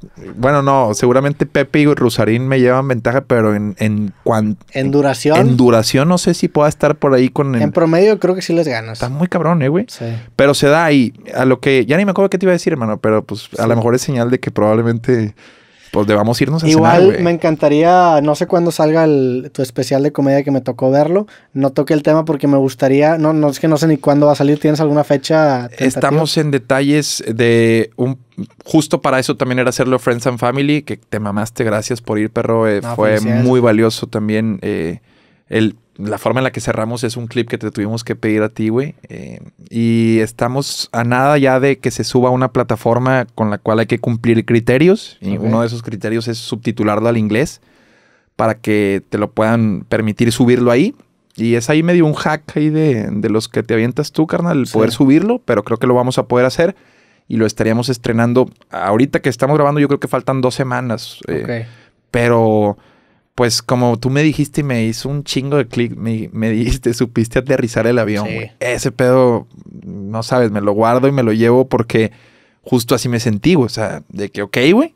Un vuelo eh, turbulento para aterrizaste, güey. Como yo diciéndole a la banda, eh, ve, güey, voy a abrazar el proceso. O sea, aquí no soy el mejor, güey, pero mínimo estoy respetando la esencia de este, formato. Y ahí te va esto, güey. Y creo que está, eh, a nosotros nos llena de satisfacción poder entregar eso, la neta.